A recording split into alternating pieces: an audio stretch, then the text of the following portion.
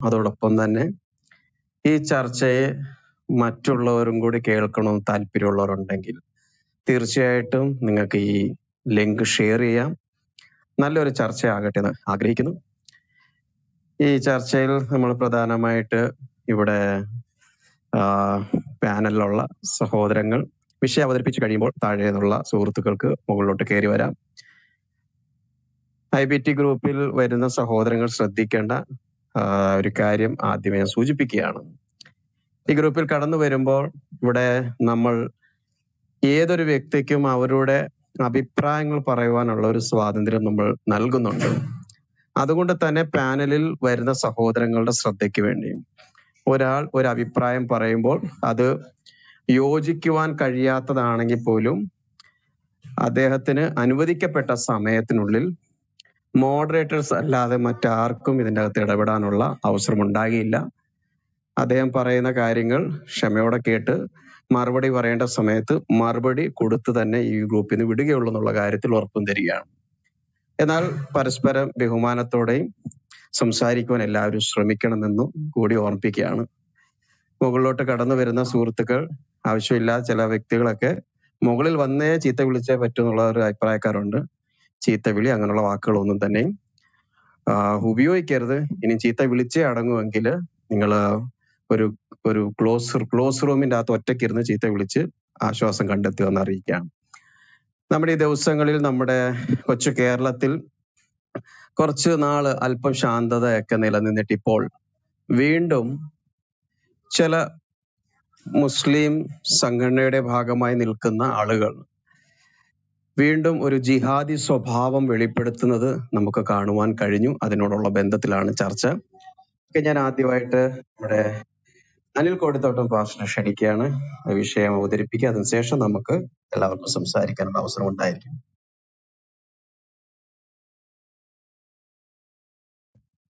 അനിൽ സാറെ കേൾക്കാവോ? കേൾക്കാം കേൾക്കാം.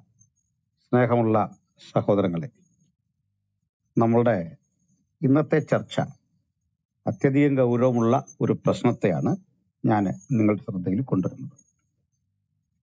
നമ്മുടെ രാജ്യം സ്വാതന്ത്ര്യ ലബ്ധിക്ക് ശേഷം വളരെ വേഗത്തിലാണ് അതിന്റെ എല്ലാത്തരം വികാസ പരിണാമങ്ങളിലും മുന്നേറിയത്. നോക്കി നിൽക്കെ ഇന്ത്യ ആർജിച്ച നേട്ടങ്ങൾ അതിഗംഭീരമാണ്. അതിന് ദീർഘദർശികളായ നെഹ്റു മുതൽ ഇങ്ങോട്ടുള്ള സകല ഭരണാധികാരികളും തങ്ങളുടേതായ കോൺട്രിബ്യൂഷൻ നൽകിയിട്ടുണ്ട് എന്നുള്ളതാണ് സത്യം. അതിലേതെങ്കിലും ഒരു ഭരണാധികാരി മോശമായിരുന്നു എന്ന് പറയത്തക്ക കാരണങ്ങൾ നമ്മുടെ മുമ്പിലില്ല. അങ്ങനെ നമ്മുടെ രാജ്യം കൊണ്ടുവന്ന ഏറ്റവും മഹത്തരമായ ഒരു ചിന്ത എന്നത് ഈ രാജ്യത്ത് ബ്രിട്ടീഷുകാർ ഒഴിയുമോ ഈ രാജ്യം ഏതെങ്കിലും ഒരു മത സംഘത്തിന്റെ സ്വന്തമല്ല. മറിച്ച് ഇന്ത്യ ഇന്ത്യക്കാരുടേതാണ്. ഇന്ത്യൻ ഹിന്ദുവിന്റെതാണ് ഇന്ത്യൻ ക്രിസ്ത്യാനിയുടേതാണ് ഇന്ത്യൻ മുസ്ലിമിന്റെതാണ് ഇന്ത്യൻ നാസ്തികന്റെതാണ്. ആ ഒരു ദേശീയതാ ബോധത്തിൽ അധിഷ്ഠിതമായ ഒരു ഭരണഘടന നമ്മുടെ രാജ്യത്ത് നിലവിൽ വന്നു. എന്നാൽ പിന്നീട് ഇങ്ങോട്ട് നമ്മൾ ഇന്ത്യയിൽ ആ ഭരണഘടനയ്ക്കനുസൃതമല്ലാത്ത പ്രവണതകളും രീതികളും ഒക്കെ കണ്ടു. ഇവിടെ നമുക്ക് താല്പര്യമില്ലെങ്കിൽ രാജ്യം ഭരിക്കുന്ന നരേന്ദ്രമോദി എന്ന ഭരണാധികാരിയെ താഴെ ഇറക്കാൻ കഴിയുന്ന ബാലറ്റ് അധികാരമുള്ള ജനങ്ങളാണ് ഇന്ത്യയിലത്. നമുക്ക് താല്പര്യമുണ്ടെങ്കിൽ അദ്ദേഹത്തെ വീണ്ടും അവിടെ എത്തിക്കാനുമുള്ള ജനകീയ അധികാരം ജനങ്ങളിൽ നിക്ഷിപ്തമാക്കിയ ലോകത്തിലെ തന്നെ ഏറ്റവും വലിയ ജനാധിപത്യ പ്രക്രിയയിലൂടെ തിരഞ്ഞെടുക്കപ്പെടുന്ന ഭരണ സംവിധാനം നമ്മുടെ രാജ്യത്തുണ്ട്. പലപ്പോഴും അമേരിക്കൻ തിരഞ്ഞെടുപ്പുകളെ പോലും വെല്ലുന്ന വിധത്തിൽ നമ്മുടെ തിരഞ്ഞെടുപ്പ് രീതികൾ ലോകം ശ്രദ്ധിക്കപ്പെടുന്ന ഒന്നായി മാറിയിട്ടുണ്ട്. ഇവിടെ നമുക്ക് അതുപോലെ പ്രധാനപ്പെട്ട ഒന്നാണ് ആശയപ്രചരണത്തിനുള്ള സ്വാതന്ത്ര്യം. അത് മതപരമാകാം രാഷ്ട്രീയമാകാം എല്ലാ തരത്തിലുള്ള ആശയങ്ങളും പ്രചരിപ്പിക്കേണ്ടതാണ്. എന്നാൽ ഇവിടെ ഈ രാഷ്ട്രീയക്കാർ ചിലപ്പോഴൊക്കെ മതം എന്തോ കുഴപ്പം പിടിച്ച കാര്യമാണ്. എന്നാൽ അതിലേറെ കൊല നടക്കാറുണ്ട് രാഷ്ട്രീയ വിഷയങ്ങളിൽ എന്നുള്ളതാണ്. അതുകൊണ്ട് മതപരമായ വിഷയങ്ങളിലെ വിയോജിപ്പുകളെ അവർ പലപ്പോഴും അടിച്ചൊതുക്കാനായിട്ട് ശ്രമിക്കുന്നുണ്ട്. അത് തെറ്റൊന്നുമല്ല. ഇനി മതപരമായൊരു വിഷയത്തിൽ ഒരു അഭിപ്രായ പ്രകടനം നടത്തുന്നത് മറ്റൊരു മതവിശ്വാസികൾക്ക് പ്രശ്നമുണ്ടാകുന്നതാണെങ്കിൽ അത് ആവശ്യമില്ലാത്ത കാര്യമാണ്. മാത്രമല്ല ക്രൈസ്തവരെ സംബന്ധിച്ചിടത്തോളം അന്യമത വിദ്വേഷമോ അന്യമത വിമർശനമോ അവരുടെ ലക്ഷ്യമേ അല്ല. ഒരു ഘട്ടത്തിലും അല്ല. ഒറ്റപ്പെട്ട ചില വ്യക്തികൾ ഏതെങ്കിലും രൂപത്തിൽ അന്യമതത്തെ കുറ്റം പറഞ്ഞിട്ടുണ്ടാകാം. പക്ഷേ ക്രൈസ്തവ വിശ്വാസത്തിന്റെ പൊതുവായ നിലനിൽപ്പ് എന്നത് അപരമത വിദ്വേഷമോ അപര വ്യക്തിത്വ ആക്രമണമോ ഒന്നുമല്ലാത്ത തികച്ചും ക്രിസ്തീയ വിശ്വാസ പ്രമാണങ്ങളിൽ അധിഷ്ഠിതമായ ഒന്നാണ്. അവിടെ വിയോജിപ്പുകൾക്ക് സ്ഥാനമുണ്ട്. പക്ഷേ അതിൽ മറ്റൊരു വഴി അതിനായി തിരഞ്ഞെടുക്കുന്ന ശൈലി ക്രിസ്തീയമല്ല. എന്നാൽ നമ്മുടെ രാജ്യത്തെ ഭരണകൂടങ്ങൾ പലപ്പോഴും ഒരു മതത്തോട് കൂടുതൽ പ്രീണനം കാട്ടുന്ന ഒരു സ്ഥിതിവിശേഷം നമ്മുടെ കൺമുമ്പിൽ കാണാറുണ്ട്. അത് പലതായിട്ട് ഇപ്പോൾ വെളിപ്പെട്ടുകൊണ്ടിരിക്കുന്ന ഒരു ഘട്ടമാണ് എന്ന് മനസ്സിലാക്കണം. ഇത്രയും പറയാൻ കാരണം ഇന്നിപ്പോൾ ഞാൻ പാർക്കുന്ന സ്ഥലത്ത് നിന്ന് ഏതാണ്ട് ഒരു പതിനഞ്ച് കിലോമീറ്റർ കഷ്ടി അകലെ ഒരു സ്ഥലമുണ്ട്. കോട്ടാങ്ങൽ എന്നാണ് ആ സ്ഥലത്തിന്റെ പേര്. പത്തനംതിട്ട ജില്ലയുടെ ഒരു ഭാഗമാണ്. അവിടുത്തെ പഞ്ചായത്ത് പ്രസിഡന്റ് എന്റെ ഒരു ബന്ധു കൂടിയാണ് അത് അങ്ങനെ അടുത്ത് പരിചയമുള്ള ഒരു സുഹൃത്താണ്. സി പി എമ്മിന്റെ നേതാവാണ്. അദ്ദേഹം ഭരിക്കുന്നത് അവിടെ എസ് ഡി പിയുടെ രണ്ട് സീറ്റുകളുടെ കൂടി പിൻബലത്തോടു കൂടിയാണ്. അപ്പോൾ ആ സ്ഥലത്ത് ഒരു സ്കൂളിൽ വന്ന കുട്ടികൾക്കെല്ലാം അവരുടെ നെഞ്ചിൽ അവരുടെ ശരീരത്തിലേക്ക് അല്ലെങ്കിൽ അവരുടെ പോക്കറ്റിലേക്ക് അല്ല നെഞ്ചിൽ ഉപദ്രവിച്ചു നടത്തത്തിലല്ല അവർക്ക് പോക്കറ്റിൽ ബാഡ്ജ് കുത്തി.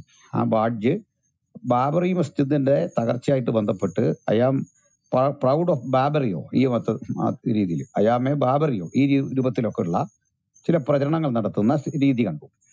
അപ്പോൾ അത് ഒരു വശത്ത് ഈ കുട്ടികൾക്കൊന്നും രാഷ്ട്രീയമില്ല. ആ കുട്ടികൾക്ക് സത്യത്തിൽ കാര്യമായ മതബോധം പോലും ആർജിക്കാൻ പ്രായമായ കുട്ടികളല്ല. അത് ഒരു വിഷയം. ഇതുപോലെ തന്നെ ഇന്ത്യയുടെ പല ഇടങ്ങളിൽ ഇന്നിപ്പോൾ ചിലതരം അവിടെ നടന്നു വന്നുകൊണ്ടിരിക്കുന്ന ചിലതരം അസഹിഷ്ണുത വളരെ വളരെ വല്ലാതാകുന്ന ഒരു സ്ഥിതിയുണ്ട്. നമുക്കറിയാം പതിനൊന്ന് വർഷങ്ങൾക്കപ്പുറത്താണ് സാക്ഷാൽ ജോസഫ് മാഷിനെ ഒരു ക്വസ്റ്റ്യൻ പേപ്പറിന്റെ പേരിൽ അദ്ദേഹത്തിന്റെ ശരീരം അദ്ദേഹത്തിന്റെ കൈ വെട്ടി അദ്ദേഹത്തിന്റെ കാലും കൈയും വെട്ടുന്ന ഒരു പരിസ്ഥിതി സംജാതമായി. ഒടുവിൽ ദുഃഖിതയായ ഭാര്യയ്ക്ക് ആത്മഹത്യ ചെയ്യേണ്ട സ്ഥിതിയിലേക്ക് കാര്യങ്ങൾ പോയതെല്ലാം നമ്മൾ കണ്ടു. നിരാശ നിറഞ്ഞ ഇത്തരം കാഴ്ചപ്പാടുകളുടെയൊക്കെ പിന്നിൽ ഉള്ള പ്രതി ആര് എന്ന് ചോദിച്ചാൽ എപ്പോഴും അവിടെ പ്രതിയായി വരുന്നത് ഒരു ഇസ്ലാമിക തീവ്രവാദി ആയിരിക്കും. എന്നാൽ ഇതേ പ്രശ്നം സി പി എം നടത്താറില്ല? കൊല ഉണ്ട്. രാഷ്ട്രീയ കൊല സി പി എമ്മിലുണ്ട്. ആർ എസ് എസ് കാർ ചെയ്യാറുണ്ട്. അപൂർവമായിട്ട് കോൺഗ്രസ്സുകാർ ചെയ്യാറുണ്ട്. ഈ മുസ്ലിം ലീഗ് ചെയ്യാറുണ്ട്. പക്ഷേ ഈ രാഷ്ട്രീയ കൊലകൾക്കൊക്കെല്ലാം പിന്നിലും മതം ഒരു ചേരുവയല്ല. മതത്തിന്റെ ഒരു ദൂരെ നിന്നുള്ള നിയന്ത്രണമൊക്കെ ഉണ്ടായേക്കാം. പക്ഷേ മതത്തിന് വേണ്ടിയുള്ള കൊല ഇന്ന് നമ്മുടെ രാജ്യത്ത് അതിശക്തമായി നടത്തുന്നു. വിശേഷിച്ച് കേരളം പോലെ നമ്മൾ സ്വാഭാവികമായി സുരക്ഷിതമെന്ന് കരുതുന്ന ഒരു സ്ഥലത്ത് ഈ പ്രവണത അതിന്റെ എല്ലാത്തരം ശക്തിയോടുകൂടി നിർവഹിക്കുന്നതിൽ ജിഹാദി മൂവ്മെന്റുകൾ വഹിക്കുന്ന പങ്ക് വളരെയാണ്. ഈ ജിഹാദി എന്ന പേര് കൊണ്ട് എന്താണ് അർത്ഥമാക്കേണ്ടതെന്നൊരു ചോദ്യം വന്നാൽ ഞാൻ അതിൽ പറയും സംഘടിതമായ സകല മുസ്ലിം സംഘടനകളും ഇത്തരത്തിൽ ജിഹാദികളോ ജിഹാദികളെ പിന്തുണയ്ക്കുന്ന മൂവ്മെന്റുകളോ ആണ്. കാരണം ഇവരാരും ഇന്ന് ഇത്ര നേരമായി ഞാൻ ശ്രദ്ധിക്കായിരുന്നു അവരെ ന്യായീകരിക്കുന്നതല്ലാതെ ഈ ബാഡ്ജ് വിഷയത്തിൽ ഒരു മുസ്ലിം സംഘടനയും ഒന്നും മിണ്ടി കാണുന്നില്ല. ഒരു പ്രതികരണവും പറഞ്ഞു കേൾക്കുന്നില്ല. അതിന്റെ ഒരു ഔദ്യോഗിക ഭാഷ്യം ഇന്ന് നിന്നും വന്നിട്ടില്ല. ഇനി രണ്ടാമത്തെ ഒരു വിഷയത്തിലേക്ക് വരികയാണ്. നമ്മുടെ ഒരു സഹോദരൻ ഞങ്ങൾ രണ്ടാഴ്ച മുമ്പ് നേരിട്ട് കണ്ടിരുന്ന ഒരു ബ്രദറാണ്. മനോജ് എന്നാണ് അദ്ദേഹത്തിന്റെ പേര്. അദ്ദേഹവും ഭാര്യയും മക്കളും യാത്ര ചെയ്ത് വരുന്ന അദ്ദേഹം ഒരു വാഹന ജീവനക്കാരൻ കൂടിയാണ്. K S R T C ജീവനക്കാരൻ കൂടിയാണ്. അദ്ദേഹത്തിന്റെ മക്കളും ഒക്കെ ഒത്തൊരുമിച്ച് വരുന്ന വഴിയിൽ വാഹനം തടഞ്ഞു നിർത്തി K S R T C തടഞ്ഞു നിർത്തി നോക്കണം തടഞ്ഞു നിർത്തിയിട്ട് അദ്ദേഹത്തെ വകവരുത്താനുള്ള ശ്രമം നടത്തി അദ്ദേഹത്തെ വലിച്ചിറക്കി പുറത്തിറക്കിയിട്ട് വടിവാളോങ്ങി കഷ്ടിച്ച് അദ്ദേഹം രക്ഷപ്പെട്ട ഒരു സ്ഥിതിവിശേഷം നമ്മുടെ മുമ്പിലുണ്ട്. പ്രാണൻ നഷ്ടപ്പെട്ടില്ല. ഇത് വളരെ ടാർഗറ്റഡ് ആയിട്ടുള്ള പ്രോഗ്രാമാണ് അവിടെ അങ്ങനെ ഉണ്ടാകേണ്ട അദ്ദേഹം ഏതെങ്കിലും വ്യക്തിപരമായിട്ട് ഇത്തരം മൂവ്മെന്റുകളുടെ ഭാഗമായി നിൽക്കുന്ന ഒരാൾ പോലുമല്ല. അദ്ദേഹത്തിന്റെ കുറ്റം അനിൽകുമാർ അയ്യപ്പന്റെയോ അല്ലെങ്കിൽ എന്റെയോ അതല്ലെങ്കിൽ നമ്മുടെ സെബാസ്റ്റ്യൻ ബ്രദറിന്റെയോ ഈ വീഡിയോകൾ ഷെയർ ചെയ്യുന്നു. ഒപ്പം തന്നെ അദ്ദേഹത്തിന് അദ്ദേഹത്തിന്റെ രാഷ്ട്രീയ വീക്ഷണങ്ങൾ അദ്ദേഹം തുറന്ന് ഫേസ്ബുക്കിൽ പ്ര- പ്രചാരത്തിൽ അതിന് പ്രചരണം കൊടുക്കുന്നു. ഇതാണ്. ഇതൊരു പൗരന് അനുവദനീയമായ കാര്യമാണ് ഈ പറയപ്പെട്ടവയല്ല. അതിനോട് ഏതെങ്കിലും വിധത്തിൽ വിരോധമുണ്ടെങ്കിൽ ചെയ്യേണ്ടിയിരുന്ന കാര്യം അവർ മാറി അതിനൊരു പ്രതിഷേധ ഒരു അവരുടേതായ പ്രതികരണം ഒരു ഫേസ്ബുക്കിലോ അല്ലെങ്കിൽ ഏതെങ്കിലും സാമൂഹ്യ മാധ്യമ സംവിധാനത്തിലൂടെ അറിയിക്കുകയാണ്. എന്നാൽ അതല്ല ഇപ്പോൾ സംഭവിക്കുന്നത്. ഇങ്ങനെ കയ്യേറ്റം ചെയ്യുന്ന ഒരു പരിസ്ഥിതി. ഇവർക്ക് എന്തിന്റെ ബലത്തിലാണ്? ഒരു എം എൽ എ ഇല്ല ഈ പാർട്ടിക്ക് സ്വന്തം എന്നറിയാം. അല്ല അല്ല എങ്കിൽ അങ്ങനെ ഒരു എം പി സ്വന്തം ഇല്ല ഒരു മന്ത്രി സ്വന്തം ഇല്ല. പക്ഷെ ഏത് രാഷ്ട്രീയ കുങ്കാണ് പോലീസിനെ നിർവീര്യമാക്കുന്ന ഏത് മെക്കാനിസമാണ് ഇവരുടെ പക്കലുള്ളത് എന്നത് കേരളത്തിൽ സമാധാനവും സന്തോഷവും ആഗ്രഹിക്കുന്ന സമൂഹത്തിന് പ്രശ്നമാകുന്നു. ഇങ്ങനെ ജിഹാദികളായി തീരാനുള്ള അടിസ്ഥാന കാരണം എന്നത് അവരുടെ പക്കൽ ഇസ്ലാം എന്ന് പറയുന്ന ആ സോപ്പ് കുമ്പള പൊട്ടിയിരിക്കുന്നു എന്നുള്ള ഒരു ഖേദമുണ്ട്. കാരണം നമ്മൾ ഇതുവരെ കേട്ടിരുന്നതും ഇവർ പറഞ്ഞിരുന്നതുമായ കാര്യം ഇസ്ലാം വലിയ സംഭവമാണ്. അതിന്റെ ആദർശങ്ങൾ വലുതാണ്. അത് സൂര്യന് കീഴെയുള്ള സകല മനുഷ്യന്റെ പ്രശ്നങ്ങളിൽ ഇടപെടുന്നു. ഇസ്ലാമിക് ബാങ്കിങ് ഉണ്ട് പലിശരഹിത സംവിധാനങ്ങളുണ്ട് അനാഥരെ കാക്കാൻ പ്രത്യേക സിസ്റ്റമുണ്ട് മറ്റൊരു മതവും പറയാത്തൊരു തൗഹീദുണ്ട്. ഇങ്ങനെ നൂറ് നൂറ് വാചക കസർത്തുകളിലൂടെയാണ് നമ്മൾ കാര്യങ്ങളെ കേട്ടത്. ഇവയെല്ലാം കേവലം ആദർശ വായാടിത്തങ്ങളായിരുന്നെന്നും അതിനപ്പുറത്തേക്ക് കാമ്പും കഴമ്പുമുള്ള ഒരു കാര്യവും ഇസ്ലാമിൽ ഇല്ലെന്നും ഇസ്ലാമിന്റെ എല്ലാത്തരം തത്വസംഹിതകളും പ്ലാഗറിസമാണെന്നും ആ പ്ലാഗറിസത്തിൽ തന്നെ വലിയ ഗതികേടുകൾ അതായത് മറ്റു പല മതങ്ങളിൽ നിന്നും കോപ്പിയടിച്ച വഴിക്ക് ഉണ്ടായി വന്ന സ്കലിതങ്ങൾ പ്രധാനമാണെന്നും ആ സ്കലിതങ്ങളെ അപ്പാടെ ശരിയെന്ന് കരുതി വിശ്വസിക്കുന്നതായ കാര്യങ്ങൾ. അതുകൂടാതെ ഖദീസ് എന്നറിയപ്പെടുന്ന നബിചര്യകളിൽ കാണുന്ന ഏറ്റവും വൃത്തിഹീനമായ കാര്യങ്ങളും ഏർപ്പാടുകളും ഒക്കെ പൊതുജനങ്ങൾ അറിയുകയും അത് ഉപയോഗിച്ചുകൊണ്ട് കരുത്തരായി വരുന്ന സംവാദകരെ വേദികളിൽ വിഷമിപ്പിച്ച് വിയർപ്പിച്ച് ഇനി ഒരിക്കലും വേദിയിലേക്ക് തിരിച്ചു വരാനാവാത്ത അവസ്ഥാവിശേഷം സംഭവിപ്പിച്ച് ക്രൈസ്തവ ചിന്തകന്മാർ തിരിച്ചുവിട്ടിരിക്കുന്നു. ഇതിൽ പ്രകോപിതരായ ഇവർക്ക് മുമ്പിൽ ഇനിയുള്ള വഴി ആശയത്തിന്റെ നേരിയ ഒരു അസ്ത്രം പോലും കയ്യിലില്ലാതിരിക്കെ. ഇനിയുള്ള ഒരേ ഒരു വഴി ആയുധം കയ്യിലെന്തുക എതിർ ശബ്ദങ്ങളെ അടയ്ക്കുക എന്നുള്ളതാണ്. അതിന്റെ ആരംഭപടിയാണ് ദുർബലനായ ഒരു സഹോദരനെ. ചെറുത്ത് നിൽക്കാൻ ത്രാണിയില്ലാത്ത ഒരുത്തനെ.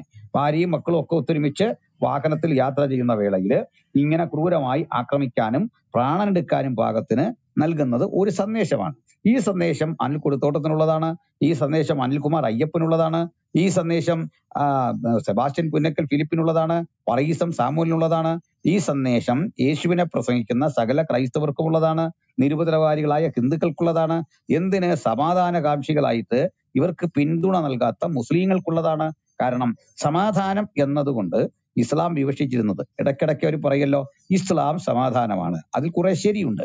ആ ശരി ആ ആരുടെ പക്ഷത്ത് നിന്നാണ് ചിന്തിക്കേണ്ടതെന്നറിയാം. ഇസ്ലാം ഒരു സ്ഥലം വെട്ടി നശിപ്പിച്ച് അവിടെ മുഴുവൻ അധീനതയിൽപ്പെടുത്തുമ്പോൾ ആ വെട്ടിയ ആളുകൾ ആസ്വദിക്കുന്ന ഒരു സമാധാനമുണ്ട്. ആ സമാധാനം എന്താണെന്ന് മനസ്സിലായല്ലോ? ഉദാഹരണം ഉമർ ഒരു ലാൻഡ് കൈയടക്കുക ജെറുസലേം കൈയടക്കുകയാണ്. ജെറുസലേം നിവാസികളെ മുഴുവൻ ചിതറിക്കുന്നു ആ ഭൂപ്രദേശം മുഴുവൻ കാൽക്കീഴിലാക്കുന്നു ഈജിപ്റ്റ് സ്വന്തമാക്കുന്നു അവിടുത്തെ സ്ത്രീകൾ അനാഥരാകുന്നു വിധവമാരാകുന്നു അവരെ പുരുഷന്മാരെ വാളിന്റെ വായ്ത്തലയ്ക്ക് നിഷ്കരണം കൊന്നുകളയുന്നു അവരെ തീ കേൾപ്പിച്ചു കൊടുക്കുന്നു അങ്ങനെ നരകതുല്യമായി അവരെ നശിപ്പിച്ച ശേഷം അവിടെ പിടിച്ചെടുത്തവൻ അനുഭവിക്കുന്ന ആ സുഖത്തെയാണ് ശരിക്ക് സമാധാനം എന്ന് ഇവർ പറയുന്നത്. അല്ലാതെ സമാധാനം ലോകത്തിന് വരുത്തത്തക്ക വിധം ആ മതമോ മാർഗമോ എങ്ങും ഇടപെട്ടിട്ടില്ല. ഇസ്ലാമിൽ ആരെങ്കിലും സമാധാനം ആസ്വദിക്കുന്നുണ്ടെങ്കിൽ അത് ഭരണവർഗങ്ങളാണ്. അവിടുത്തെ അല്ലെങ്കിൽ അതേ സമൂഹത്തിൽപ്പെട്ട അതിസാധാരണക്കാരുടെ അവസ്ഥ പോലും അതിഭീകരമാണ് എന്ന് മനസ്സിലാക്കിയിരിക്കണം. അതുകൊണ്ട് ഇസ്ലാം സമാധാനം എന്നതിനെ തീരെ നിരസിക്കാനാവില്ല. ഒരു സമാധാനം അവിടെയുണ്ട്. ആ സമാധാനം ഇവരുടെ മത നേതാക്കന്മാരും ഭരണകൂടവും ഒക്കെ മറ്റുള്ളവരെ ഉന്മൂലനം ചെയ്തും കൊള്ളയടിച്ചും സുഖിമാന്മാരായി അവരുടെ സമ്പത്തും ഐശ്വര്യവും അവരുടെ സ്ത്രീകളെയും സ്വന്തമാക്കി വളരെ മോശപ്പെട്ട ഒരു ജീവിതചര്യ ഭൂമിയിൽ ചെയ്യുമ്പോൾ അവരോട് ആരും ചോദിക്കാനില്ല അവരെ ആരും ആക്രമിക്കാനില്ല. ആ ഹുങ്കാണ് സമാധാനം എന്ന് പറഞ്ഞ് പ്രചരിപ്പിക്കുന്നത്. അല്ല എങ്കിൽ ഇസ്ലാമിക രാജ്യങ്ങളിൽ ഉണ്ടായിരിക്കുന്ന ദിമ്മികളുടെ അവസ്ഥ ദിമ്മികൾ എന്ന് പറഞ്ഞാൽ ആശ്രിത പ്രജകൾ മറ്റു മതത്തിൽപ്പെട്ടവരെ ആശ്രിത പ്രജകളായി കണ്ടാണ് ഇസ്ലാം ട്രീറ്റ് ചെയ്യുന്നത്. ജസിയ എന്ന കനത്ത നികുതി അവർ പിരിച്ചെടുക്കുന്നു. ഇത് പിരിച്ചെടുത്ത ശേഷം ഇവരുടെ വീടുകൾക്കടുത്ത് അവരെക്കാൾ തല ഉയർത്തി നമുക്ക് വീട് വെക്കാൻ പറ്റില്ല.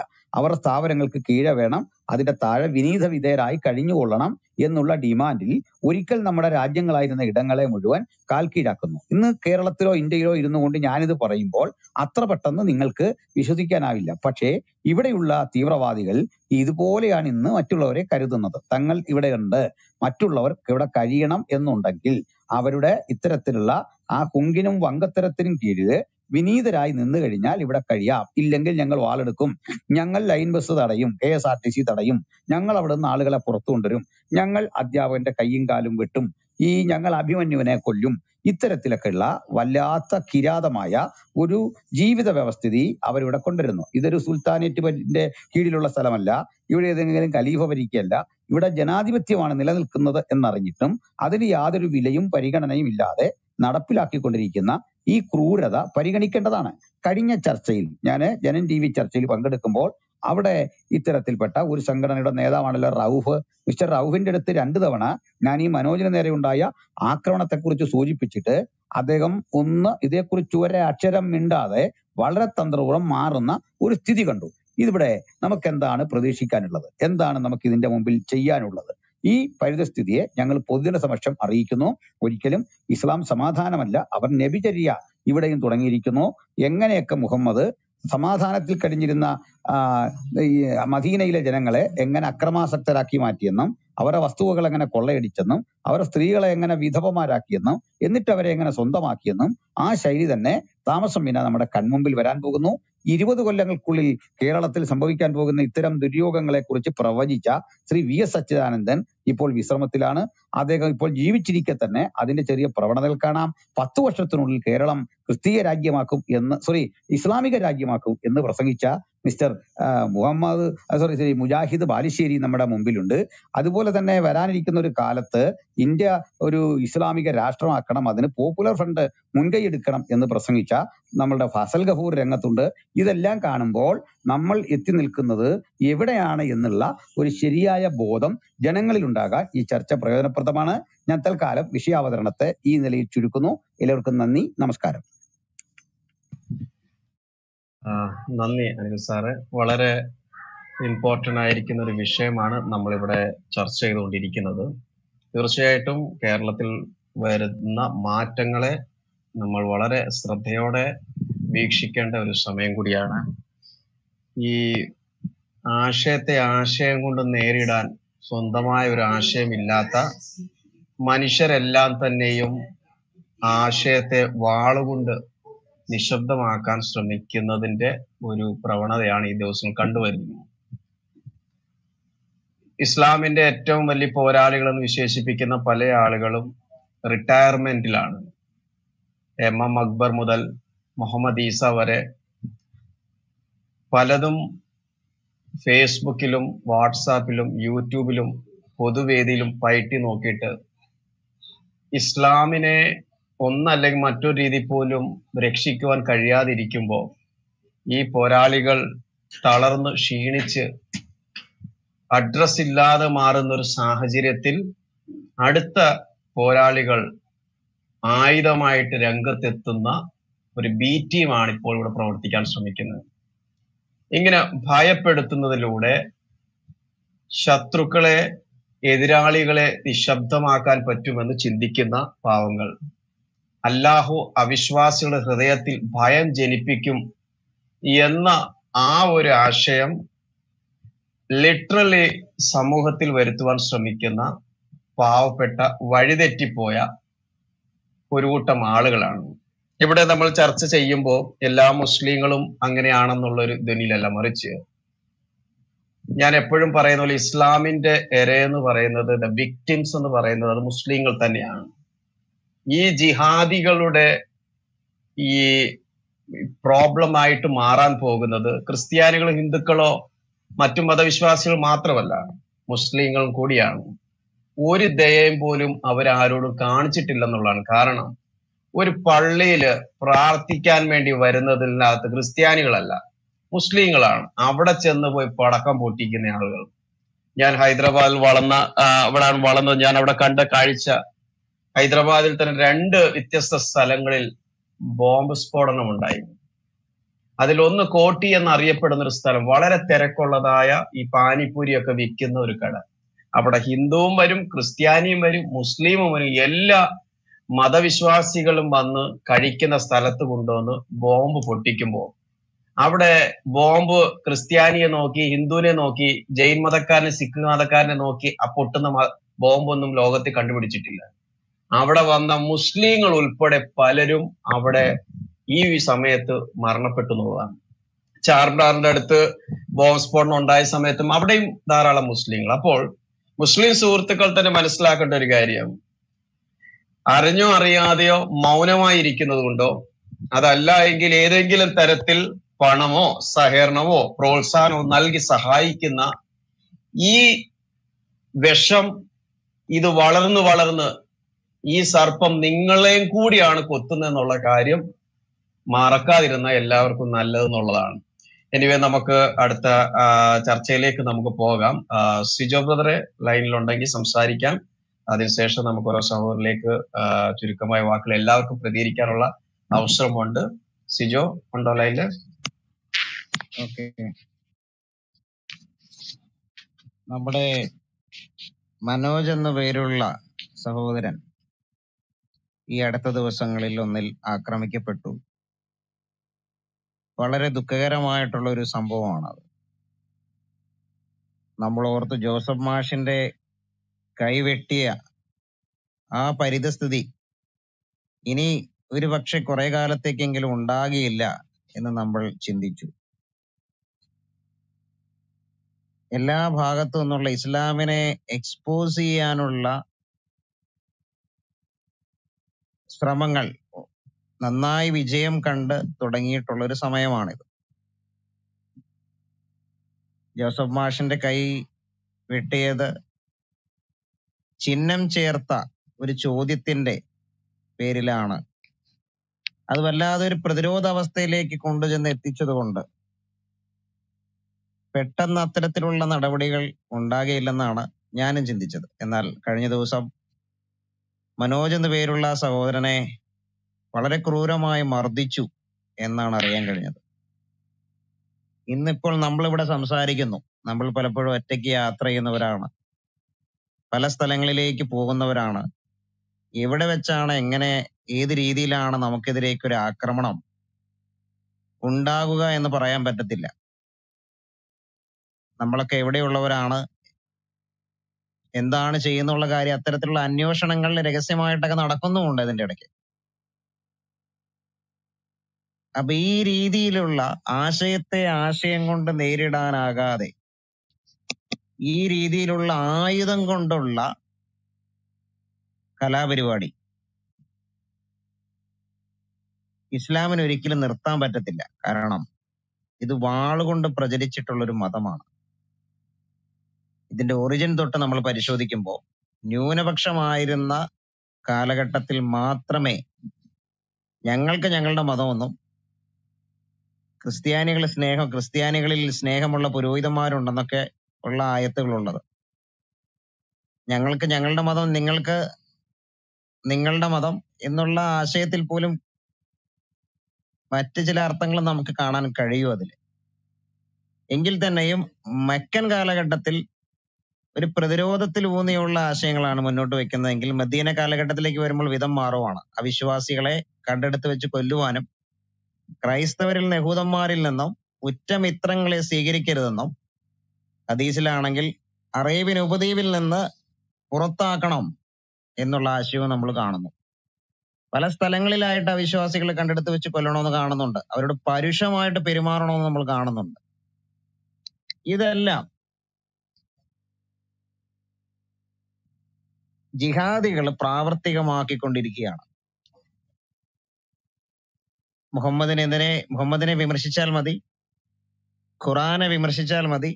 അതെങ്കിൽ അല്ലെങ്കിൽ ഏതെങ്കിലും തരത്തിൽ ആശയപരമായിട്ടുള്ള ഒരു വിമർശനം ഇസ്ലാമിന് നേരെ ഉണ്ടായാൽ മതി.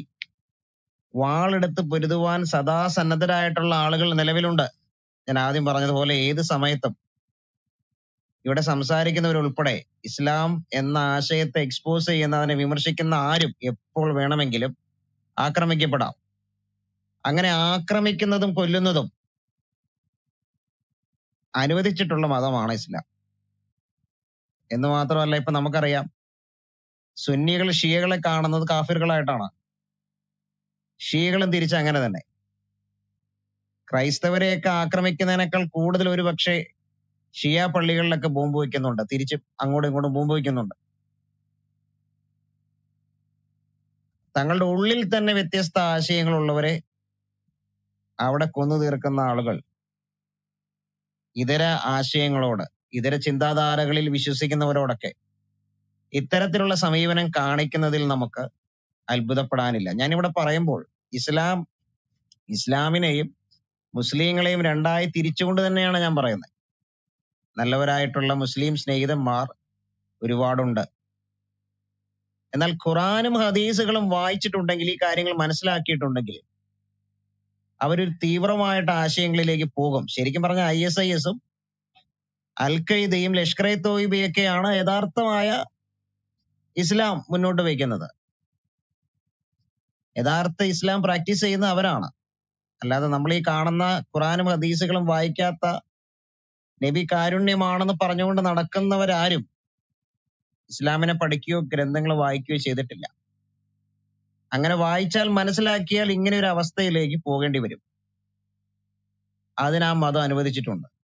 ഇനി പൊട്ടിത്തെറിച്ച് മുകളിലെത്തിയാൽ കാത്തിരിക്കുന്നത് വലിയ അവാർഡുകളാണ്. മദ്യം ഒഴുകുന്ന നദികൾ പാലൊഴുകുന്ന നദികൾ വെള്ളം ഒഴുകുന്ന നദികൾ കൂറികൾ ഇസ്ലാമിന്റെ സ്വർഗം ഒരിക്കലും ഒരു സംവാദത്തിൽ ചില ഇവിടെ നിലവിൽ ദാവാരംഗത്ത് സജീവമായി പ്രവർത്തിക്കുന്ന മുസ്ലിം സഹോദരങ്ങളുമായിട്ട് ഞാൻ ഒരു സംവാദം നടത്തി.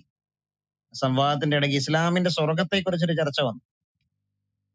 അപ്പൊ ആ ചർച്ചയിൽ നമ്മളെല്ലാവരും പരലോകത്തിന് വേണ്ടിയല്ലേ സജോ നമ്മൾ പറയുന്നേ?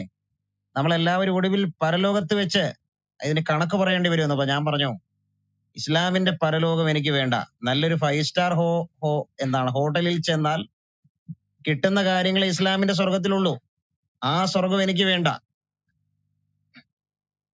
ആ സ്വർഗത്തിൽ പോകാൻ വേണ്ടി യാതൊരു തരത്തിലുള്ള സാക്രിഫൈസും ഒരു മനുഷ്യന് നടത്തേണ്ട ആവശ്യം ഇല്ല. ഒരു ത്യാഗവും അത്തരത്തിൽ നടത്തേണ്ട ആവശ്യമില്ല ഇസ്ലാമിന്റെ സ്വർഗം ഈ ഭൂമിയിൽ ഇല്ലാത്ത എന്തെങ്കിലും ഒന്ന് ഇസ്ലാമിന്റെ സ്വർഗത്തിൽ കിട്ടുന്നുമില്ല. അപ്പൊ ഇതിനു വേണ്ടിയാണ് പരസ്പരം കൊല്ലുന്നതും പൊട്ടിത്തെറിക്കുന്നതും ആശയത്തിന് വി- എന്താണ് സ്വന്തം ആശയത്തിന് വിരോധമായിട്ട് ആരെങ്കിലും പറഞ്ഞാൽ അവരെ ഇല്ലായ്മ ചെയ്യുന്നത് അപ്പൊ ഇത് ഇത് അവസാനിക്കുമോ? ഇത് അവസാനിക്കില്ല എന്നുള്ളത് തന്നെയാണ് നമുക്ക് മനസ്സിലാക്കാൻ കഴിയുന്നത്. ഇത് ഈ റിലീജിയന്റെ നേച്ചറാണ് ക്യാരക്ടറാണ് അവരത് അവസാനിപ്പിക്കില്ല. അത് അവർ തുടരും. അവിടെ നമുക്ക് ബദൽ വെക്കാൻ ഒരു ആശയമുണ്ട് ക്രൈസ്തവതയ്ക്കൊന്നും ബദൽ വെക്കാൻ ഒരു ആശയമുണ്ട് അത് യേശുക്രിസ്തുവാണ്. ശത്രുക്കളെ സ്നേഹിക്കുക എന്നും വാളെടുക്കരുതെന്നും പഠിപ്പിച്ച ക്രിസ്തുവിന്റെ ആശയത്തിന് വാളുകൊണ്ട് പ്രചരിച്ച ഈ മതത്തിന്റെ ആശയത്തെക്കാളും ആളുകളെ സ്വാധീനിക്കാൻ പറ്റുന്നുണ്ട്. അതിന്റെ കാരണം മനുഷ്യന് പരിവർത്തനം വരുത്തുന്നു. നല്ല മനുഷ്യനായിട്ട് ജീവിക്കാൻ വഴി തുറക്കുന്നു എന്നുള്ളതാണ്. യേശുക്രിസ്തുവിനെ പിൻപറ്റുന്ന ഒരു മനുഷ്യനും യേശുക്രിസ്തുവിന് വേണ്ടി ആയുധമെടുത്ത് പോരാടുകയില്ലെന്നുള്ളത് ബൈബിളിന്റെ ബൈബിൾ വായിക്കുന്ന ആദിമ ക്രൈസ്തവ ചരിത്രം പഠിക്കുന്ന മനസ്സിലാക്കുന്ന ഏതൊരു വ്യക്തിക്കും മനസ്സിലാക്കാവുന്നതേ ഉള്ളൂ. അപ്പൊ ഇത്തരത്തിലുള്ള പരിപാടികൾ ഇനിയും തുടരും. ഇത് അവസാനിപ്പിക്കും അല്ലെങ്കിൽ അവസാനിക്കും എന്ന് നമ്മൾ ചിന്തിക്കുകയേ വേണ്ട. നാളെ നമുക്കെതിരെയും ഇത്തരത്തിലുള്ള ആക്രമണങ്ങൾ ഉണ്ടാകാം. തൽക്കാലം ഞാൻ അത് പറഞ്ഞു നിർത്തുന്നു. മറ്റു സഹോദരങ്ങളിലേക്ക് പോകാം. Okay thank you Sijo okay bike ലൈനിലുണ്ടോ? Okay ഇന്ന് ഇന്നത്തെ ദിവസം നമുക്കറിയാം രണ്ട് ഇൻസിഡന്റ് ആണ് മെയിൻ ആയിട്ട് നടന്നത്. ഒന്ന് തിരുവല്ലയിൽ ഈ പറയുന്ന സെന്റ് മേരീസ് സ്കൂളിലെ വിദ്യാർത്ഥികളുടെ അടുത്ത് ആ ഒരു സ്റ്റിക്കർ പതിപ്പിച്ചത്. പിന്നെ ഒന്ന് നമ്മുടെ ക്ലബ് ഹൗസിൽ തന്നെ ആക്റ്റീവായിട്ടുണ്ടായിരുന്ന ഒരു പെൺകുട്ടി ഒരു ക്രിസ്ത്യൻ പെൺകുട്ടി. ഇതേപോലെ ജ്യൂസിൽ മയക്കുമരുന്ന് കൊടുത്ത് രണ്ട് ദിവസം പീഡിപ്പിച്ച ഒരു വാർത്തയാണ് നമ്മൾ ഇന്ന് രണ്ട് ദിവസം ഇന്ന് ഇന്നത്തെ ഒറ്റ ദിവസം കൊണ്ട് അറിഞ്ഞത് രണ്ട് ദിവസം മുമ്പേ നമ്മളെ മനോജ് എന്ന് പറയുന്ന ഒരു ബ്രദറിനെ ഒരു ഫേസ്ബുക്ക് പോസ്റ്റ് ഷെയർ ചെയ്തതിന്റെ പേരിൽ ആക്രമണത്തിന് ഇരയായി. ആ പുള്ളി ഇച്ചിരി ക്രിട്ടിക്കലിൽ നിന്നാണ് അറിഞ്ഞത്. അപ്പം നമ്മൾ ആലോചിക്കുക നമ്മുടെ കേരളം നമ്മളൊരു എന്താ പറയുക നമ്മളെ കുട്ടിക്കാലത്ത് നമ്മൾ ആസ്വദിച്ച ആ ഒരു സൗഹൃദം എല്ലാം പോയി. ഇന്നൊരു വലിയൊരു ആപത്തിലേക്കാണ് പോയിക്കൊണ്ടിരിക്കുന്നത്. അപ്പോൾ നമുക്ക് അതിനെതിരെ എങ്ങനെ നമുക്കത് ഒരു നിലപാടെടുക്കാം. അല്ലെങ്കിൽ അതിനെതിരെ എങ്ങനെ പ്രതിരോധിക്കാമെന്ന് നോക്കണം. നമ്മളെ ക്രൈസ്തവ ഐക്യം തന്നെയാണ് ഇതിന് ഏറ്റവും കൂടുതൽ വേണ്ടത്. സഭ വ്യത്യാസമില്ലാതെ ഒരു ഐക്യം വന്ന് നമ്മളെ ആർക്കും ഭിന്നിപ്പിക്കാൻ പറ്റത്തില്ല. നമുക്കൊരു നല്ലൊരു വോട്ട് ബാങ്ക് ആയി മാറിയാൽ മാത്രമേ നമുക്കൊരു വോയിസ് ഉണ്ടാവത്തുള്ളൂ. നമുക്ക് എന്തായാലും അവരെ കണക്കൊരു ഒരു സംഘടന രൂപീകരിച്ചിട്ടോ അല്ലെ S D P I Popular Front കണക്കുള്ള ഒരു സംഘടന രൂപീകരിച്ചോ അല്ലെങ്കിൽ അവരെ ആശയം പോലെയുള്ള വാളെടുത്തോ എന്നും നമുക്ക് പോകാൻ പറ്റത്തില്ല. അപ്പോൾ നമ്മൾ ചെയ്യാനുള്ളത് ഈ പറഞ്ഞ ക്രൈസ്തവ ഐക്യം സഭ വ്യത്യാസമില്ലാതെ ആ ഐക്യം നല്ല രീതിയിൽ ശക്തിപ്പെടുത്തിക്കൊണ്ട് വരണം. അതുപോലെ തന്നെ ഈ പറയുന്ന ജിഹാദുകളുടെ ഈ നർക്കോട്ടിക് ജിഹാദായാലും ലവ് ജിഹാദായാലും ഇവരെ എല്ലാ ഈ കൊള്ളരുതായ്മയും നമ്മളെ വീടുകളിൽ തന്നെ എല്ലാവരിടത്തും പറഞ്ഞു മനസ്സിലാക്കണം. പ്രത്യേകിച്ച് നമ്മളെ സഹോദരിമാരുടെ അടുത്ത് അതേപോലെ തന്നെ നമ്മളെ സഭ സഭയിലെ എല്ലാ അച്ഛന്മാരും എല്ലാ പാസ്റ്റർമാരും ഇതിനെപ്പറ്റി സഭയിൽ തന്നെ ഒരു അപ അപബോധ ക്ലാസ് തന്നെ എടുക്കണമെന്നാണ് എന്റെ ഒരു അഭിപ്രായം. അതുപോലെ തന്നെയാണ് നമ്മൾ എല്ലാ കാര്യത്തിലും അങ്ങോട്ടും ഇങ്ങോട്ടും ഒരു സഹകരണം സഭ വ്യത്യാസമില്ലാതെ എല്ലാ കാര്യത്തിലും വരണം. ഇതിൽ ഇനിയും നമ്മുടെ ക്ലബ് ഹൗസിൽ പോലും നമ്മൾ നമ്മൾ ആകപ്പാടെ കാണുന്ന നാലോ നാലോ അഞ്ചോ ഈ സഹോദരിമാരെ ഉള്ളൂ ആക്റ്റീവായിട്ട് സംസാരിക്കുന്നത്. അപ്പം നമ്മളെ വീട്ടിലുള്ള സഹോദരിമാരെ കൂടെ നമ്മൾ ക്ലബ് ഹൗസിൽ കൊണ്ടുവന്നിട്ട് ഐ ബി ടിയിലായാലും ക്രിസ്തീയ പ്രതിരോധകരായാലും അവിടെ നടക്കുന്ന ചർച്ചകളിലൊക്കെ കേൾപ്പിക്കുക സെബാസ്റ്റ്യൻ പുന്നേക്കലിന്റെ ആ ലൈവ് എല്ലാവരെയും കേൾപ്പിക്കുക. എന്നാൽ മാത്രമേ നമുക്ക് അവരുടെ അടുത്തൊരു അവബോധം ഉണ്ടാക്കിയെടുക്കാൻ പറ്റത്തുള്ളൂ. അപ്പൊ അതിനു വേണ്ടിയിട്ട് നമ്മളെല്ലാവരും കൂട്ടമായി പരിശ്രമിക്കുക. അത് തന്നെയാണ് ഞങ്ങളെ പോലുള്ള കുറച്ച് പേര് ഞങ്ങൾ രണ്ട് ക്ലബിലായിട്ടും നടത്തിക്കൊണ്ടിരിക്കുന്നത് മാക്സിമം ഞങ്ങൾ ആളെ കയറ്റി അവരുടെ അടുത്ത് പറയാനുള്ളതെല്ലാം പറഞ്ഞുകൊണ്ടിരിക്കുന്നത് അപ്പൊ തുടർന്ന് നമുക്ക് ബാക്കി ഞാൻ പിന്നെ പറയാം. ഓക്കെ താങ്ക് യു ബൈ ഗിബോർ ബ്രദറെ കേക്കോ ഗിബോർ ഓക്കെ അലക്സ് ബ്രദറെ കേക്കാവോ? ആ കേൾക്കാം. ഒരുപാട് നന്ദി. തീർച്ചയായിട്ടും വളരെ വേദനയുള്ള ഒരു കാര്യം തന്നെയാണ് നമ്മളിപ്പോൾ ഇന്ന് കേരള പൊതുസമൂഹത്തിൽ കണ്ടുകൊണ്ടിരിക്കുന്നത്. ശരിക്കും ചെറിയ കാലഘട്ടമേ നമ്മൾ ഭൂമിയിൽ ജീവിച്ചിരിക്കുന്നുള്ളൂ. ഏകദേശം ഇരുപതിനായിരം ദിവസം മുതൽ ഇരുപത്തി എണ്ണായിരം ദിവസം വരെ നമ്മൾ ഓരോ മനുഷ്യരും ഈ ഭൂമിയിൽ ജീവിച്ചിരിക്കുന്നുള്ളൂ. അത് നമ്മൾ പ്രത്യേകം ശ്രദ്ധിക്കേണ്ട ഒരു കാര്യമാണ്. ചെറിയ ഒരു കാലാവധി മാത്രമേ നമ്മൾ ഈ ഭൂമിയിൽ ജീവിച്ചിരിക്കുന്നുള്ളൂ. അപ്പം നമ്മൾ പറഞ്ഞിട്ടുണ്ട് ഈ പൂമ്പാറ്റകൾ ഒരു പതിനഞ്ച് ദിവസത്തിൽ കൂടുതൽ ജീവിച്ചിരിക്കില്ല എന്നൊക്കെ നമ്മൾ പറയുന്നത് പോലെ തന്നെയാണ്. മനുഷ്യൻ ഈ ഭൂമിയിൽ ഇരുപതിനായിരം ദിവസം മുതൽ ഇരുപത്തി എണ്ണായിരം ദിവസത്തിനപ്പുറത്തേക്ക് ജീവിച്ചിരിക്കുന്നില്ല. ഇതിനിടയ്ക്ക് എവിടെയോ മുഹമ്മദ് എന്ന് പറയുന്ന ഒരു മനുഷ്യൻ സങ്കല്പിച്ച് വെച്ചിട്ടുള്ള അള്ളാഹു എന്ന് പറയുന്ന ഒരു ഖുറേഷി ഗോത്രദേവൻ സങ്കല്പിച്ച് വെച്ചിട്ടുള്ള ഏതോ ഒരു എഴുപത്തിരണ്ട് ഹൂറികളും ഒരു കുറേ മദ്യപ്പുഴകളും മുത്തിനകത്തുള്ള ലൈഫുകളും മുത്തിനകത്തെ ജീവിതങ്ങളും ആവശ്യപ്പെടുമ്പോൾ കിട്ടുന്ന പക്ഷി പക്ഷികളെ പക്ഷികളുടെ ഭക്ഷണവും മത്സ്യത്തിന്റെ കരളും ഒക്കെ ലഭിക്കുന്ന ഒരു സ്വർഗത്തിലേക്ക് പോകാൻ വേണ്ടിയിട്ട് ഈ ഭൂമിയിൽ ഇത്രയും മോശപ്പെട്ട ഒരു രീതിയിൽ തന്റെ തന്നെ പോലെ തന്നെ രണ്ട് കൈകളും രണ്ട് കാലുകളും ഉള്ള മനുഷ്യനെ മതത്തിന്റെ പേരിൽ ഒരു വ്യത്യസ്തമായിട്ടുള്ള ഒരു ആക്രമണ രീതിയിലേക്കും അവനെ നശിപ്പിക്കണമെന്നൊക്കെ ചിന്തിക്കുന്ന ഇത്രയും മോശപ്പെട്ട ഒരു ഒരു ചിന്താധാരയിലേക്ക് ഈ കടന്നു പോയിട്ട് ഇന്നത്തെ ലോകത്തിന് ജീവിക്കാൻ പറ്റാത്ത തരത്തിൽ ഇന്നത്തെ ലോകത്തെ ഇത്രയും മോശപ്പെട്ടൊരവസ്ഥയിൽ എത്തിച്ചിട്ടുള്ള ഒരാൾ ഒരു ആ ഒരാൾ ഒരു മനുഷ്യൻ മാത്രമാണ് ഇതിന്റെയൊക്കെ പിന്നിൽ വന്നിട്ടുള്ളത്. എനിക്ക് അനന്ത കൊടുത്തിട്ട പാസ്റ്ററിനോടാണ് ചോദ്യം. പാസ്റ്റർ കേൾക്കുന്നുണ്ടോ? ഞാൻ ചോദിച്ചോട്ടെ ചോദ്യം?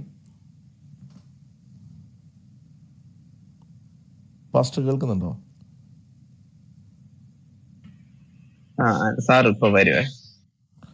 അപ്പോൾ എന്റെ ചോദ്യം ഇതാണ് എന്തുകൊണ്ടാണ് ഇത്രയും നമ്മളെപ്പോലെ തന്നെ രണ്ട് കൈകളും രണ്ട് കാലുകളും ഒരു രണ്ട് കണ്ണുകളും ഒരു മൂക്കും ഒക്കെ ഉള്ള നമ്മളെപ്പോലെ തന്നെ മനുഷ്യരായിട്ട് ഈ ഭൂമിയിൽ ജീവിച്ച് വളർ ജീവിക്കുന്ന ഈ ആളുകൾ കുറച്ച് കാലം ഈ ഭൂമിയിൽ ജീവിക്കാൻ വേണ്ടി വിധിക്കപ്പെട്ടിട്ടുള്ള ഈ ആളുകൾ സ്വർഗത്തിൽ എന്തൊക്കെയോ ലഭിക്കുമെന്ന് വിചാരിച്ചിട്ട് ഈ ഭൂമിയിൽ ഇത്രയും പ്രശ്നങ്ങൾ സൃഷ്ടിച്ച് ഈ സമാധാനവും ഇത്രയും സുന്ദരമായിട്ടുള്ള ഈ ഭൂമിയിലെ സമാധാനപരമായിട്ടുള്ള ജീവിതത്തിന് ഇത്രയും മോശപ്പെട്ട ഒരു അവസ്ഥയിലേക്ക് കൊണ്ടുപോയി ഞങ്ങൾ എന്തോ പ്രത്യേക വ്യത്യ- വ്യത്യസ്തമായിട്ടുള്ള ആളുകളാണെന്നും ഈ അള്ളാഹു ഞങ്ങൾക്ക് ഈ ഭൂമിയെ സൃഷ്ടിച്ചിട്ടുള്ള എവിടെയോ കേട്ടിട്ടുള്ള ഒരു മുഹമ്മദ് പറഞ്ഞത് വെച്ചിട്ടാണ് ഈ അള്ളാഹു എന്ന് പറയുന്ന കഥാപാത്രം ഉണ്ടായിട്ടുള്ളത്. അത് ആര് ചോ ആര് പറഞ്ഞെന്ന് വിചാരിച്ചാൽ അത് മുഹമ്മദ് പറഞ്ഞു. അത് എങ്ങനെ സാക്ഷ്യപ്പെടുത്തി എന്ന് ചോദിച്ചാൽ അത് ഖദീജ സാക്ഷ്യപ്പെടുത്തി എന്നൊക്കെ പറയുന്ന വളരെ വിചിത്രമായിട്ടുള്ള ഉത്തരങ്ങളും ചോദ്യങ്ങളുമായിട്ടുള്ള ഒരു വ്യത്യസ്തമായിട്ടുള്ള ഒരു വിഭാഗത്തിൽപ്പെട്ട ഒരു ആളുകൾ. അവർ ശരിക്കും സഹതാവം മാത്രമേ ഉള്ളൂ അവർ ശരിക്കും അവർ സ്നേഹം എന്താണെന്ന് യഥാർത്ഥത്തിൽ ദൈവം എന്താണെന്ന് മനസ്സിലാക്കാതെ ഉഴലുകയാണ് അവർ അത് അത് അവരോട് സ്നേഹവും പരിതാപവും മാത്രമേ ഉള്ളൂ അങ്ങനെ ചിന്തിക്കുന്ന ആളുകൾ എന്തുകൊണ്ടാണ് ഇന്നത്തെ ഈ മനുഷ്യ സമുദായത്തിന് ഇന്നത്തെ ഈ ലോകത്തിന്റെ ഈ പ്രശ്നങ്ങൾക്ക് മുഴുവൻ കാരണം. ഞാൻ കഴിഞ്ഞ ദിവസം ഒരു ചർച്ച സംഘടിപ്പിച്ചിരുന്നു. അതിനകത്ത് ഒരാളിനോട് പറയുകയുണ്ടായി ഈ ലോകത്തിന്റെ ഇത്രയും സമ്പത്ത് ഈ എയർപോർട്ടുകൾ മുതൽ നിങ്ങൾ ചിന്തിച്ചു എയർപോർട്ടുകൾ മുതൽ ഈ ആയുധങ്ങൾ മേടിക്കുന്നത് മുതൽ ശത്രു യുദ്ധങ്ങളുണ്ടാകുന്നത് വരെ എന്തിന്റെ ഒരു ഐഡിയോളജിയുടെ പുറത്താണ്? അത് ഇസ്ലാം എന്ന് പറയുന്ന ഒരു ഐഡിയോളജിയുടെ പുറത്താണ് ഈ യുദ്ധങ്ങളും ഈ ആയുധം മേടിക്കലും. നമ്മളിപ്പോൾ എയർപോർട്ടിലൊക്കെ പോയ രണ്ട് രണ്ടര മണിക്കൂറാണ് നമ്മുടെ ഈ സെക്യൂരിറ്റി ചെക്കിങ് കാര്യങ്ങളൊക്കെ. എന്തുകൊണ്ടാണ്? ഇവരെന്തുകൊണ്ടാണ് ഇത് മനസ്സിലാക്കുന്നത് എന്തുകൊണ്ടാണ് ഞാൻ ഞാൻ ഒരു ഒരു മനുഷ്യൻ എന്നുള്ള നിലയ്ക്ക് ഞാൻ ഞാൻ പിന്തുടരുന്ന പാത ശരിയല്ല എന്ന് ചിന്തിക്കാത്ത എന്തുകൊണ്ടാണെന്നുള്ളതാണ് എന്റെ ചോദ്യം. ഓക്കെ താങ്ക് യു അലക്സ് തീർച്ചയായിട്ടും നല്ലൊരു ചോദ്യമാണ് ചോദിച്ചത്. എല്ലാ മനുഷ്യരും ഒന്നല്ലെങ്കിൽ. ഇത് പ്രത്യേകിച്ച് ഈ ഗ്രൂപ്പിൽ വന്ന് നിൽക്കുന്ന ഏതെങ്കിലും വ്യക്തികളോട് മാത്രമല്ല മനുഷ്യനായിട്ട് സാജി ഒന്ന് മ്യൂട്ട് ചെയ്ത്. മുകളിലോട്ട് കടന്നു വരുന്ന സഹോദരന്മാര് മ്യൂട്ട് ചെയ്യാൻ മറക്കരുത്. ഭാരത് മ്യൂട്ട് ചെയ്യാവോ? ഓക്കെ ഈ ഗ്രൂപ്പിൽ ഐ ബി ടി ഗ്രൂപ്പിൽ ഇത് കേട്ടുകൊണ്ടിരിക്കുന്ന വ്യക്തികൾ മാത്രമല്ല എല്ലാ മനുഷ്യനും ഒന്നല്ലെങ്കിൽ മറ്റൊരവസരത്തിൽ ചിന്തിക്കേണ്ടതായ ഒരു ഒരു ഏറ്റവും പ്രധാനപ്പെട്ട ഒരു ചോദ്യമാണ് നമ്മുടെ സുഹൃത്ത് അലക്സ് ഇവിടെ ചോദിച്ചിരിക്കുന്നത്. ഇത്രയും ഒരു കുറഞ്ഞ കാലം ഈ ഭൂമിയിൽ ജീവിക്കുന്നു ആ ജീവിക്കുന്ന ആ കാലയളവിൽ എന്തുകൊണ്ട് സന്തോഷത്തോടെ സമാധാനത്തോടെ മറ്റുള്ളവരുടെ നന്മയ്ക്ക് വേണ്ടി ജീവിച്ചുകൂടാണ് അങ്ങനെ ചിന്തിക്കുന്ന ആളുകളുടെ എണ്ണം കുറവായതിന്റെ തന്നെ തെളിവാണ്. ഇപ്പൊ ഉദാഹരണത്തിന് തന്നെ നമുക്കറിയാം ലോകത്തിൽ കോടിക്കണക്കിന് ആളുകളാണ് ഒന്നല്ലെങ്കിൽ മറ്റൊരു രീതിയിൽ ആളുകളുടെ കയ്യിൽ കൊല്ലപ്പെട്ടിട്ടുള്ളത്. രാഷ്ട്രീയക്കാരുടേതായ കലാപരിപാടിയുടെ തീഷ്ണത മൂത്ത് എന്തോരം കൊലപാതകങ്ങളാണ് നമ്മുടെ ചുറ്റും നടന്നിട്ടുള്ളത്. ഇന്ത്യയിലേക്ക് നോക്കിയാൽ തന്നെ നമുക്കറിയാം ഹിന്ദുത്വ അജണ്ടയോട് ആശയത്തോട് വളരെയേറെ താല്പര്യം പ്രകടിപ്പിച്ച ആളുകൾ അവരോട് വിയോജിക്കുന്ന ഏതൊരു മനുഷ്യ സമൂഹത്തിലുള്ള ആളുകളുടെ അവരെ ഇല്ലാതാക്കുവാനും കൊലപ്പെടുത്തുവാനും ഒക്കെ ശ്രമിച്ച എന്തോര കഥകൾ നമ്മൾ കേൾക്കുന്നു. ദേഹത്ത് ബോംബ് കെട്ടിവെച്ച് എന്നിട്ട് മാർക്കറ്റിലേക്ക് പോവുക പള്ളികളിലേക്ക് പോവുക നടന്നു പോവുക കഴുതപ്പുറത്ത് പോവുക. ഇനി അതൊന്നും പറ്റിയില്ലെങ്കിൽ പ്ലെയിനിൽ കയറിപ്പോയി എവിടെയെങ്കിലും പോയിട്ട് പൊട്ടിത്തെറിച്ച് അല്ലാഹു അക്ബർ എന്ന് പറഞ്ഞുകൊണ്ട് ആയിരങ്ങളെ കൊന്നൊടുക്കുന്ന ജിഹാദികൾ. ഇത് എന്തുകൊണ്ടാണെന്നുള്ള ഒരു ചോദ്യം നമ്മുടെ മുമ്പിൽ നിൽക്കുമ്പോൾ അത് ഈ കൊല്ലുന്ന ജിഹാദി ആയാലും കൊല്ലുന്ന ഹിന്ദുത്വ ആയാലും ഹിന്ദുത്വവാദി ആയാലും അത് ഹിറ്റ്ലറിന്റെ അനുയായികളായാലും ഏത് രാഷ്ട്രീയ പാർട്ടിക്കാരായാലും ഒരു കോമൺ ആയ ഒരു കാര്യമാണ്. അത് യേശുക്രിസ്തു പഠിപ്പിച്ച പ്രബോധനങ്ങളിലേക്ക് തിരിയുമ്പോൾ മനസ്സിലാകുന്ന ഒരു കാര്യമാണ്. കുറച്ച് വർഷങ്ങൾക്ക് മുമ്പേ ഞാൻ ഹൈദരാബാദിലായിരുന്ന സമയത്ത് ഈ ദാവാക്കാരുടെ ഒരു വലിയൊരു പ്രോഗ്രാം ഹൈദരാബാദ് വെച്ച് നടന്നു. എന്നിട്ട് അതിന്റെ അകത്ത് ഈ ഇസ്ലാമിക് ബാങ്കിങ്ങിനെ കുറിച്ചൊക്കെ ഭയങ്കര സംഭവങ്ങൾ പറയുകയാണ്. സക്കാത്ത് കൊടുക്കുന്നതിന്റെ പ്രത്യേകതയെ കുറിച്ചും ഒക്കെ ഭയങ്കരമായിട്ട് സൂട്ടും സൂട്ടൊക്കെ ഇട്ട് തൊപ്പിയിട്ട് മുക്കാൽ പാന്റ് ഒക്കെ ഇട്ട് ചങ്ങാതി ഭയങ്കരമായിട്ട് പ്രസംഗിക്കുകയാണ്. എന്നിട്ട് അദ്ദേഹം പറയുകയാണ് ഇതുപോലെ ക്ലാരിറ്റി ഉള്ള ഇതുപോലെ നല്ലൊരു ആശയം വേറെ എവിടെയുണ്ട്?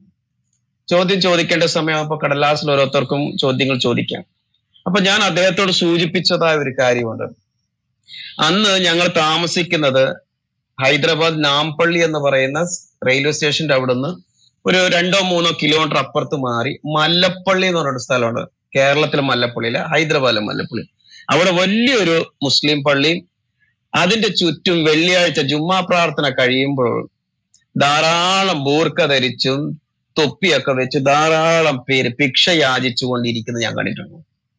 ഒരു മഴയത്ത് ഈ സ്ത്രീകൾ കറുത്ത വസ്ത്രം ധരിച്ച് നനഞ്ഞുകൊണ്ട് ഭിക്ഷ യാചിക്കുന്നത് കണ്ടിട്ടുണ്ട്. എന്നിട്ട് ഞാൻ അദ്ദേഹത്തിന് ചോദിച്ചു നിങ്ങൾ ഈ പറയുന്ന നിങ്ങളുടെ ഈ സക്കാത്ത് കൊണ്ട് സ്വന്തം സമുദായത്തിന് വേണ്ടിയെങ്കിലും ഗുണമുണ്ടായിട്ടുണ്ടോ എന്നിട്ട് ഞാൻ അദ്ദേഹത്തോട് യേശു ക്രിസ്തു പറഞ്ഞതായിരിക്കുന്ന ഒരു കാര്യം അവിടെ സൂചിപ്പിക്കും നിന്നെ പോലെ നിന്റെ അയൽക്കാരനെ സ്നേഹിക്കുക എന്നുള്ളത് അത് ക്രിസ്ത്യാനി മാത്രമല്ല അത് ഏതെങ്കിലും പ്രത്യേക സഭയിൽപ്പെട്ടവർ മാത്രമല്ല ലോകത്തിലുള്ള എല്ലാ മനുഷ്യരും യേശുവിൽ വിശ്വസിച്ചില്ലെങ്കിൽ പോലും നിന്നെ പോലെ നിന്റെ അയൽക്കാരനെ സ്നേഹിക്കുക എന്നുള്ള ഒറ്റ കാര്യം അനുസരിക്കാൻ എല്ലാ മനുഷ്യരും വിചാരിച്ചാൽ ആ ഒരു വ്യക്തി താമസിക്കുന്ന വീടിന്റെ മുമ്പിലും പുറകിലും ലെഫ്റ്റിലും റൈറ്റും ഉള്ള നാല് ഫാമിലീസ് മതി. ആ ഫാമിലീസിനെ സ്നേഹിക്കാൻ പറ്റുവാണെങ്കിൽ മറ്റൊരെന്ന നന്മ തന്നെ പോലെ തന്നെ മറ്റൊരാളെ ഉൾക്കൊള്ളാൻ പറ്റുമെങ്കിൽ ഈ ലോകം അലക്സ് ബദറെ സ്വർഗമായി തന്നെ മാറും. പക്ഷേ ഇവിടെ അതല്ല സംഭവിക്കുന്നത്.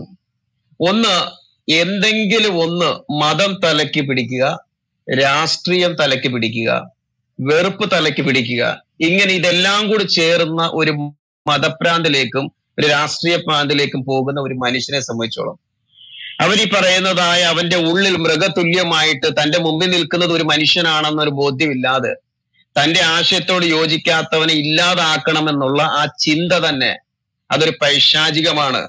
അത് മുഹമ്മദ് പറഞ്ഞാലും ആര് പറഞ്ഞെന്ന് പറഞ്ഞാലും അതിന്റെ പേരിൽ ഇന്ന് ഈ ആയിരത്തഞ്ഞൂറ് വർഷങ്ങൾക്ക് അധികമായിട്ട് ലോകമെമ്പാടും ഈ സമാധാനക്കേടിലേക്ക് നയിക്കപ്പെടുന്നു എന്നുള്ളതാണ്. അവിടെയാണ് ഓരോ മുസ്ലിങ്ങളും ചിന്തിക്കേണ്ടത്. ഈ മതം ഈ ഉപദേശങ്ങൾ അതിനെ എങ്ങനെ വ്യാഖ്യാനിക്കണം? നിങ്ങൾ അതിനെ വെള്ളപൂശിയില്ലെങ്കിൽ അതിനെ മറ്റൊരു തരത്തിൽ മനസ്സിലാക്കുന്നില്ലെങ്കിൽ ഈ ക്യാൻസർ തീവ്രവാദം എന്ന ക്യാൻസർ മറ്റുള്ളവരെ മാത്രമല്ല അത് നിങ്ങളെയും കൂടി കാർന്ന് തിന്നുമെന്ന കാര്യത്തിൽ യാതൊരു സംശയമില്ല അപ്പോ ഒരാളെ മറ്റൊരാളെ തന്നെ പോലെ സ്നേഹിക്കാൻ കഴിയാത്തതിന്റെ തന്നെ ഏറ്റവും വലിയ അടയാളം തന്നെയാണ് ഈ തീവ്രവാദം എന്ന് പറയുന്നത്. അല്ലാഹു സ്നേഹവാൻ അല്ലാത്തതുകൊണ്ട് നിന്നെ പോലെ നിന്റെ അയൽക്കാരനെ സ്നേഹിക്കാൻ പഠിപ്പിക്കാത്തതുകൊണ്ട് നമുക്ക് ഇതിന്റെ അപ്പുറമായിട്ടൊന്നും പ്രതീക്ഷിക്കാനും ഇല്ല എന്നുള്ളത് തന്നെയാണ്. ഓക്കെ പ്രിൻസ് ബ്രദറെ ലൈനിലുണ്ടോ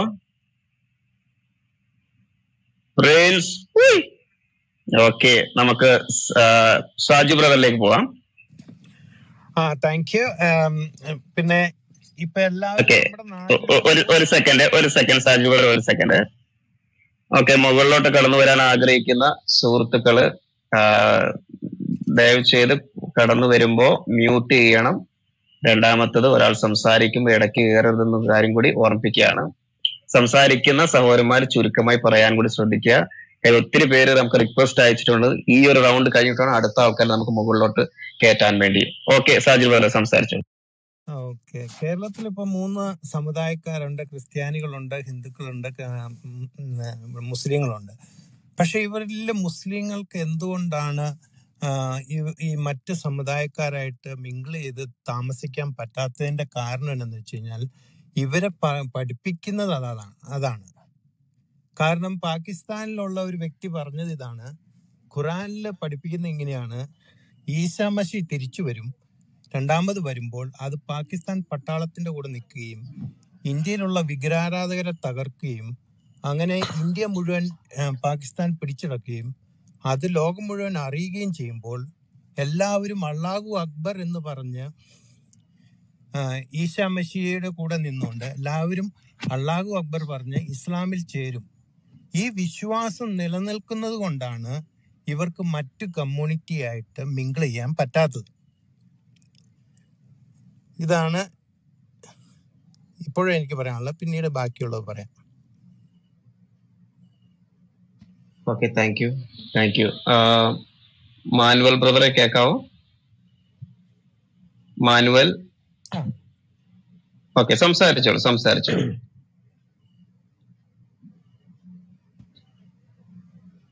ഓക്കെ ഭാരത് കേൾക്കാവോ ഈ പുതിയതായിട്ട് വന്നിട്ടുള്ള ആൾക്കാർ ഒന്ന് മ്യൂട്ട് ചെയ്യണം കേട്ടോ. ഐസക് ഒക്കെ ഒന്ന് മ്യൂട്ട് ചെയ്യണം നല്ലായിരുന്നു ഒരു ബുദ്ധിമുട്ടുണ്ട്. സുധീഷ് ബ്രദറൊക്കെ ഒന്ന് മ്യൂട്ട് ചെയ്യൂ. മ്യൂട്ട് ചെയ്യാത്തവർക്ക് താഴെ പോയിരിക്കാം. കാരണം മറ്റുള്ളവർ സംസാരിക്കും അത് ഭയങ്കര ഡിസ്റ്റർബൻസ് ആയിരിക്കും. പിന്നെ മുകളിൽ വന്ന് ആരും ഉറങ്ങാൻ നിൽക്കരുത്. വിളിക്കുമ്പോൾ എല്ലാവരും കേട്ട് സംസാരിക്കണം പ്ലീസ് ഓക്കെ സംസാരിക്കണം പ്ലീസ് ഗിബോർ ഞാൻ ഗിബോർ. സംസാരിക്കട്ടെ ആ, ജോർജ് ബ്രദർ. ഗിബോർ ഗിബോർ. ഓക്കെ ഞാൻ സംസാരിക്കട്ടെ? ഒ- ഒരു സെക്കൻഡ് ബ്രദർ ഒരു സെക്കൻഡ് നമ്മൾ ഓൾറെഡി ഭാരത്തിനെ വിളിച്ചാണ് ഭാരത് കേക്കാവോ? കേക്കാവോ? ആ കേക്കാം നന്നായിട്ട് കേക്കാം സംസാരിച്ചോളൂ സഹോദര. ആ ബ്രദറെ ഈ തൊടുപുഴയിൽ കഴിഞ്ഞ ദിവസം നമ്മുടെ ഒരു സഹോദരനെ മർദ്ദിച്ച സംഭവം ഉണ്ടായല്ലോ.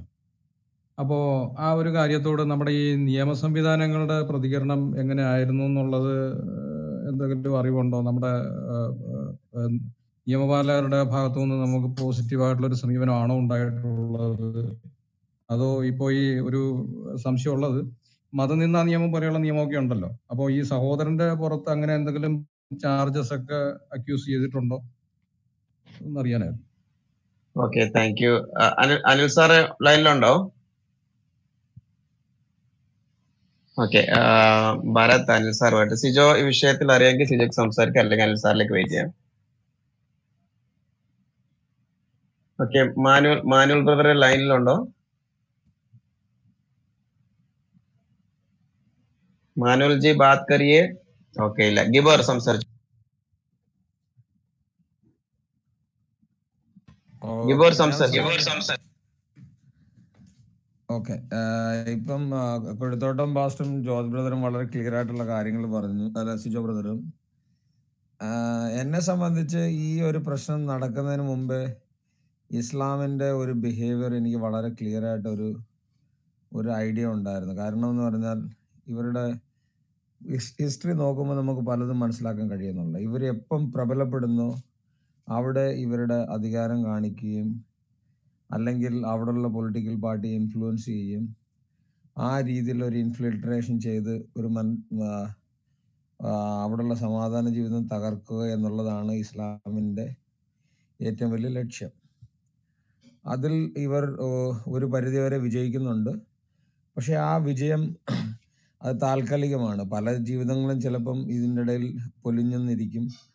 പല ജീവിതങ്ങൾ പല രാജ്യങ്ങളിൽ പൊലിയുന്നുണ്ട്. പക്ഷെ ഇത് നമ്മൾ ഇതിന് പ്രതികരിക്കുന്നില്ല. യഥാർത്ഥ യാഥാർത്ഥ്യം മനസ്സിലാക്കിയിട്ട് പലരും മതേതരം എന്ന് പറഞ്ഞ് ഒരു ഒരു മുഖം മൂടി അണിഞ്ഞ് നമ്മുടെ സൊസൈറ്റിയിൽ ജീവിക്കുകയും അവരാണ് ഇവ ഇവരെ ഇവർക്ക് വളരുന്നതിന് ഒരു ഒരു എന്ത് പറയുന്ന ഒരു ഒരു മണ്ണ് സൃഷ്ടിക്കുകയും അതിനുള്ള ഒരു വളക്കൂറായി തീരുന്നു എന്ന് എനിക്ക് തോന്നുന്നു. കാരണം എന്ന് പറഞ്ഞാൽ ഇന്ന് എന്നെ സംബന്ധിച്ച് ഞാൻ I don't trust any political parties കാരണം എന്ന് പറഞ്ഞാൽ പൊളിറ്റിക്കൽ പാർട്ടീസ് ഒരു ഞാനൊരു അഞ്ചാറ് വർഷമായിട്ട് നോക്കുന്നത് എല്ലാവരുടെയും അവരവരുടെ ബെനിഫിറ്റിന് വേണ്ടി മാത്രം വർക്ക് ചെയ്യുന്നു. ഒരു സോഷ്യൽ ഒരു അപ്ലിഫ്റ്റിന് വേണ്ടി അവരുടെ ഒരു ഇടപെടലും കാണുന്നില്ല. വളരെ അത് വിരളമായിട്ടാണ് ഈ സംഭവിക്കുന്നത്. അതിനോടനുബന്ധിച്ചാണ് ഇവർക്ക് ആ വളക്കൂറുള്ള മണ്ണിൽ ഈ ജിഹാദികൾ അവരുടെ വേരോട്ടം നട അവരുടെ വേര് വേരോട്ടം നടക്കുന്നു. അതിനോടനുബന്ധിച്ച് അവർ പല രീതിയിൽ അവർ ഓൾറെഡി പ്രവർത്തനം ആരംഭിച്ചു കഴിഞ്ഞു. ഇപ്പം ഫുഡ് എന്റെ ഹലാലാകുന്നതിലും അതേപോലെ ജോസമാഷ കേസായാലും കേരളത്തിനെ സംബന്ധിച്ചുള്ള കാര്യം സംസാരിക്കുമ്പോൾ ഇവർ അങ്ങനെ പ്രബലപ്പെടുന്നത് കൊണ്ട് മറ്റുള്ളവരുടെ ജീവിതം അസഹനീയവും അവർക്ക് ജീവിതത്തിൽ വളരെയധികം സാധ്യതകളുള്ള ജോലികളും മറ്റും നഷ്ടപ്പെടുന്നതും പല രീതിയിലുള്ള പ്രശ്നങ്ങളും ഉണ്ടാകുന്നുണ്ട് നമ്മുടെ സർക്കാർ അതിന് ഒരു തക്കതായ നിലയിൽ ഒരു ഒരു നടപടി എടുക്കുകയോ അതും എല്ലാവരുടെയും ജീവിതം ഒരേ തത്തുല്യമായ രീതിയിൽ കാണുകയോ ചെയ്യാതെ ഇങ്ങനെ ഒരു സ്ഥിതിവിശേഷം ഉണ്ടാക്കിയത് ഇതിൽ പൊളിറ്റിക്കൽ പാർട്ടിക്കും വളരെയധികം ഇതിനകത്ത് റെസ്പോൺസിബിലിറ്റി ഉണ്ട്. As a ruling party even ഇപ്പോഴത്തെ കറണ്ട് ഗവൺമെന്റിനും ഉണ്ട്. പക്ഷെങ്കിൽ അവരുടെ കയ്യിൽ അവരുടെ ഭാഗത്തു നിന്നും ഒരുവിധമായ റെസ്പോൺസോ ഒരു ഒരു സാറ്റിസ്ഫൈങ് ഒരു ഒരു റെസ്പോൺസ് വരുന്നതായിട്ട് കാണുന്നില്ല. കാരണം എന്ന് പറഞ്ഞാൽ പലവിധമായ പ്രശ്നങ്ങളുണ്ടായി. എൻ ഐ എ വന്ന് അവിടെ തീവ്രവാദികളുടെ വിഷയത്തിൽ അറസ്റ്റ് ചെയ്തുകൊണ്ട് പോയി. അവിടെ നിന്ന് പലരും ആടിനെ മേയ്ക്കുന്നതിന് വേണ്ടി പോയി. അതെല്ലാം ഇത്രയധികം ഭയങ്കരമായ സംഭവങ്ങൾ നടന്നിട്ടും ഇവരെ പ്രകീർത്തിച്ചുകൊണ്ട് ആ ഇവിടുത്തെ ഇപ്പോഴത്തെ ഭരണകൂടം പ്രവർത്തിക്കുന്നത് ഇത് നാളെ ഉള്ള ജീവിതത്തിനെ അസഹനീയവും വളരെയധികം വിപത്തും സൃഷ്ടിക്കുന്ന രീതിയിലേക്ക് മുൻപോട്ട് കൊണ്ടുപോകുന്നു എന്നാണ് എനിക്ക് പറയാൻ കഴിയുന്നത്. ഈ ഇങ്ങനെയുള്ള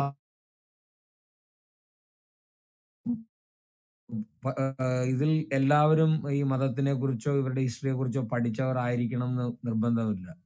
ഇവരെ മറ്റുള്ളവരെ നമ്മൾ മനസ്സിലാക്കുകയും നമ്മുടെ സൊസൈറ്റിയിൽ ഒരു അവയർനെസ് ചെയ്യുകയും വേണം. അല്ലെങ്കിൽ ഇത് നമ്മുടെ കൂടെ ജീവിതത്തിന് അപകടം സൃഷ്ടിക്കുന്നതാണ് നമ്മളും സുരക്ഷിതരല്ല. ഇപ്പോൾ നമ്മൾ ക്ലബ് ഹൗസിൽ ഇരുന്ന് സംസാരിക്കുന്നു എന്ന് നാളെ ഇത് എന്ത് സംഭവിക്കുമെന്നുള്ള ആ ഒരു ചിന്തയിലാണ് ഇന്ന് കേരളത്തിലെ സമൂഹവും. ഇന്ന് ഇന്ത്യയിൽ പലയിടത്തും ഇതേപോലെ ഉള്ള സ്ഥിതിവിശേഷമുണ്ട്. കേരളമാണ് ഇന്ത്യയിൽ സംബന്ധിച്ച് ഏറ്റവും വലിയ ഈ ജാതീയമായ ഈ ഈ ഇസ്ലാമിക ഇതിന്റെ ഒരു വലിയ ഒരു കലുഷിതമായ അന്തരീക്ഷത്തിൽ കൂടെ കടന്നു പോകുന്നത് ഇത് ഒരു ഒരു ടൈം ബോംബ് ഈസ് ടിക്കിങ് നമ്മൾ വളരെ ലളിതമായിട്ട് ഇതിനെ കാണാതെ വളരെ സീരിയസ് ആയി ഇതിനെ ഒരു അപ്രോച്ച് എടുത്തില്ലെങ്കിൽ നമ്മൾ അതിനെ ഒരു ഭരണകൂടത്തിനെ നമ്മൾ അതിന് വേണ്ടി അതിനുള്ള ഒരു ഒരു ഒരു സിറ്റുവേഷൻ ക്രിയേറ്റ് ചെയ്തില്ലെങ്കിൽ we are going to face one of the biggest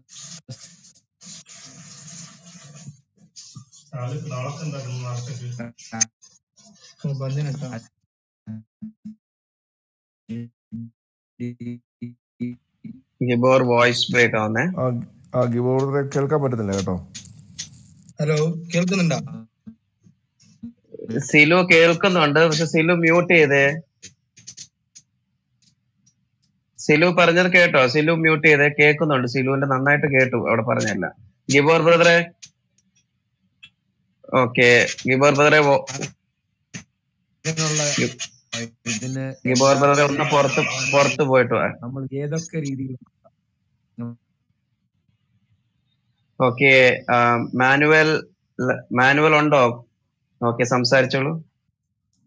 പറയട്ടെ കേൾക്കാവോ? ഹലോ കേൾക്കാവോ? കേൾക്കാം കേൾക്കാം. കേൾക്കാം സഹോദര പറഞ്ഞു ഇപ്പൊ ഈ കഴിഞ്ഞ ദിവസം നമുക്ക് തൊടുപുഴയിൽ നടന്ന സംഭവങ്ങളൊക്കെ ഒരു വലിയ വിപത്തിനെയാണ് സൂചിപ്പിക്കുന്നത്. കാരണം ഈ ജിഹാദികളുടെ ഈ നിറഞ്ഞാട്ടം വീണ്ടും തുടരുവാനുള്ള ഒരു ശ്രമമാണ് അവർ നടത്തിക്കൊണ്ടിരിക്കുന്നത്. ഒന്ന് ഭീഷണിപ്പെടുത്തിയും വിരട്ടിയും ഒക്കെ അവരുടെ മതഗ്രന്ഥത്തിനെതിരെ നടക്കുന്ന സത്യസന്ധമായിട്ടുള്ള പ്രചരണത്തെ തടയാനായിട്ടാണ് അവർ ശ്രമിച്ചുകൊണ്ടിരിക്കുന്നത്. ഇതിന് പല തലങ്ങളുണ്ട്. എന്നാൽ വളരെ പ്രധാനപ്പെട്ട ഒരു തലം നമ്മൾ ശ്രദ്ധിക്കേണ്ടത് ഈ മാധ്യമങ്ങൾ ഇങ്ങനെയുള്ള അക്രമങ്ങളോട് കാണിക്കുന്ന ഇസ്ലാമിസ്റ്റുകൾക്ക് അനുകൂലമായ ഒരു നിലപാട്. അതുപോലെ തന്നെ പീഡിപ്പിക്കപ്പെടുന്ന മറ്റ് ക്രിസ്ത്യൻ ഹൈന്ദവ വിഭാഗങ്ങളോടുള്ള ഒരു തിരസ്കരണം. ഇത് രണ്ടും നമ്മൾ ചർച്ച ചെയ്യേണ്ട ഒരു വളരെ പ്രധാനപ്പെട്ട കാര്യമാണ്. ഇപ്പൊ നമുക്കറിയാം മനോരമ മാതൃഭൂമി ഇങ്ങനെയൊക്കെയുള്ള പ്രധാനപ്പെട്ട മാധ്യമങ്ങളൊക്കെ ഇന്ന് ഇത് മൗനം പാലിച്ചുകൊണ്ട് ഇസ്ലാമിസ്റ്റുകൾക്ക് ഇസ്ലാമിസ്റ്റുകൾക്കൊരു മൗന സപ്പോർട്ട് കൊടുത്തുകൊണ്ടിരിക്കുകയാണ്. പ്രത്യേകിച്ച് അതിലുള്ള ജേർണലിസ്റ്റുകൾ പലരും ഇടതുപക്ഷത്തോട് അനുഭാവമുള്ള സി പി ഐയുടെ ആളുകളാണ് കൂടുതൽ ജേർണലിസ്റ്റുകളെ ഇങ്ങനെയുള്ള സപ്പോർട്ട് ചെയ്യുന്നത്. അതുപോലെ മറ്റ് ഉള്ള ഇടതുപക്ഷികൾ കോൺഗ്രസിനോട് അനുഭാവമുള്ളവരൊക്കെ ഉണ്ട് ഈ ജേർണലിസ്റ്റുകളെ നമ്മൾ പ്രത്യേകമായിട്ട് സമൂഹത്തിന് മുമ്പ് തുറന്നു കാട്ടേണ്ടത് ആവശ്യമായിട്ടുള്ളതാണ്. ഈ പത്രത്തിന്റെ നയങ്ങൾ തുറന്നു കാട്ടേണ്ടത് ആവശ്യമാണ്. ഇവരുടെ ഈ സത്യസന്ധമില്ലായ്മ അത് ക്രിസ്തീയ ഹൈന്ദവ വിഭാഗത്തിലുള്ള ആളുകൾ പ്രത്യേകിച്ച് ജിഹാദിസത്തോട് എതിർപ്പുള്ള ആളുകൾ അത് കൂടുതൽ മനസ്സിലാക്കണം. അവരെ ഓരോരുത്തരെയായിട്ട് പ്രത്യേകിച്ച് നമുക്ക് വേണുവിനെയൊക്കെ നമുക്കറിയാം. വേണു ഹലോ? വേണുവിനെ പോലെയൊക്കെ ഉള്ളവര് നമ്മുടെ ഫസൽ കപൂർ പറഞ്ഞിട്ടുണ്ട്. വേണുവൊക്കെ അവരുടെ ആളാണെന്ന് പരസ്യമായിട്ട് പറഞ്ഞ കാര്യമാണ്. അപ്പൊ ഇങ്ങനെയുള്ള ആളുകളുണ്ട്. അവരെ നമ്മൾ വ്യക്തമായിട്ട് അവിടെ രാഷ്ട്രീയമായിട്ടുള്ള ജിഹാദി സപ്പോർട്ടൊക്കെ നമ്മൾ വരുന്ന ദിവസങ്ങളിൽ ഒരു പരമ്പരയായിട്ട് നമ്മൾ അത് ഇവിടെ ചർച്ച ചെയ്യണം.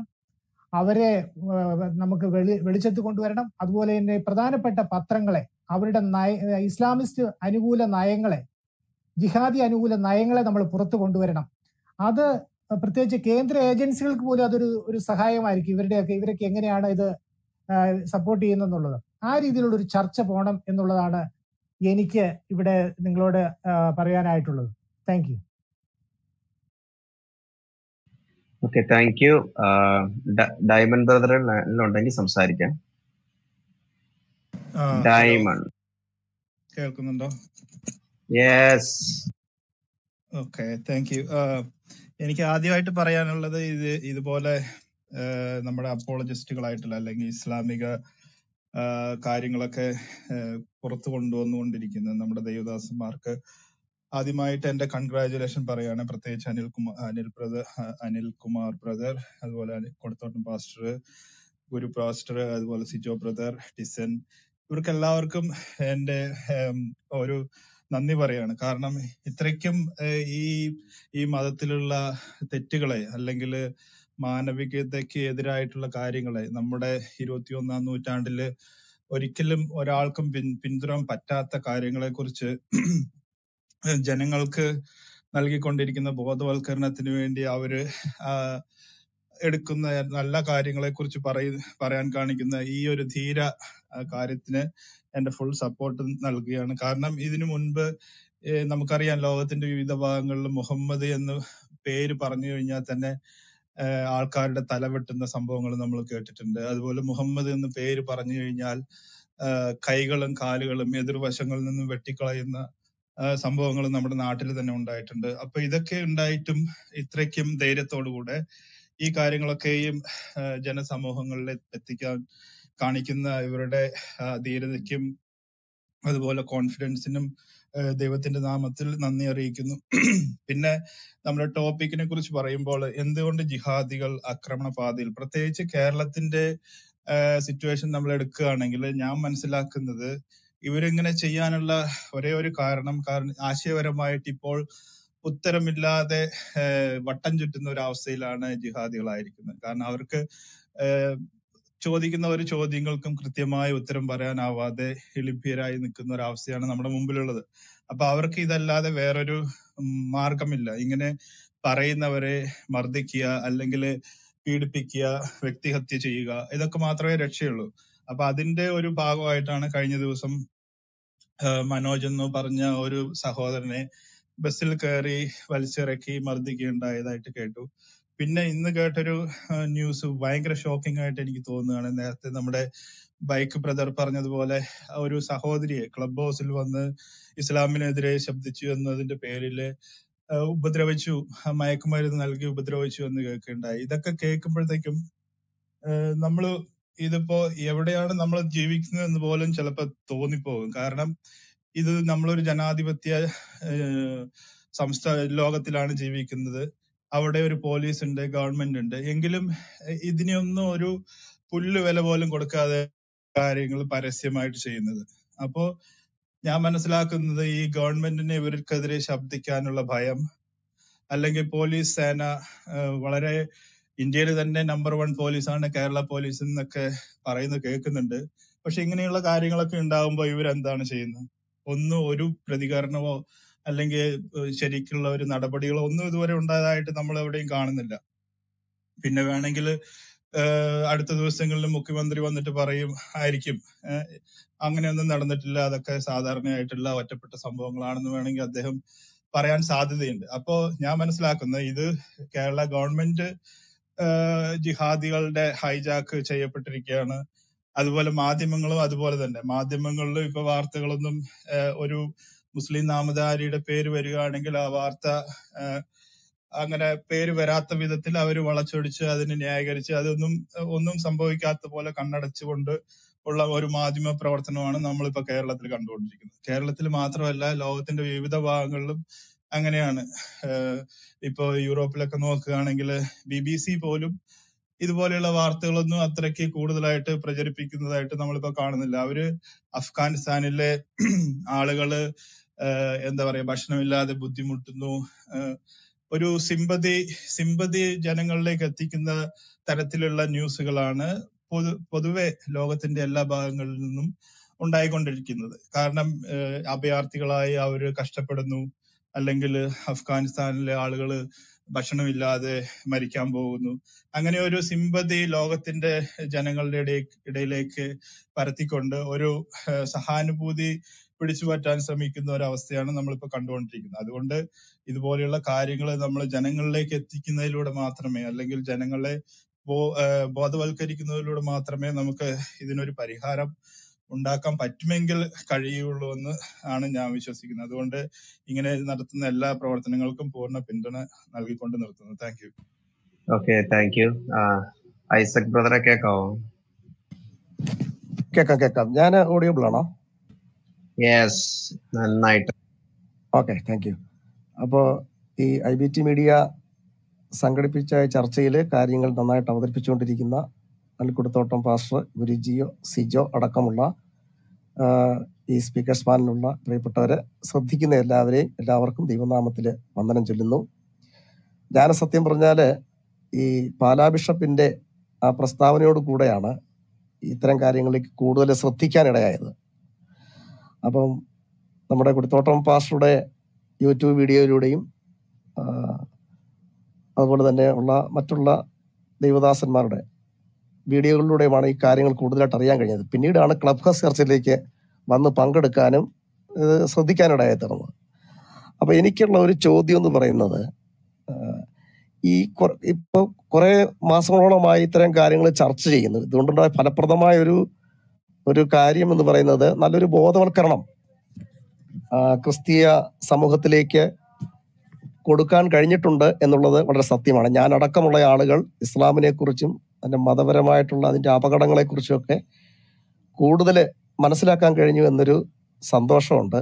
അതിൽ പക്ഷേ ഇതിനെയെല്ലാം ഇപ്പം ഈ ഹലാൽ ജിഹാദ് അടക്കം അതുപോലെ തന്നെ ഇവർ നടത്തി വരുന്ന ഈ പോപ്പുലർ ഫ്രണ്ടിന്റെ നടപടിക്രമങ്ങളായാലും പൊളിറ്റിക്കൽ ഇസ്ലാമിന്റെ രീതികളായാലും ഇതിനെയെല്ലാം എങ്ങനെ ഫലപ്രദമായിട്ട് ഇതിനെ ഇതിൽ നിന്ന് രക്ഷപ്പെടാൻ അല്ലെങ്കിൽ ഇതിൽ നിന്ന് സമൂഹത്തെ മാറ്റിയെടുക്കാൻ കഴിയും. സമൂഹം ഇതിൽ നിന്ന് ഫലപ്രദമായി എങ്ങനെ രക്ഷപ്പെടും എന്നതാണ് എന്റെ ഒരു ഒരാശങ്കയും ചോദ്യവും. കാരണം ഇപ്പൊ കുറച്ചു മുമ്പേ പറഞ്ഞ പ്രിയപ്പെട്ട സഹോദരൻ പറഞ്ഞ പോലെ നമ്മുടെ മാധ്യമങ്ങൾ അവർ ഹൈജാക്ക് ചെയ്തിരിക്കുന്നു. രാഷ്ട്രീയത്തിൽ അവർ നല്ല നിലയിൽ വേരോട്ടം നടത്തിയിരിക്കുന്നു. ഭരണരംഗത്തും അവരുടെ പിടിപാട്.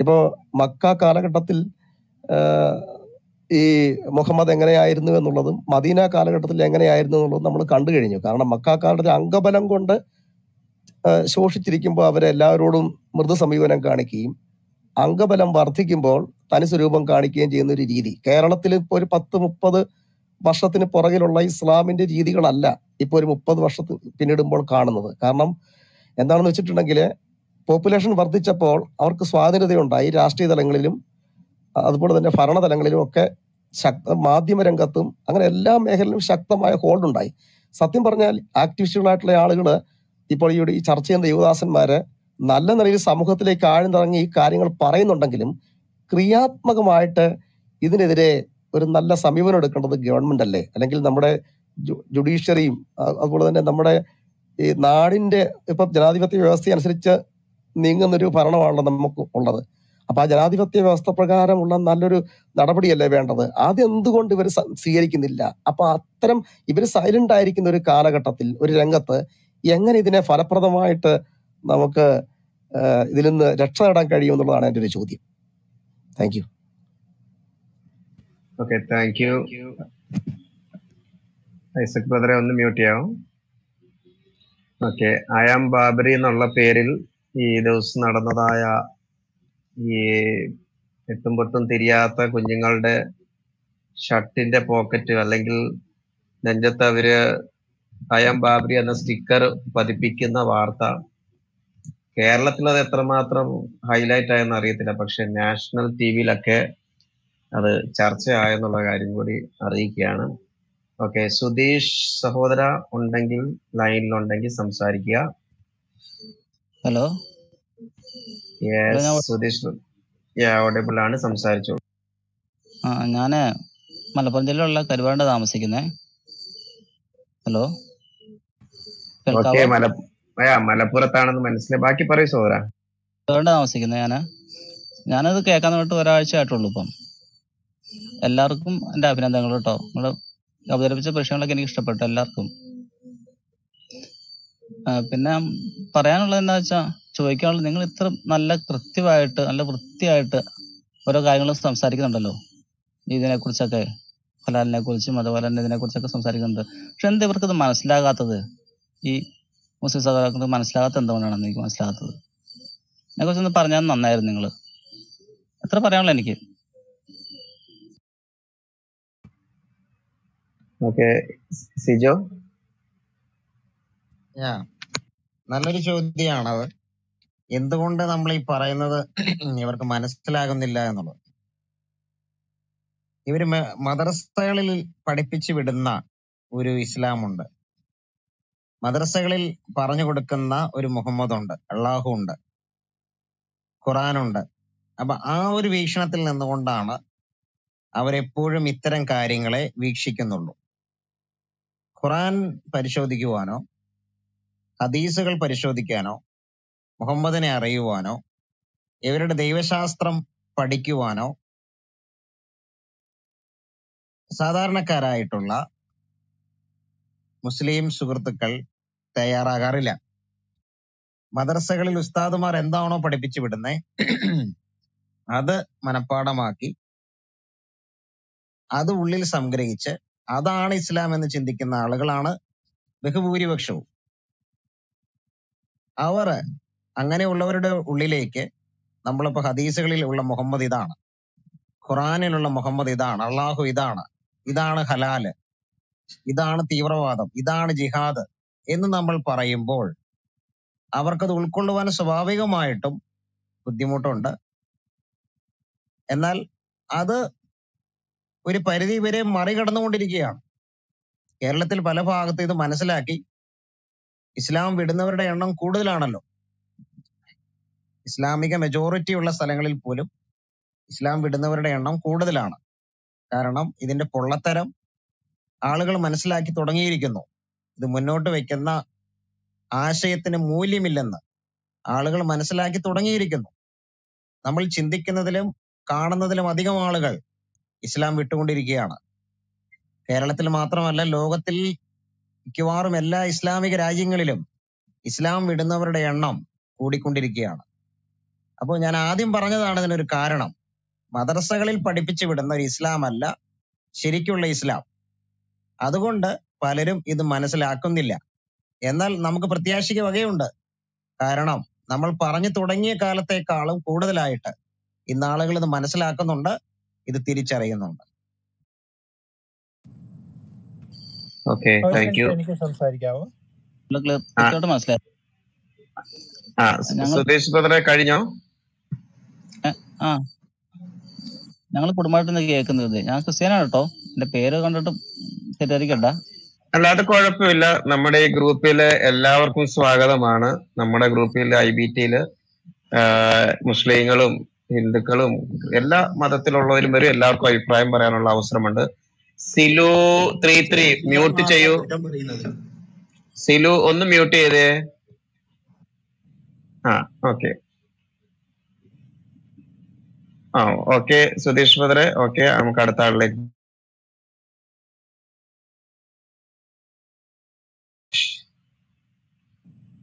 രാജാഷ് കേൾക്കുന്നുണ്ടോ?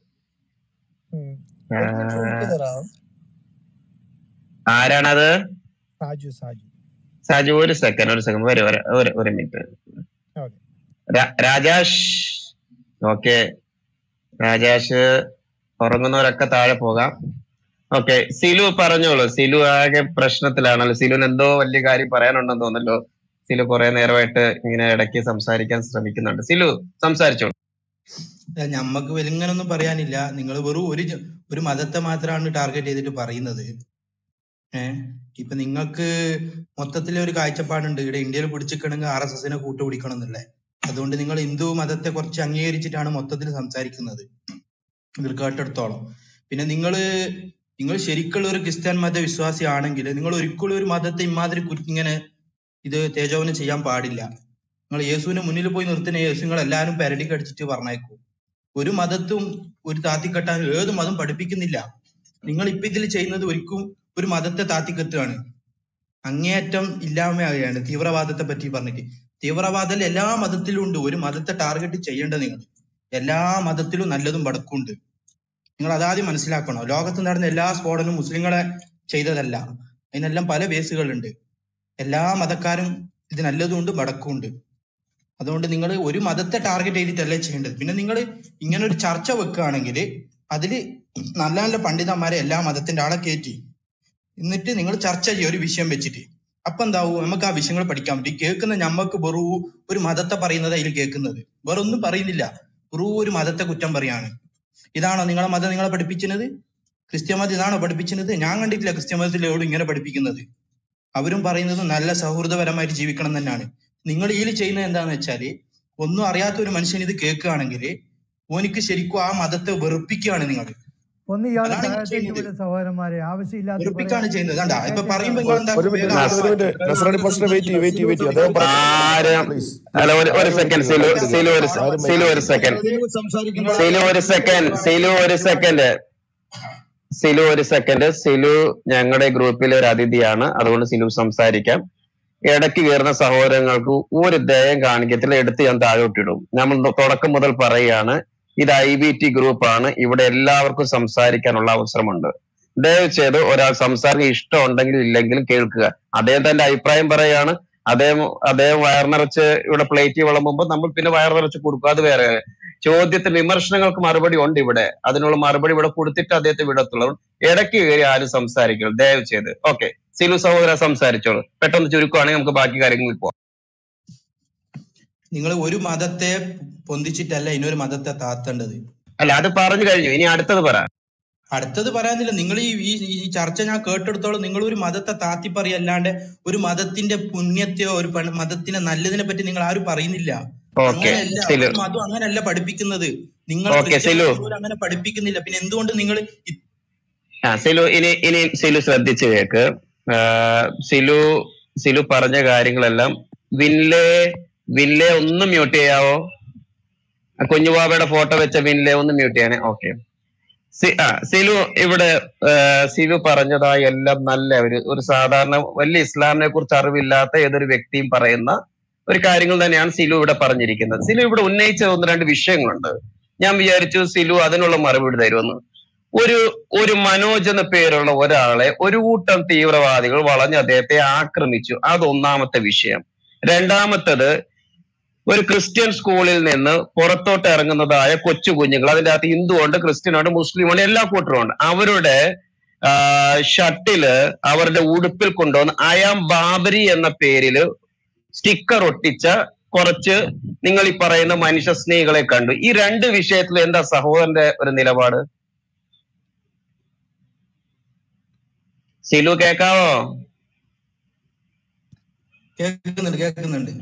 ഞാൻ ഈ ചോദിച്ച രണ്ട് വിഷയത്തിൽ നമ്മൾ അതാണ് ചർച്ച ചെയ്തത്. ഇത് സഹോദര ഞാൻ ആദ്യം നിങ്ങളോട് പറഞ്ഞു ഒരു ഞാൻ എന്നെ സംബന്ധിച്ചിടത്തോളം ആയിക്കോട്ടെ യാതൊരു മതം ആയിക്കോട്ടെ ഏതൊരു മതം ആയിക്കോട്ടെ ഒരു മതം നൂറ് ശതമാനം എല്ലാവരും കറക്റ്റ് പോലെ ആരും ചെയ്യുന്ന ആളില്ല. ഒരു തെറ്റ് ചെയ്യുന്നുണ്ടെങ്കിൽ ആ തെറ്റിനെയാണ് നമ്മൾ ചൂണ്ടിക്കാണിക്കേണ്ടത് ആ മതത്തിനല്ല. സിലു സിലു എന്നെ ഒരു സെക്കൻഡ് ഇല്ല ഇല്ല ഇല്ല ഇല്ല. സിലു സംസാരിക്കുക ചോദിച്ചതിന് മാത്രമാണ് ചോദ്യം തരേണ്ടത്. അല്ലാതെ ഈ ഒറ്റ മാർക്കിന്റെ ചോദ്യത്തിന് പത്ത് പേപ്പർ എഴുതി തരുന്നതുകൊണ്ട് ഒറ്റ മാർക്ക് കിട്ടത്തുള്ളൂ. അതുകൊണ്ട് സിലുവിനോട് ചോദിച്ച ചോദ്യം ഇതാണ്. ഒരു ക്രിസ്ത്യൻ സഹോദരനെ വളഞ്ഞിട്ട് കുറച്ച് കുറച്ച് നിങ്ങളുടെ ഭാഷ പറഞ്ഞ മനുഷ്യ സ്നേഹികളായിരിക്കുന്ന കുറച്ച് എസ് ഡി പി ഐക്കാരും അവരൊക്കെ ഇങ്ങനെ വളഞ്ഞ ഇത് ചെയ്ത് അതുപോലെ കൊച്ചു കുഞ്ഞുങ്ങളുടെ ഒരു ബാബ്രി മസ്ജിദ് എന്താണ്? തൊട്ടപ്പുറം ചെപ്പിളത്തുകാവ് എന്താണെന്ന് പോലും അറിയാത്ത കൊച്ചു കുഞ്ഞുങ്ങളുടെ നെഞ്ചത്ത് അയാം ബാബരി എന്ന നിലയിൽ ബാബരി മസ്ജിദിന്റെ ഓർമ്മയെ വെച്ചുകൊണ്ട് ഒരു ഒരു ഇത് ഒട്ടിച്ചു. ഞാൻ ചോദിച്ച അതിനെ കുറിച്ച് താങ്കളുടെ അഭിപ്രായം? അത് മാത്രം പറഞ്ഞ മതി സൗര ബാക്കിയുള്ളതിലോട്ടൊന്നും പോകണ്ട. അപ്പൊ അഖ്ലാഖിനെ കൊന്നതിൽ ഇറച്ചിന്നതിന്റെ പേരിൽ കാര്യത്തില്ല അതിന് നിങ്ങളുടെ അഭിപ്രായം എന്റെ? സിലു സിലു ഇവിടെ ചോദിച്ച സിലു സിലു സിലു ഉത്തരം പറയലല്ല. ചോദ്യത്തിന് മറു ചോദ്യങ്ങൾ വരൂ. നിങ്ങൾ സിലു സിലു. ഉത്തരം പറയാൻ കഴിയില്ല. ചോദ്യം മറു ചോദ്യങ്ങളും ഉൾപ്പെടുന്നതാണ് ചോദ്യം എന്ന് പറയുന്നത്. സിലു ആദ്യം സിലു ഒരു മനുഷ്യനായി സംസാരിക്ക്. ഇവിടെ ചോദിച്ച ചോദ്യം ഇതാണ്. നിങ്ങൾ ഇനി പറയുന്നതായ ബീഫ് വെച്ചതിന്റെ കാര്യത്തിലോ അതാണെങ്കിൽ അതിനെ തെറ്റെന്ന് തന്നെ പറയും. ആണുങ്ങളെ പോലെ പറയുകയാണ് തെറ്റാണ്. അത് ഏതെങ്കിലും ഏതെങ്കിലും ഏതെങ്കിലും ഹിന്ദുത്വവാദികൾ ഏതെങ്കിലും മുസ്ലിമിനെയോ ക്രിസ്ത്യാനിയോ ഉപദ്രവിക്കുകയോ കൊല്ലുകയോ തെറ്റാണ്. കണ്ടോ? ഡയറക്റ്റ് ആയിട്ട് മറുപടി തന്നെ ഇനി സിലു മറുപടി തരിക. ഈ പോപ്പുലർ ഫ്രണ്ട് എന്ന പേരിലും എസ് ഡി പി എന്ന പേരിലും ഈ തീവ്രവാദി കൂട്ടങ്ങൾ ഈ ക്രൈസ്തവർ ഈ ഒരു സഹോദരനെ ആക്രമിച്ചതും കൊച്ചു കുഞ്ഞുങ്ങളുടെ നെഞ്ചത്ത് ബാഡ്ജ് വെച്ചതും ഇത് ശരിയാണോ തെറ്റാണോ എന്ന് ഒറ്റവാക്കി പറ പോലെ അത് ഞാൻ നിങ്ങളോട് പറഞ്ഞല്ലേ ഞാൻ എസ് ഡി പി ആയിക്കോട്ടെ പോപ്പുലർ ഫ്രണ്ട് ആയിക്കോട്ടെ ഏത് സംഘടന ആയിക്കോട്ടെ ആര് ചെയ്യുന്നത് തെറ്റാണെങ്കിൽ അത് തെറ്റന്നാണ്. നിങ്ങൾ ഇപ്പൊ അഖിലാഖിന്റെ വിഷയത്തിൽ നിങ്ങൾ തെറ്റെന്ന് പറഞ്ഞില്ല അതുപോലെ തന്നെ നമുക്കും പറയാനുള്ളത്. തെറ്റ് ആര് ചെയ്താലും തെറ്റാണ് പക്ഷെ അത് മതത്തിന് മേലെ ഇടരുതെന്നാ പറയുന്നത്. തെറ്റ് ചെയ്തവരെ നിങ്ങൾ മതത്തിന് ഓക്കെ സിലു ഇവിടെ ഇവിടെ ചർച്ച ചെയ്തതിൽ ഇവിടെ പ്രധാനപ്പെട്ട നിങ്ങളെ പോലെ തന്നെ ഓരോരുത്തർ അഭിപ്രായം പറയുന്നവരെ മതത്തിന്റെ കാര്യം ചർച്ച ചെയ്യാനാണെങ്കിൽ നല്ല മനസ്സുകൊണ്ട് ചർച്ച ചെയ്യാം. പക്ഷെ ഇവിടുത്തെ വിഷയം എന്ന് പറയുന്നത് സുലു സിലു ഒന്ന് മ്യൂട്ട് ചെയ്തേ. ആ സിലു തേർട്ടി ത്രീ ഓക്കെ ഇവിടെ തുടക്കത്തിൽ തന്നെ നമ്മൾ ഇവിടെ വിഷയം ചർച്ച ചെയ്തപ്പം അവിടെ ഇസ്ലാം മതത്തിന്റെതായ ഗുണവും ദോഷവും ഇവിടുത്തെ ചർച്ച വിഷയം. ഇതിന്റെ അകത്ത് S D P I Popular Front പോലെയുള്ള തീവ്രവാദ നിലപാടെടുക്കുന്ന മനുഷ്യ സ്നേഹികൾ നിങ്ങളുടെ ഭാഷ മനുഷ്യ സ്നേഹികളായിരിക്കുന്ന ആളുകൾ ചെയ്യുന്നതായ ചില പ്രവൃത്തികളെ കുറിച്ച് ഈ അടുത്ത ദിവസങ്ങൾ നടന്ന വിഷയമാണ് ഇവിടുത്തെ ചർച്ച വിഷയം. ഇവിടുത്തെ വിഷയം മുഹമ്മദ് അല്ല ഇവിടുത്തെ വിഷയം ഇസ്ലാമും അല്ല ഇവിടെ വരുന്ന ആളുകൾ ആ വിഷയങ്ങളൊക്കെ പലരും പലതും സംസാരിക്കുമായിരിക്കാം ഇനി സിലു ഇനി ച- യേശു യേശുവിന്റെ മുമ്പിൽ ഞങ്ങൾ ചെന്നാൽ എടുത്തിട്ട് കീറുവന്ന്. ഓക്കെ. പക്ഷെ ഞാൻ ചോദിക്കുന്നത് എസ് ഡി പി ഐക്കാരനും ജോസഫ് മാഷിന്റെ കൈ വെട്ടിയ ആളുകൾ മുഹമ്മദിന്റെ മുമ്പിൽ കയറിയ മുമ്പിൽ പോയി നിന്നാൽ അവരെ മുഹമ്മദ് എടുത്തിട്ട് കീറുവസിലു യേശുവിന്റെ അടുത്താണെങ്കിൽ ഓക്കെ. കൈ വെട്ടിയും കാൽ വെട്ടിയിട്ടാണ് ഞങ്ങൾ ചെല്ലുന്നതെങ്കിൽ യേശു എടുത്തിട്ട് കീറുക മാത്രമല്ല എടുത്തിട്ട് മറിച്ചിട്ട് കീറുന്ന കാര്യത്തിൽ ഒരു സംശയം വേണ്ട. പക്ഷെ മുഹമ്മദ് ഈ പറയുന്നതായ നിങ്ങളുടെ പ്രവാചകനായ മുഹമ്മദോ നിങ്ങളുടെ ദൈവമായിരിക്കുന്ന അല്ലാഹുവിന്റെ മുമ്പിൽ ഈ ജോസഫ് മാഷിന്റെ കൈ വെട്ടിയവരും ഈ ബോംബ് പൊട്ടിക്കുന്നവരും ചെന്ന് കഴിഞ്ഞാൽ അവരെ എന്ത് ചെയ്യുമെന്നൊന്ന് സിലു പറഞ്ഞേ. ശരി ഇപ്പൊ നിങ്ങൾ പറഞ്ഞത് കുറച്ച് തിരുത്താനുണ്ട്. നിങ്ങൾ പറഞ്ഞ ഒരു മതത്തിന്റെ ഗുണം ദോഷമല്ല പറയുന്നത് അല്ല എന്നാ പറയുന്നത്. ഇത് നിങ്ങൾ വെറും ദോഷ പറയുന്നു ഗുണം പറയുന്നില്ല. പിന്നെ നിങ്ങൾ മാസ്റ്ററിന്റെ കൈ വെട്ടിയത് പറയുന്നു. മാസ്റ്ററിന്റെ കൈ വെട്ടുന്നതിന് മുന്നേ മാസ്റ്ററിനെ യേശുവിന്റെ യേശുവിന്റെ മുന്നിൽ കൊണ്ടുവരുന്നെങ്കിൽ മാസ്റ്ററിനെ യേശു ആദ്യം വെട്ടു. കാരണം മൂപ്പര് എഴുതി വെച്ചത് അങ്ങനെ ആയിരുന്നു അതും തെറ്റാണ്. കൈ വെട്ടിയതും തെറ്റാണ് സിലുവിനോട് ചോദിക്കുന്ന ചോദ്യം ഒഴിച്ച് ബാക്കിയെല്ലാം ഭംഗിയായിട്ട് പറയുന്നത്. ഒരു എന്റർടൈൻമെന്റ് തന്നെയാണ് സിലു. സിലു സിലുടെ സിലു ഇവിടെ നമ്മളെ എല്ലാം കൂടിയുടെ അടുത്തോട്ട് കൊണ്ടുപോകുമോ അല്ല സ്റ്റാൻലി ബ്രദറെ സ്റ്റാൻലി ബ്രദറെ പ്ലീസ് സ്റ്റാൻലി ബ്രദറെ പ്ലീസ് നിങ്ങൾ നിങ്ങൾ സിലു സിലു ഒന്നാണെങ്കിൽ സിലുവിന്റെ ഒറിജിനൽ പേര് എന്താണ് ഈ സിലു സിലു എന്ന് വിളിക്കുമ്പോൾ എനിക്ക് ചെറിയ ബുദ്ധിമുട്ടാണ്. എന്തോ സിലുവിന്റെ ഒറിജിനൽ പേര്? ട്രേഡ് സീക്രട്ട് ആണ് ഇവിടെ അഷ്റഫ് അഷ്റഫ്. ആ ഓക്കെ അഷ്റഫ് ഓക്കെ. ഇത് ഇതാകുമ്പോ കുറച്ചും കൂടെ വിളിക്കാൻ എളുപ്പം. അഷ്റഫ് സഹോദരൻ ഒസാമ ബിൻ ലാദൻ നിങ്ങൾ എന്താണ് വിളിച്ചോളൂ? നിങ്ങൾക്ക് എങ്ങനെ പോലെ അങ്ങനെ കിട്ടുമോ വിളിക്കുമ്പോൾ ഓക്കെ. ഓക്കെ സിലു സിലു ഞാൻ അദ്ദേഹത്തെ താഴോട്ട് വിട്ടിട്ടുണ്ട്. നമ്മൾ നേരത്തെ തന്നെ പറഞ്ഞിട്ടുണ്ട് ഒരാൾ സംസാരിക്കുന്നതിനിടയിൽ ആര് സംസാരിച്ചാലും അവരെ നമ്മൾ പുറത്താക്കുന്നതായിരിക്കും. നിങ്ങൾ ഒരു മാന്യത എല്ലാവരും കാണിക്കണം. ഞാൻ പറഞ്ഞു അദ്ദേഹം നമ്മുടെ ഗ്രൂപ്പിലെ ഒരു അതിഥിയാണ്. അദ്ദേഹത്തിന് കുറച്ച് തെറ്റിദ്ധാരണകൾ ഉണ്ടായിരിക്കും. അദ്ദേഹത്തിന് അഭിപ്രായ വ്യത്യാസം ഉണ്ടായിരിക്കും. അദ്ദേഹം സംസാരിക്കുകയാണ്.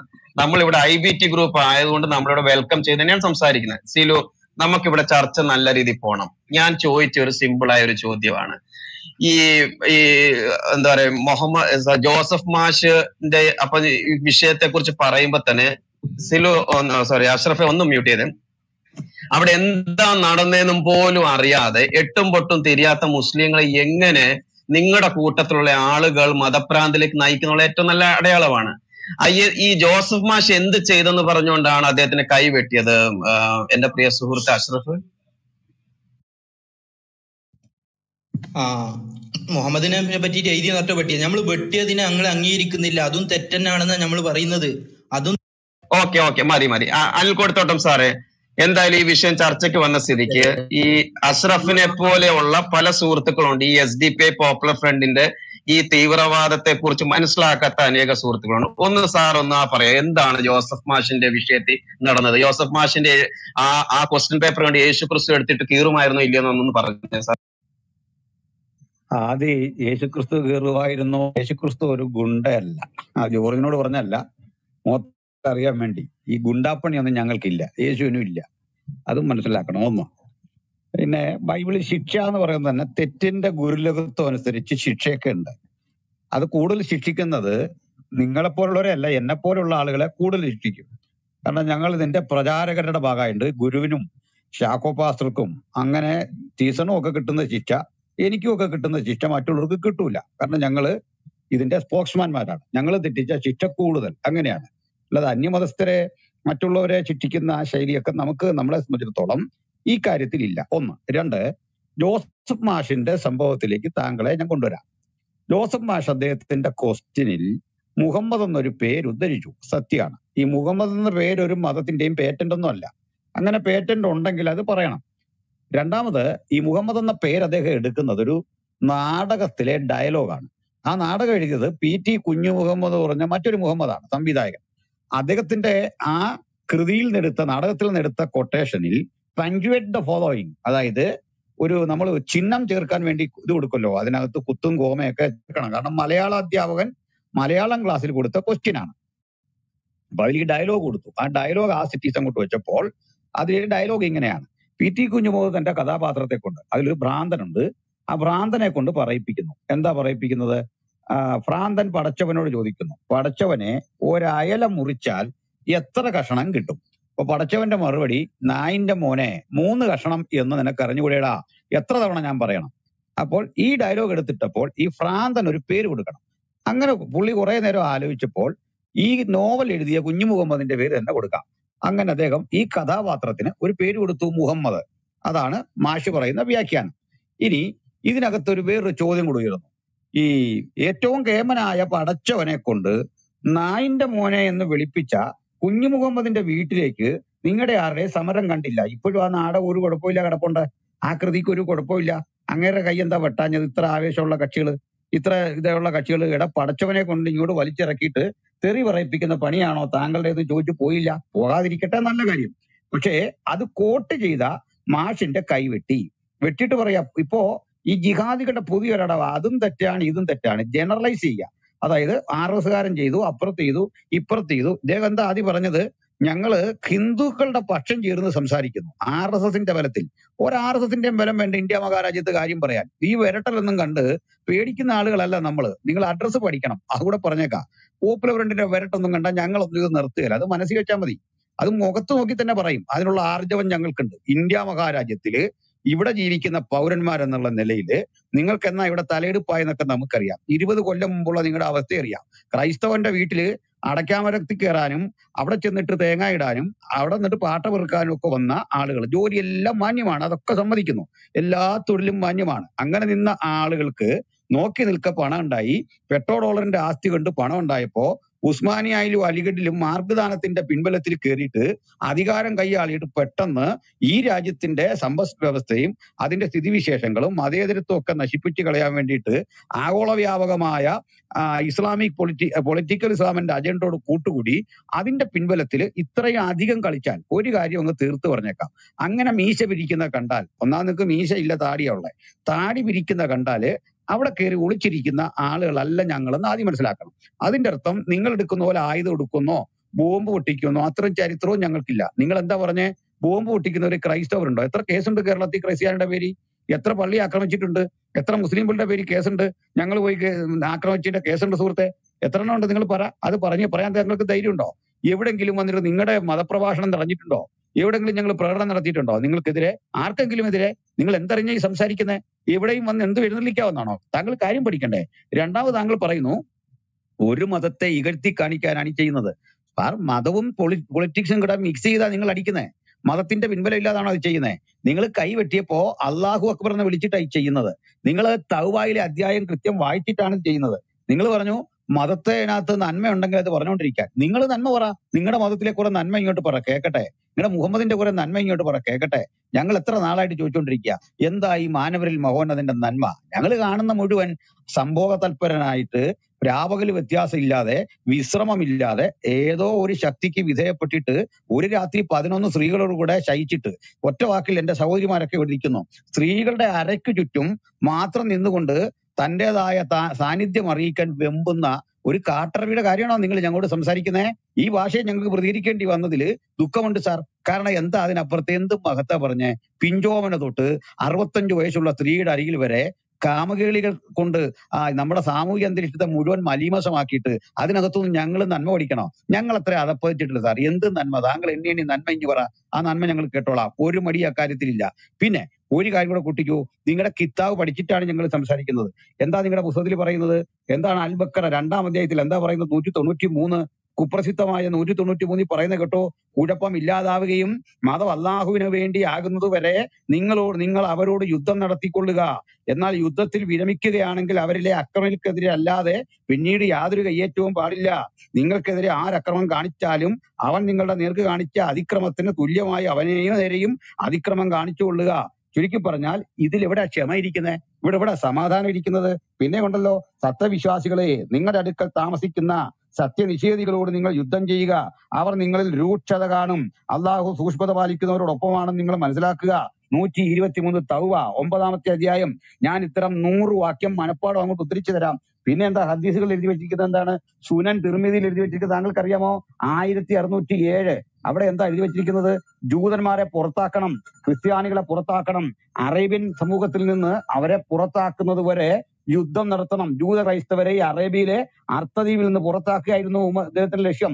ഉമർ ഉമർ അബ്ദുൽ ഖത്താബിൽ നിന്ന് അള്ളാഹുവിന്റെ പ്രവാചകൻ പറഞ്ഞു ഞാൻ ജീവിച്ചിരിക്കുമെങ്കിൽ അള്ളാഹു തുണച്ചാൽ യഹൂദികളെയും ക്രിസ്ത്യാനികളെയും അറേബ്യൻ അർത്ഥദ്വീപിൽ നിന്ന് ഞാൻ പുറത്താക്കുക തന്നെ ചെയ്യും. ജാബീറിൽ നിന്ന് നബി പറഞ്ഞു കേട്ടതായി ഉമർ ഇബ്നുൽ ഖത്താവിനോട് പറഞ്ഞു യഹൂദികളെയും ക്രിസ്ത്യാനികളെയും അറേബ്യൻ അർത്ഥദ്വീപിൽ നിന്ന് ഞാൻ പുറത്താക്കുക തന്നെ ചെയ്യും. മുസ്ലിം അല്ലാത്ത ഒരാളും അവിടെ അവശേഷിക്കയില്ല. സുനനു തിർമിതി ആയിരത്തി അറുന്നൂറ്റി ഏഴ് ആയിരത്തി അറുന്നൂറ്റി ആറ് ആയിരത്തി അറുന്നൂറ്റി എട്ട് തുടങ്ങിയ കാര്യങ്ങളിൽ ഇതിൽ എഴുതി വെച്ചിരിക്കുന്ന രേഖകളാണ്. ഈ രേഖകൾ ഉദ്ധരിച്ചുകൊണ്ട് മെക്കിട്ട് കയറാൻ വരിക. ഞങ്ങളെ വെറുതെ ഇരിക്കുന്ന ആളുകളെ പ്രകോപിപ്പിച്ചു കൊണ്ടുവരിക. എന്നിട്ട് താങ്കൾ ഒന്നുകൂടെ പറഞ്ഞു ഇങ്ങനെയൊന്നും യേശു ക്രിസ്തു പഠിപ്പിച്ചിട്ടില്ല. എങ്ങനെ പഠിപ്പിച്ചിട്ടില്ലെന്ന് മറ്റു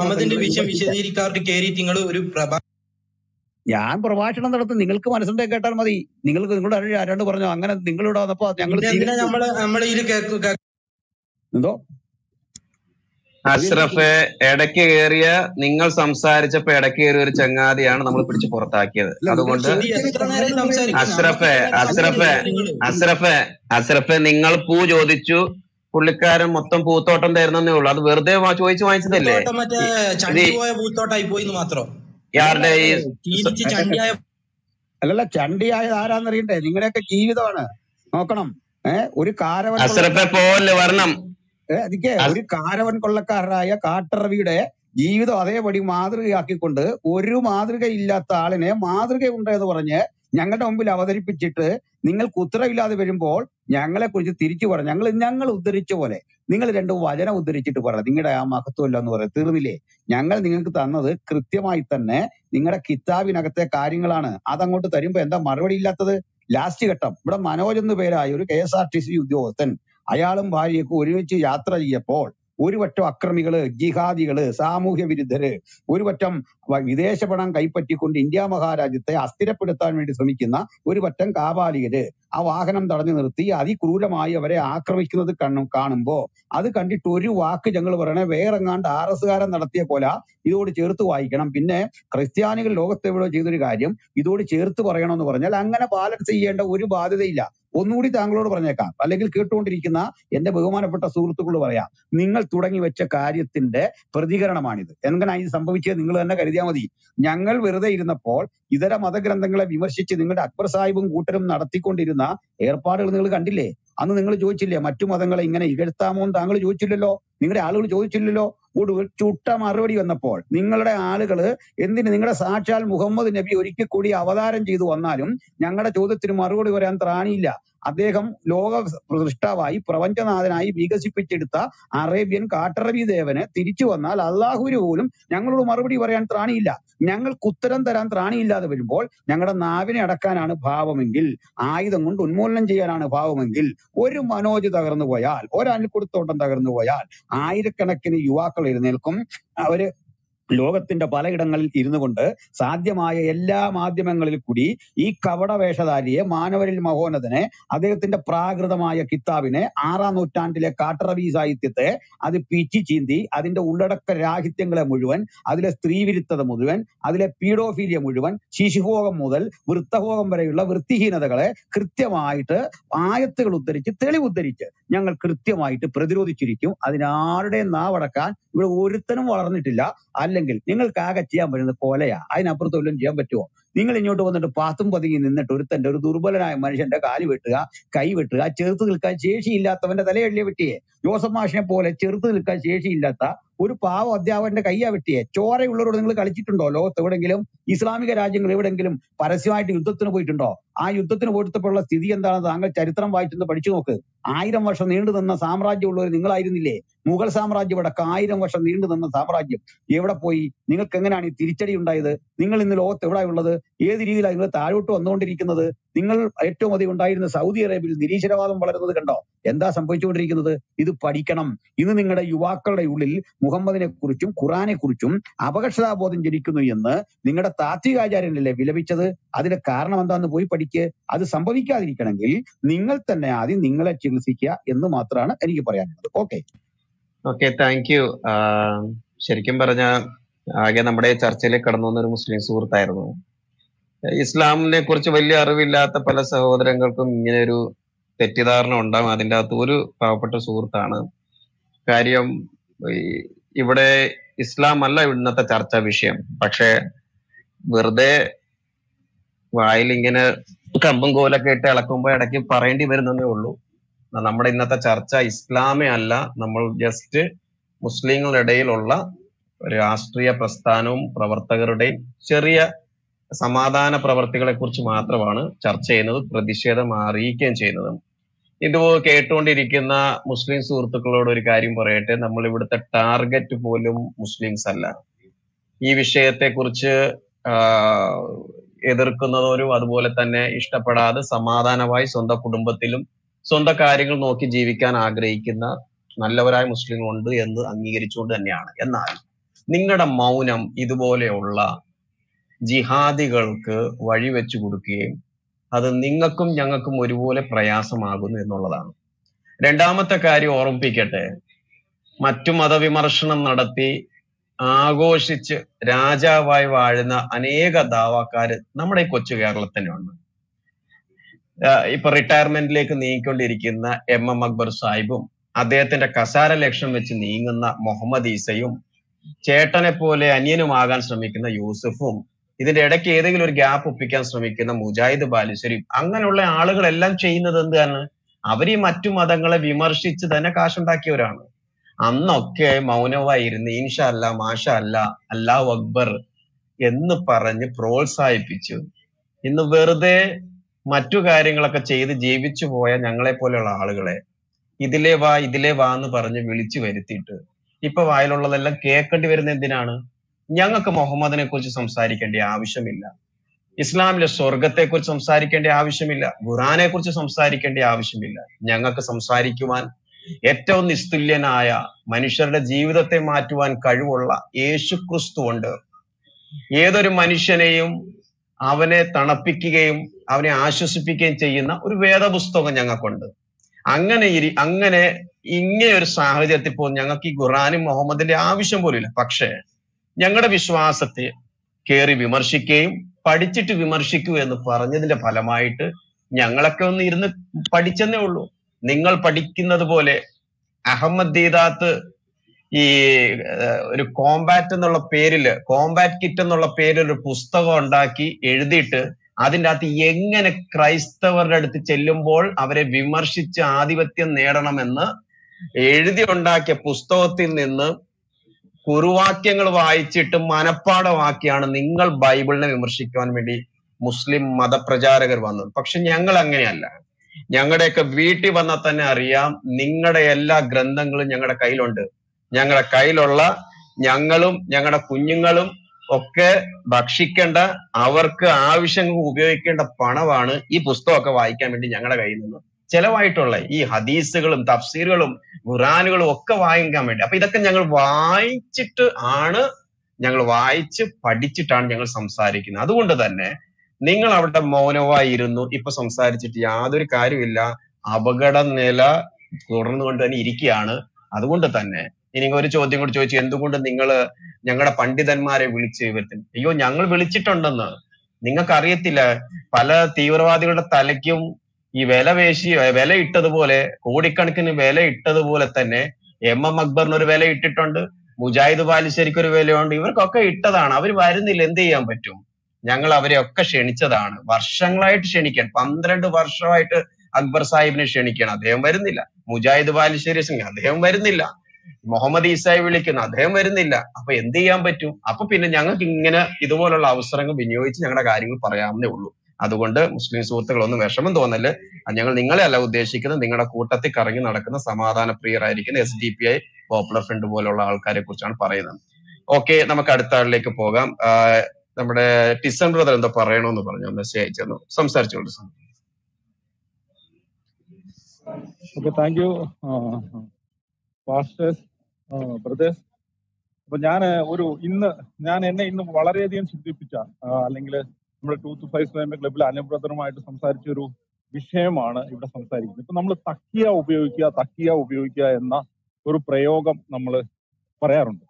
ഈ തക്കിയ എന്ന് പറഞ്ഞാൽ നമ്മളൊക്കെ കുറെയൊക്കെ മനസ്സിലാക്കിയിരുന്നത് ഞാനൊക്കെ മനസ്സിലാക്കിയിരുന്നത് ഇവരുടെ വിശ്വാസത്തെ പരീക്ഷിക്കപ്പെടുന്ന ഘട്ടങ്ങളിൽ ഇവർക്ക് പറയാം എന്നുള്ള അർത്ഥത്തിലാണ് പല ഹദീസുകളിലും കണ്ടത്. എന്നാൽ അതിനെക്കുറിച്ച് കൂടുതൽ ആഴത്തിൽ പഠിച്ചപ്പോൾ മൂന്ന് തരത്തിൽ തക്കിയ പറയാമെന്ന് ഇവിടെ പ്രമാണങ്ങൾ പറയുന്നു. ഒന്ന് വിശ്വാസം പരീക്ഷിക്കപ്പെടുന്ന ഘട്ടങ്ങളിൽ അല്ലെങ്കിൽ വിശ്വാസത്തിന്റെ വിശ്വാസത്തിന്റെ പേരിൽ ഭീഷണി നേരിടുന്ന ഘട്ടങ്ങളിൽ. രണ്ട് ഭാര്യ ഭർത്താക്കന്മാർ ഭാര്യയ്ക്ക് ഭർത്താവിനോടും ഭാര്യയോടും ഒക്കെ പലതരത്തിൽ നുണകൾ പറയാം. മൂന്നാമത് യുദ്ധ സന്ദർഭത്തിൽ എന്നാണ് പറയുന്നത്. ഞാൻ ഈ വിഷയത്തെ ചിന്തിച്ചപ്പോൾ ഈ യുദ്ധ സന്ദർഭം എന്ന് ഇസ്ലാമിന്റെ യുദ്ധം നമുക്കെല്ലാം അറിയാവുന്നത് പോലെ ആ മതം മുഴുവൻ അള്ളാഹുവിന് വേണ്ടി ആകുന്നത് വരെയാണ് യുദ്ധം അല്ലെങ്കിൽ ജിഹാദ് നടക്കുന്നത്. ഈ ജിഹാദ് എന്ന് പറയുന്നത് കേവലം വാളും അല്ലെങ്കിൽ ബോംബും വെച്ചുള്ളത് മാത്രമല്ല ആശയപരമായ യുദ്ധവും എല്ലാം ഇതിന്റെ ഭാഗമാണ്. ഇപ്പം കേരളത്തിൽ എന്താ സംഭവിച്ചുകൊണ്ടിരിക്കുന്നത്? അറ്റ് പ്രസന്റ് എന്തുകൊണ്ട് നമ്മൾ നമ്മളും ഒരു യുദ്ധത്തിൽ ആശയ യുദ്ധത്തിൽ ഏർപ്പെടേണ്ട വരും? കാരണം ഇന്ന് എല്ലാ കേരളത്തിന്റെ ഭൗതിക മേഖലയിലും ഇസ്ലാമിന്റെ ജിഹാദിന്റെ ഭാഗമായ യുദ്ധം കേറിയിരിക്കുകയാണ് എന്ന് പറഞ്ഞാൽ രാഷ്ട്രീയ പാർട്ടികളെ അവർ എല്ലാ അർത്ഥത്തിലും ഹൈജാക്ക് ചെയ്യുന്നു അധികാര കേന്ദ്രമായ ഗവൺമെന്റിന്റെ എല്ലാ മേഖലകളും അവർ കൈകേറിയിരിക്കുന്നു. ഇന്ന് മുസ്ലിം സംവരണത്തെ അമ്പത് ശതമാനം മുസ്ലിം കുട്ടികളുള്ള സ്കൂളുകൾ മാപ്പിള സ്കൂളുകൾ എന്ന് വിളിക്കണം. അമ്പതല്ല എൺപത് ശതമാനം ക്രിസ്ത്യൻ കുട്ടികളുള്ള സ്കൂളുകളെ നമ്മൾ ഇന്ന് ക്രിസ്ത്യൻ സ്കൂളുകൾ എന്ന് വിളിക്കണമെന്ന് അവകാശപ്പെടുന്നില്ല. അപ്പോ മാപ്പിള സ്കൂളുകൾ എന്ന് വിളിക്കണമെന്ന് പറഞ്ഞ് ഏതെല്ലാം മേഖലയിൽ ഇവർക്ക് ഇവരുടെ ആധിപത്യവും മുസ്ലിം ആധിപത്യം സ്ഥാപിച്ചെടുത്ത ആ മേഖലയിലെല്ലാം ആ മേഖലയിലെല്ലാം കേൾ- കേൾക്കാമോ? കേക്കാം പക്ഷെ ഇടയ്ക്കിടയ്ക്ക് പാട്ട് വരുന്നു ടിസൺ ബ്രദറെ. ഇടയ്ക്കിടയ്ക്ക് പാട്ടാണേ. ടിസൺ ബ്രദറെ കേക്കാവോ ഓക്കെ നമുക്ക് അടുത്ത ആളിലേക്ക് പോകാം. നസ്രാണി പാസ്റ്റർ കേക്കാവോ? താങ്ക് സാറേ ഒന്ന് ഒന്ന് ഒന്ന്. ഇപ്പം കേക്കാം. എന്നെ കേക്കാവെന്ന് പറഞ്ഞത് കേട്ടു. ആ ഓക്കെ ഞാൻ ഒന്ന് കംപ്ലീറ്റ് ചെയ്തോട്ടോ. അപ്പൊ എല്ലാ മേഖലയിലും മുസ്ലിം പൊളിറ്റിക്കൽ ഇസ്ലാം ആധിപത്യം ഉണ്ടാകുകയും നമ്മളുടെയൊക്കെ നിലനിൽപ്പിനെ ബാധിക്കുകയും നമ്മളുടെ അടിസ്ഥാനപരമായ വ്യക്തി സ്വാതന്ത്ര്യത്തെ വരെ കൈകടത്തുന്ന രീതിയിൽ ഇപ്പം അമ്പത് ശതമാനം മുസ്ലിം കുട്ടികൾ പഠിക്കുന്ന ഒരു സ്കൂളിൽ മാപ്പിള സ്കൂൾ എന്ന് വിളിക്കുമ്പോൾ ബാക്കി വരുന്ന അമ്പത് ശതമാനം ആളുകളുടെ അവകാശങ്ങളെയാണ് ഹനിക്കുന്നത്. അവിടെ പത്ത് ശതമാനം ക്രിസ്ത്യൻസ് ഉണ്ടെങ്കിൽ ആ പത്ത് ശതമാനം ക്രിസ്ത്യൻസ് പഠിക്കുന്നത് ഗവൺമെന്റിന്റെ ഫണ്ടോടുകൂടിയുള്ള ഗവൺമെന്റ് സ്കൂളിലല്ല മാപ്പിളമാരുടെ സ്കൂളിലാണ് എന്ന് വരുത്തി തീർക്കുന്ന രീതി എല്ലാ രീതിയിലും തുറന്നു കയറിയാണ്. അവിടെയാണ് നമ്മൾ ഇവരുടെ തക്കിയ എന്ന വിഷയം ഗൗരവമായി വരുന്നത്. ഈ ജിഹാദിന്റെ യുദ്ധത്തിന്റെ ഭാഗമായി നുണ പറയുമ്പോൾ ഏത് കാര്യത്തിലും ഇവർക്ക് നുണ ഇവരൊരു ബിസിനസ് നടത്തി ബിസിനസ്സിലൂടെ തട്ടിപ്പ് തട്ടിപ്പ് അല്ലെങ്കിൽ കള്ളത്തരം കാണിച്ച് പണം ഉണ്ടാക്കിയാൽ അത് ജിഹാദിനായിട്ട് ഉപയോഗിച്ചാൽ അല്ല അല്പമെങ്കിലും അതിന്റെ ഒരു പത്ത് ശതമാനം ജിഹാദിനായി ചെലവഴിച്ചാൽ അതും ഇവർക്ക് അനുവദനീയവും പുണ്യവുമായി തീരും. ഇവർ മുസ്ലിം സഹോദരങ്ങൾ പറയുന്ന അല്ലെ ദാവാ പ്രവർത്തകർ പറയുന്ന ഒരു കാര്യവും ഒരു തരത്തിലും വിശ്വസിക്കാൻ പറ്റാത്തതാണ് എന്ന വലിയ തിരിച്ചറിവാണ് ഇന്ന് നമുക്കൊക്കെ കിട്ടിക്കൊണ്ടിരിക്കുന്നത്. കാരണം ഏത് രീതിയിൽ ഇരട്ടത്താപ്പും നുണയും പറഞ്ഞാലും അത് ജിഹാദിന് വേണ്ടി ആവുമ്പോൾ പുണ്യപ്രവർത്തിയായിട്ടാണ് കണക്കാക്കപ്പെടുക. സ്വർഗത്തിൽ വലിയ അനുഗ്രഹങ്ങൾ കിട്ടുന്ന ഭാഗം അള്ളാഹു അനുഗ്രഹിക്കുന്ന ഭാഗമായിട്ടാണ് കണക്കാക്കപ്പെടുക. അതുകൊണ്ട് തന്നെ ഇവരോട് ആശയപരമായ സംവാദം പോലും സാധ്യമാണോ എന്ന് ഞാൻ ബലമായി സംശയിക്കുന്നു. ഈ കാര്യത്തിൽ എന്തെങ്കിലും ഒന്ന് അൽപാസിന് കൂട്ടിച്ചേർക്കാനുണ്ടെങ്കിൽ നല്ലതായിരുന്നു ഇല്ലെങ്കിൽ അടുത്ത ആളിലേക്ക് പോകും. അനിൽ സാറ് കേക്കാവോ? ഓക്കെ നമുക്ക് ഒരു റൗണ്ട് കഴിഞ്ഞിട്ട് വരാം. ഓക്കെ സ്റ്റാൻലി ബ്രദറെ കേക്കാവോ? സ്റ്റാൻലി ബ്രദറെ കേക്കാവോ? യെസ് കേൾക്കാം കേൾക്കാം നമ്മൾ ഇന്ന് ചർച്ച ചെയ്യുന്ന ഇവർ കേരളത്തിൽ കാണിച്ചു കൂട്ടിക്കൊണ്ടിരിക്കുന്ന ഈ അക്രമ സംഭവങ്ങൾ തന്നെയല്ലേ? അല്ല? കേരളത്തിലെ ഇന്ത്യയിൽ കാണിക്കുന്ന ഈ അക്രമ സംഭവങ്ങൾ തന്നെയല്ലേ? ഹലോ കേൾക്കാവോ നമ്മ- നമ്മുടെ ഈ മനോജിന്റെ മനോജ് ബ്രദറിന്റെ വിഷയം അതുപോലെ ഈ സ്റ്റിക്കർ ഒട്ടിക്കുന്ന അതൊക്കെ ഇതിന്റെ പ്രധാന കാരണം ഇവർക്ക് ഇത്രയും ഇവർ അക്രമപാതയിലേക്ക് പോകുന്നതിന്റെ പ്രധാന കാരണം ഇവർക്കൊരു കൗണ്ടർ ഗ്യാരണ്ടി ഇവിടുത്തെ ഭരണപക്ഷമായ എൽ ഡി എഫും പ്രതിപക്ഷമായ യു ഡി എഫും കൊടുക്കുന്നുണ്ട്. ഇവിടുത്തെ പേടിച്ച് വിറച്ചു നിൽക്കുന്ന പോലീസ് കേസെടുക്കാൻ മടിച്ചു നിൽക്കുന്ന പോലീസ് അവരും നമ്മുടെ നാട്ടുകാരും വീട്ടുകാരും തന്നെയാണ്. അവരും പേടിച്ച് ജീവന് കൊതിയുള്ളതുകൊണ്ടാന്ന് തോന്നുന്നു. അവരും പേടിച്ച് നിൽക്കുകയാണ് ഇവർക്കെതിരെ കേസെടുക്കാൻ ഇപ്പൊ കേന്ദ്രം ഇടപെട്ടിട്ടുണ്ട്. എന്താണ് കുട്ടികളുടെ ഇത്. അത് കഴിഞ്ഞപ്പോ കേസ് എടുത്തു എന്ന് പറയുന്നത്. യഥാർത്ഥത്തിൽ പത്തനംതിട്ടയിലെ എസ് പി എസ് പിയും കളക്ടറും ഒക്കെ ഭയങ്കര കോമഡിയാണ്. സ്കൂളിൽ പോകുന്ന പിള്ളേരെ പോലും സംരക്ഷിക്കാൻ പറ്റാതെ ഇവരൊക്കെ എന്തിനാ ശമ്പളം വാങ്ങിക്കുന്നത് എന്നുള്ളത് അവർ തന്നെ സ്വയം ആലോചിക്കേണ്ടതാണ്. പിന്നെ ഇവിടുത്തെ മീഡിയ. കാരണം അതിന്റെ മീഡിയയുടെ ഷെയർ മൊത്തം ഇവന്മാര് വാങ്ങിച്ചു കൂട്ടിയിരിക്കുകയാണ്. കഞ്ഞി കിട്ടണമെന്നുണ്ടെങ്കിൽ ഇവന്മാരെ താങ്ങിയാലേ പറ്റത്തുള്ളൂ എന്നുള്ള അവസ്ഥയിലോട്ട് മീഡിയ മാറി. പിന്നെ അതിലെല്ലാം ഉപരിയായിട്ട് ഇവർ ഇത്ര അക്രമത്തിലേക്കും പബ്ലിക് അക്രമത്തിലേക്കും വരുന്നതിന്റെ ഒരു കാരണം ഇവരുടെ പ്രത്യേക ശാസ്ത്രത്തിന്റെതായിട്ടുള്ള വയലൻസും ദുഷ്ടതയും എല്ലാം ഉണ്ട്. അത് അതിന്റെ ഒരു സൈഡിൽ അത് ലോകവ്യാപകമായിട്ടുണ്ട്. പക്ഷെ കേരളത്തിൽ ഇത് പ്രകടമാക്കുന്നതിന്റെ ഒരു കാരണം നമ്മുടെ ജുഡീഷ്യൽ സിസ്റ്റം കംപ്ലീറ്റ് ഫെയിലിയർ ആയി. എന്ത് തെറ്റ് ചെയ്താലും എന്തേലും ന്യായം പറഞ്ഞ് ഇവരെ ഊരി വിടുവോ അല്ലെ ഒരു മിനിമം പണിഷ്മെന്റ് കൊടുത്തോ ഇവരെ രക്ഷിക്കുന്നു. അതെല്ലാം ഇവരെ മാത്രമല്ല മറ്റു ക്രിമിനൽസിനെ രക്ഷിക്കുന്ന ഒരു ഒരു ഒരു ലൂസ് ആയിട്ടുള്ള ഒരു സിസ്റ്റം വളരെ അയഞ്ഞ ഒരു സിസ്റ്റം ഇത് വന്നിട്ടുണ്ട്. അപ്പം ഇപ്പൊ ഒരു നിങ്ങൾ കണ്ടു കാണും മയക്കുമരുന്ന് കൊടുത്ത് ഒരു പെൺകുട്ടിയെ മൂന്ന് ദിവസം ലോഡ്ജിലിട്ട് പീഡിപ്പിച്ച ഒരു കേസ് ഫോട്ടോഷൂട്ടാന്ന് പറഞ്ഞ ഒരു മോഡലിനെ കൊണ്ടുവന്ന് പീഡിപ്പിച്ച ഒരു കേസ് ആ കേസൊക്കെ കോടതിയിലോട്ട് ഇതുമാതിരി ചെയ്ത. നാർക്കോട്ടിക് ചെയ്തതാണ്. അപ്പൊ ഇത് ഇത് ചെയ്തു കഴിഞ്ഞ് കഴിയുമ്പോ എന്താ സംഭവിക്കുന്നത് വെച്ചാൽ കോടതി വരുമ്പോൾ പ്രതിഭാവം വക്കീൽ വാദിക്കാൻ പോകുന്ന കാര്യം എന്ന് പറയുന്നത് ഫോട്ടോഷൂട്ട് എന്ന് പറഞ്ഞാൽ ഒരുത്തൻ ഷൂട്ട് ചെയ്യുമ്പോൾ വേറൊരുത്തൻ ഫോട്ടോ എടുക്കും. ഒരുത്തൻ ഫോട്ടോ എടുക്കുമ്പോൾ വേറൊരുത്തൻ ഷൂട്ട് ചെയ്യുമെന്നാണ്. അത് എരയ്ക്ക് അറിയാവുന്നതായിരുന്നു. അതുകൊണ്ട് എരയുടെ കൺസെന്റോട് കൂടിയാണ് ഇത് നടന്നിരിക്കുന്നത്. ഇതിൽ റേപ്പ് ആപ്ലിക്കബിൾ അല്ല എന്നായിരിക്കും വാദിക്കാൻ പോകുന്നത്. അത് ശരിയാണെന്ന് കോടതി സമ്മതിക്കുകയും ചെയ്യും. ഇത്തരത്തിലുള്ള തമാശകളാണ് പല വിധിവാചകങ്ങളും പലയിടത്തും ആൾക്കാരെ വെറുതെ വിട്ട കാര്യങ്ങളൊക്കെ എല്ലാം ശിക്ഷ കുറച്ചു വരുന്നതായിരുന്നു. ഇത്തരം അതായത് ഇന്ന് നമ്മുടെ ഭരണഘടനാ ശില്പിയായ ഡോക്ടർ അംബേദ്കറിന്റെ ദിനമാണ്. എത്ര നല്ലൊരു ഭരണഘടന എത്ര നല്ല ഏറ്റവും ലോകത്ത് ഏറ്റവും കൂടുതൽ അധികാരമുള്ള പോലീസും ജുഡീഷ്യറിയാണ് നമുക്കുള്ളത്. എന്നിട്ടാണ് ഏറ്റവും കൂടുതൽ ഒരു സൂത്രപ്പണി അതായത് ആയിരം കുറ്റവാളി രക്ഷപ്പെട്ടാലും ഒരു നിരപരാധി ശിക്ഷിക്കപ്പെടാൻ പാടില്ല എന്നുള്ള ഒരു സൂത്രപ്പണി ഒപ്പിച്ചിട്ട് നമ്മളെ കഴിഞ്ഞ എഴുപത് വർഷമായിട്ട് ഇവിടുത്തെ പോലീസും ജുഡീഷ്യറിയും കൂടെ മുഴുവൻ കുറ്റവാളികളെയും രക്ഷിച്ചെടുത്തിരിക്കുന്നത് അപ്പൊ നേരെ ഈ എഴുപത് എഴുപത് വർഷത്തിന്റെ ഇടയിൽ ആരെയും ശിക്ഷിച്ചിട്ടില്ല. അപ്പൊ ഇത് ഇത് തന്നെയാണ് ഇവർക്ക് ഇവിടെ ഇത് ചെയ്യുന്നത്. കാരണം നമ്മൾ ഒരു കാര്യം ഓർക്കണം ഈ കഴിഞ്ഞ ഏഴ് വർഷമായിട്ട് ഇന്ത്യയിൽ നടന്ന പ്രോ ചൈന പ്രോ പാകിസ്ഥാൻ ആക്ടിവിറ്റികൾ കംപ്ലീറ്റ് ഈ ജിഹാദികൾ കൺട്രോൾ ചെയ്തു. പക്ഷെ കോടതി ചെല്ലുമ്പോൾ കോടതി പറയുന്നത് അഭിപ്രായ സ്വാതന്ത്ര്യമാണ്. അത് ഡെസന്റ് ആണ്. പിന്നെ ഞാൻ വേറെ ചില വാക്കുകളൊക്കെ പറഞ്ഞ് സൂത്രത്തിൽ ഇവരെ ഊരി വിടുകയാണ് ചെയ്യുന്നത്. അല്ലെങ്കിൽ ഈ ഈ ഗവൺമെന്റിനെതിരെ കലാപം ഉണ്ടാക്കുന്ന ശ്രമങ്ങളെ ഇവർ കോടതി സൂത്രത്തിൽ ന്യായീകരിക്കുകയാണ്. ഒരു ജനാധിപത്യ ക്രമത്തിൽ അഞ്ചു വർഷം കഴിയുമ്പോൾ വോട്ടുണ്ട്. നിങ്ങൾക്ക് ഗവൺമെന്റിനോട് എതിരുണ്ടെങ്കിൽ നിയമാനുസൃതമായ മാർഗങ്ങളുണ്ട്. അത് ഉപയോഗിക്കാതെ ആയുധമെടുക്കുകയും കലാപത്തിന് ചെയ്യും. അങ്ങനെയുള്ള പരിപാ പരിപാടികൾ ചെയ്യുന്ന ആൾക്കാരെ സൂത്രത്തിൽ കോടതി രക്ഷിച്ചെടുക്കുന്നു. അതിനും പുറമെ ഇവിടുത്തെ മീഡിയയും ഇവിടുത്തെ ചൈന പാകിസ്ഥാൻ രാഷ്ട്രീയക്കാരും ഇവരെ സഹായിക്കുന്നു. യു പി എ മാഫിയെ സഹായിക്കുന്നു എന്നുള്ള സത്യമാണ് ഇവർക്ക് ഇത്രയും അക്രമത്തിലേക്ക് പോകുന്നത്. പിന്നെ ഈ ആക്രമിക്കപ്പെടുന്നത് ഈ പാവപ്പെട്ട മനോജും പാവപ്പെട്ട കുഞ്ഞുങ്ങളും അയ്യപ്പസ്വാമി ആയിട്ടുള്ള കുഞ്ഞുങ്ങളും അവരെയൊക്കെ പേത്ത് ഈ എന്താണ് കൊള്ളക്കാരനും ബലാത്സംഗിയായിട്ടുള്ള എന്നാ ബാബറിന്റെ പടമൊക്കെ ഒട്ടിച്ചു വിടുക എന്നൊക്കെ പറയുന്നത് അന്യായ തെമ്മാടിത്തരമാണ്. കേരളത്തിൽ ഈ രണ്ടായിരത്തി പതിനഞ്ചിൽ ജെ എൻ യുവിൽ ഇവർ വിളിച്ച ഒരു മുദ്രാവാക്യമുണ്ട് കേരൾ മാങ്ങേ ആസാദി വേറെ നാല് സ്റ്റേറ്റും കൂടെ. യഥാർത്ഥത്തിൽ കൃത്യമായിട്ട് ഇവർ കേരളത്തെ ഇന്ത്യയിൽ നിന്നും സെപ്പറേറ്റ് ചെയ്യാനും ഇവരുടേതായിട്ടുള്ള ഒരു ഭരണക്രമം ഇന്ത്യൻ ഭരണഘടനയെ ഇല്ലാണ്ടാക്കിക്കൊണ്ട് അതിനെ നിഷേധിച്ചുകൊണ്ട് കേരളത്തെ ഡിറ്റാച്ച് ചെയ്യാനുള്ള ഒരു ഒരു രാജ്യവിരുദ്ധ പ്രവർത്തനമാണ് പലയിടത്തും നടക്കുന്നത്. കേരളത്തിൽ നിങ്ങൾ നോക്കുകയാണെങ്കിൽ ഇവർ പലതും എക്സ്പെരിമെന്റ് ചെയ്യുകയാണ്. ഓരോ സ്ഥലത്ത് കലാപം ഉണ്ടാക്കിയാൽ ചെറിയ രീതിയിലുള്ള സാധനം ഇട്ട് കഴിഞ്ഞാൽ എങ്ങനെ അവിടുത്തെ ലോക്കൽസ് റിയാക്ട് ചെയ്യുന്നു? പത്തനംതിട്ടയിൽ ഒരു ഇഷ്യൂ ഉണ്ടാക്കിയാൽ പത്തനംതിട്ടക്കാർ എങ്ങനെ റിയാക്ട് ചെയ്യും?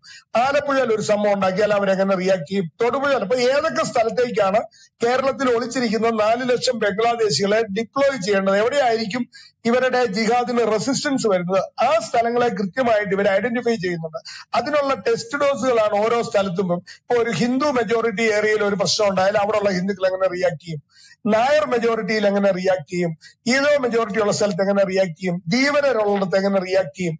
ഓരോ സമൂഹവും ഓരോ കമ്മ്യൂണിറ്റിയും എങ്ങനെ റിയാക്ട് ചെയ്യുന്നു കൃത്യമായ സ്റ്റാറ്റിസ്റ്റിക്സും അനലിറ്റിക്സും ഇവർക്കുണ്ട്. അതുപോലെ തന്നെ കത്തോലിക്കരുള്ളത് എങ്ങനെ റിയാക്ട് ചെയ്യുന്നു? ലത്തീനുള്ളവർക്ക് എങ്ങനെ റിയാക്ട് ചെയ്യുന്നു? ഓർത്തഡോക്സ് എങ്ങനെ റിയാക്ട് ചെയ്യുന്നു? ഇങ്ങനെ ഓരോ മേഖലകളായിട്ട് തിരിച്ച് അവിടുത്തെ റെസിസ്റ്റൻസ് കപ്പാസിറ്റി ഇവർ കൃത്യമായിട്ട് മെഷർ ചെയ്യുന്നുണ്ട്. ജാതി അടിസ്ഥാനത്തിലും റീത്ത് അടിസ്ഥാനത്തിലും ഒക്കെ ഇവരോടുള്ള പ്രതികരണം എങ്ങനെയായിരിക്കും ഇവർ മെഷർ അതുകൊണ്ടാണ് പല സ്ഥലത്ത് പല നമ്പർ ഒരിടത്ത് നിന്ന് പെണ്ണ് പെൺകുട്ടിയെ തട്ടിക്കൊണ്ടു പോകുന്നു. വേറൊരിടത്ത് നാർക്കോട്ടിക് ജീവിതം നടത്തുന്നു. വേറൊരിടത്ത് ഗ്രൂപ്പ് ബലാത്സംഗം നടത്തുന്നു. വേറൊരിടത്ത് പിള്ളേരുടെ മേത്ത് സ്റ്റിക്കർ അടിക്കുന്നു.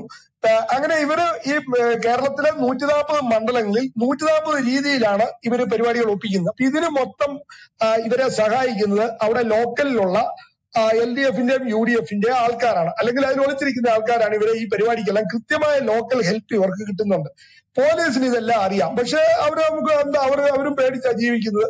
അവർക്കെതിരെ ഇപ്പൊ ആക്രമണങ്ങൾ ഉണ്ടാകുന്നുണ്ട് കോൺസ്റ്റബിൾ തുടങ്ങി നേതാവ് വരെയുള്ള മുഴുവൻ ആൾക്കാരും പേടിച്ചിരിക്കുകയാണ്. ഡബിൾ ചങ്ക് ആണെങ്കിൽ ഇന്ന് മതിലിന് ഉയരം കൂട്ടുവോ? അവിടെ എന്തൊക്കെയോ വലിയ വലിയ സിസ്റ്റംസ് ഒക്കെ അതായത് വൈറ്റ് ഹൗസിനുള്ള കൂട്ട് സുരക്ഷയൊക്കെ ഡബിൾ ചങ്ക് ഇന്ന് ഉണ്ടാക്കിയിട്ടുണ്ട്. ഡബിൾ ചങ്കിനും പേടിയായി എന്നത് തന്നെയാണ്.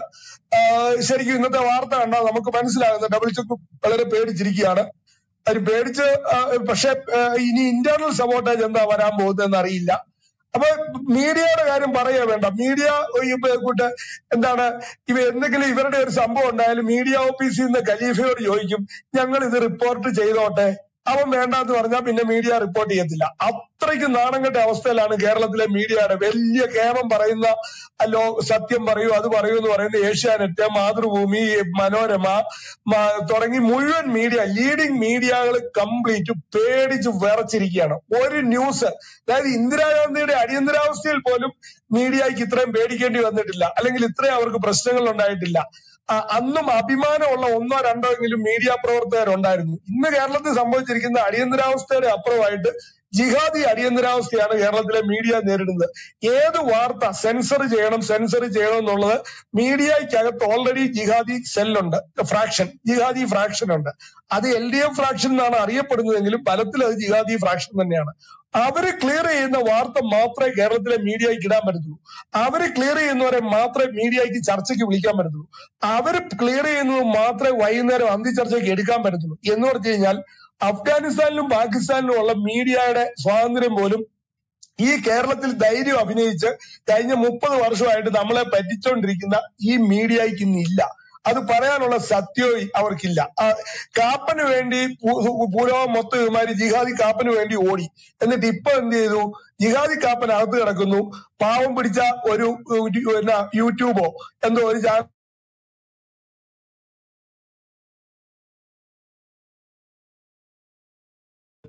ഓക്കെ സ്റ്റാൻലി ചായ കേൾക്കുന്നില്ല.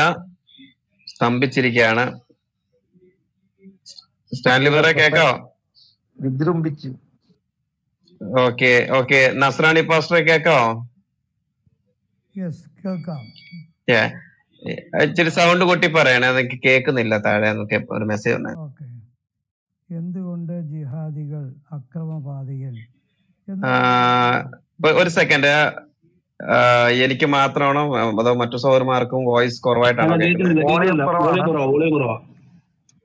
നസ്രാണി പാസ്റ്റർ നല്ല ആരോഗ്യത്തോട് നല്ല ഒച്ചയിലൊന്ന് പറഞ്ഞ എല്ലാരും ഒന്ന് കേക്കട്ടെ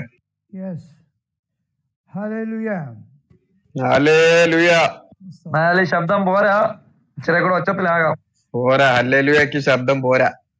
ഹല്ലേലൂയ ഓ.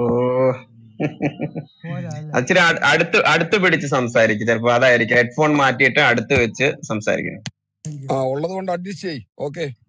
Okay brother. ഞാൻ അല്പം ആ ശാരീരിക ഇപ്പൊ കേക്കാം ഇപ്പൊ കേക്കാം ഇപ്പൊ കേക്കാം. അല്ലേ എല്ലാരും എല്ലാരും ഹിജറ ചെയ്തോളൂ എന്ന് പറയാനുണ്ടായ കാരണം കൃത്യമായിട്ട് ഇവരുടെ ഇത് ഇത് സംസാരിക്കുന്ന നസ്രൈ പാസ്റ്ററാണോ അല്ല വേറെ അതെ അതെ ഞാൻ നല്ല ഒച്ചയും ബലത്തിൽ പറയണോന്ന് പറഞ്ഞപ്പോഴേ സ്റ്റാൻലി ബ്രദറാ സ്റ്റാൻലി ബ്രദറാ സ്റ്റാൻലി. ബ്രദർ സംസാരിച്ചേ. ഹലോ.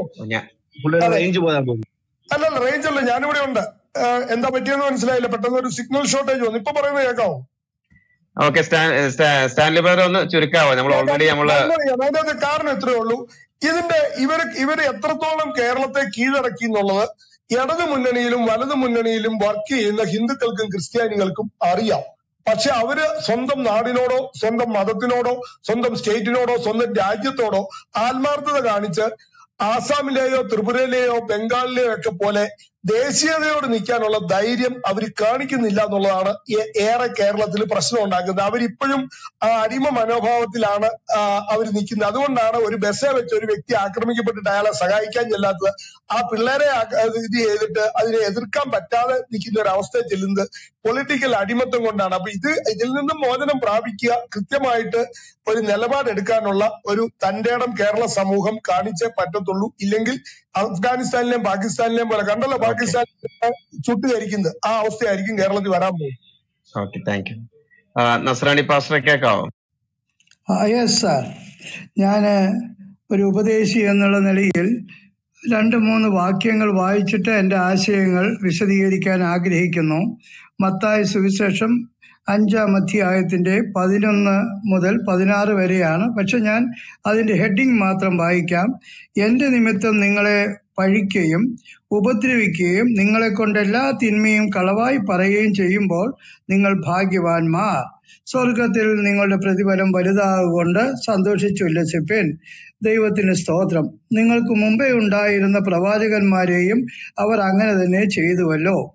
ഞാനിവിടെ സൂചിപ്പിക്കുന്നത് പതിമൂന്നാം വാക്യം. നിങ്ങൾ ഭൂമിയുടെ ഉപ്പാകുന്നു. ദൈവത്തിന് സ്തോത്രം. കാരമുള്ള ഉപ്പായി നാം മാറിക്കൊണ്ടിരിക്കുന്നു. ദൈവത്തിന് സ്തോത്രം. പതിനാല് നിങ്ങൾ ലോകത്തിന്റെ വെളിച്ചമാകുന്നു. മലമേലിരിക്കുന്ന പട്ടണം മറഞ്ഞിരിപ്പാൻ പാടില്ല. വിളക്ക് കത്തിച്ച് പറയിൻ കീഴല്ല തണ്ടിന്മേലത്രേ വെക്കുന്നത്. അങ്ങനെ തന്നെ മനുഷ്യർ നിങ്ങളുടെ നല്ല പ്രവൃത്തികളെ കണ്ട് സ്വർഗസ്ഥനായ ഞങ്ങളുടെ പിതാവിനെ മഹത്വപ്പെടുത്തേണ്ടതിന് നിങ്ങളുടെ വെളിച്ചം അവരുടെ മുമ്പിൽ പ്രകാശിക്കട്ടെ. ദൈവത്തിന് സ്തോത്രം.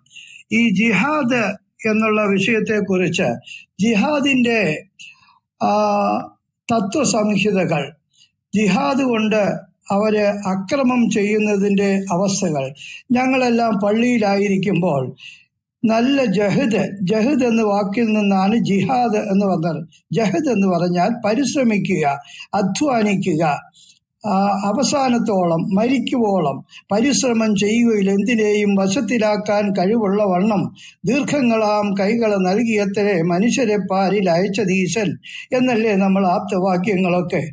എന്നാൽ പരിശ്രമം വളരെ ദോഷമായ രീതിയിൽ പോകുമ്പോൾ കീശ വീർപ്പിക്കുവാനുള്ള ഒരു മാർഗമായിട്ടാണ് ഇപ്പോഴ് പരിശ്രമത്തെ ജിഹാദിനെ കാണുന്നത്. നോക്കൂ ജിഹാദിനെ നാർക്കോട്ടിക് ജിഹാദിനെ എതിർത്ത പള്ളിയിലച്ഛന്റെ മകളെ തന്നെ ഒരു മുസ്ലിം സ്നേഹിതൻ വിവാഹം കഴിച്ചു. ഏതെല്ലാം പ്രവൃത്തികൾ ചെയ്താലും അവർ വിവാഹത്തിൽ കൊണ്ടൊപ്പിക്കും. ക്രിസ്തീയ പെണ്ണുങ്ങൾക്ക് ഭർത്താക്കന്മാർ പോരെന്നുള്ളത് കൊണ്ടാണ് മുസ്ലിങ്ങളെ അവർ തേടിപ്പോകുന്നത് എന്ന് ഈ മുസ്ലിങ്ങൾ വാദിക്കാറുണ്ട്. നോക്കണേ എ പി കാർദപുരം സുന്നി ആ വിഭാഗത്തിൽപ്പെട്ടവർക്ക് ഒരു ഫോഴ്സ് ഉണ്ടായിരുന്നു. നിങ്ങൾക്കറിയാമോ എഴുപത് വയസ്സായ എഴുപത്തിരണ്ട് വയസ്സിലേക്ക് കടന്നിരിക്കുന്ന എനിക്ക് അത് ഇന്നും ഓർമ്മയുണ്ട്. ടൈഗർ ഫോഴ്സ് എന്നാണ് അതിന്റെ പേര്. അതായിരുന്നു അതിന്റെ പേര്. അത് അബ്ദുൽ നാസർ മഹദനിയുടെ സംഘടന ആയി വളരെ തീവ്രവാദ ചിന്തയുള്ളവരാണ് അവർ. ആ തീവ്രവാദ ചിന്തയിൽ ഞങ്ങൾ ചിന്തിച്ചത് ഈ തീവ്രവാദം അല്ലെങ്കിൽ ജിഹാദ് എന്ന് പറയുന്നത് ഈ പ്രവാചകനായ ദാവീദിൽ തുടങ്ങി വെച്ചതാണ്. ദാവീദിനാണ് ജിഹാദ് ഉള്ളത് തന്റെ പരിശ്രമം എന്നാണ് പറയുന്നത്. എന്നാൽ സങ്കീർത്തനങ്ങളിലുണ്ട് ബൈബിളിലുണ്ട് എന്നായിരുന്നു ഞങ്ങൾ മുസ്ലിയാർ കുട്ടികൾ ഞങ്ങൾ പഠിച്ചിരുന്നത്. പക്ഷെ ദാവീദിൽ അത് നോക്കിയാൽ ജിഹാദിന്റെ ഗുണങ്ങൾ അവിടെ കാണാമെങ്കിലും തന്റെ പരിശ്രമം കാണാമെങ്കിലും ജിഹാദിന്റെതായ ഇപ്പോഴത്തെ നിലപാട് കാണുന്നതല്ല. കേട്ടോ? വാസ്തവത്തിൽ നിരോധിക്കപ്പെട്ട ഈ ടൈഗർ ഫോഴ്സ് പിന്നീട് അതെന്തായി? അവർക്ക് ഒരു സിമി എന്നുള്ള ഒരു സംഘടന ജമാഅത്ത് ഇസ്ലാമിയുടെ എന്താണ് Student Islamic movement of India. അപ്പോൾ ഇന്ത്യയുടെ മോചനം ഇസ്ലാമിലൂടെ എന്നാണ്. നോക്കൂ അന്നത്തെ ആർ എസ് എസ് ഈ വാക്യത്തിന് സിമിക്കെതിരായി പറഞ്ഞത് ഇസ്ലാമിലൂടെ ഇന്ത്യയുടെ മോചനം എന്ന് പറഞ്ഞപ്പോൾ അവർക്ക് കാര്യം മനസ്സിലായി. നമ്മളെക്കാൾ മുമ്പ് ആർ എസ് എസ്സുകാർക്ക് മനസ്സിലായി. അവർ പറഞ്ഞത് ഇസ്ലാമിന്റെ അന്ത്യം ഇന്ത്യയിൽ തന്നെ നോക്കണേ ചങ്കൂറ്റത്തോടു കൂടി പറഞ്ഞതുകൊണ്ടാണ് നമ്മളെ ക്രിസംഗികൾ എന്ന് അവർ പറയുന്നത്. ക്രിസംഗി എന്ന് പറഞ്ഞാൽ അത് അവരെ അർത്ഥത്തോടു കൂടിയാണ് കാണുന്നത്. SIMI S D P I ആയി. പണ്ട് ജമാഅത്ത് ഇസ്ലാമിക്ക് ഒരു മാസിക ഉണ്ടായിരുന്നത് നിങ്ങൾ ഓർക്കുമല്ലോ? പ്രബോധനം എന്നായിരുന്നു. ഇപ്പോഴാ പ്രാ പോയി. ഇപ്പോഴും വെറും ബോധനമായി. ഇങ്ങനെ ജമാഅത്ത് ഇസ്ലാമിക്ക് അതിന്റെ ഒരു പോളിസി ഉണ്ടായിരുന്നു. രാഷ്ട്രീയം ഹറാമാണ് എന്ന് പറഞ്ഞവരാണ് സുന്നികൾ.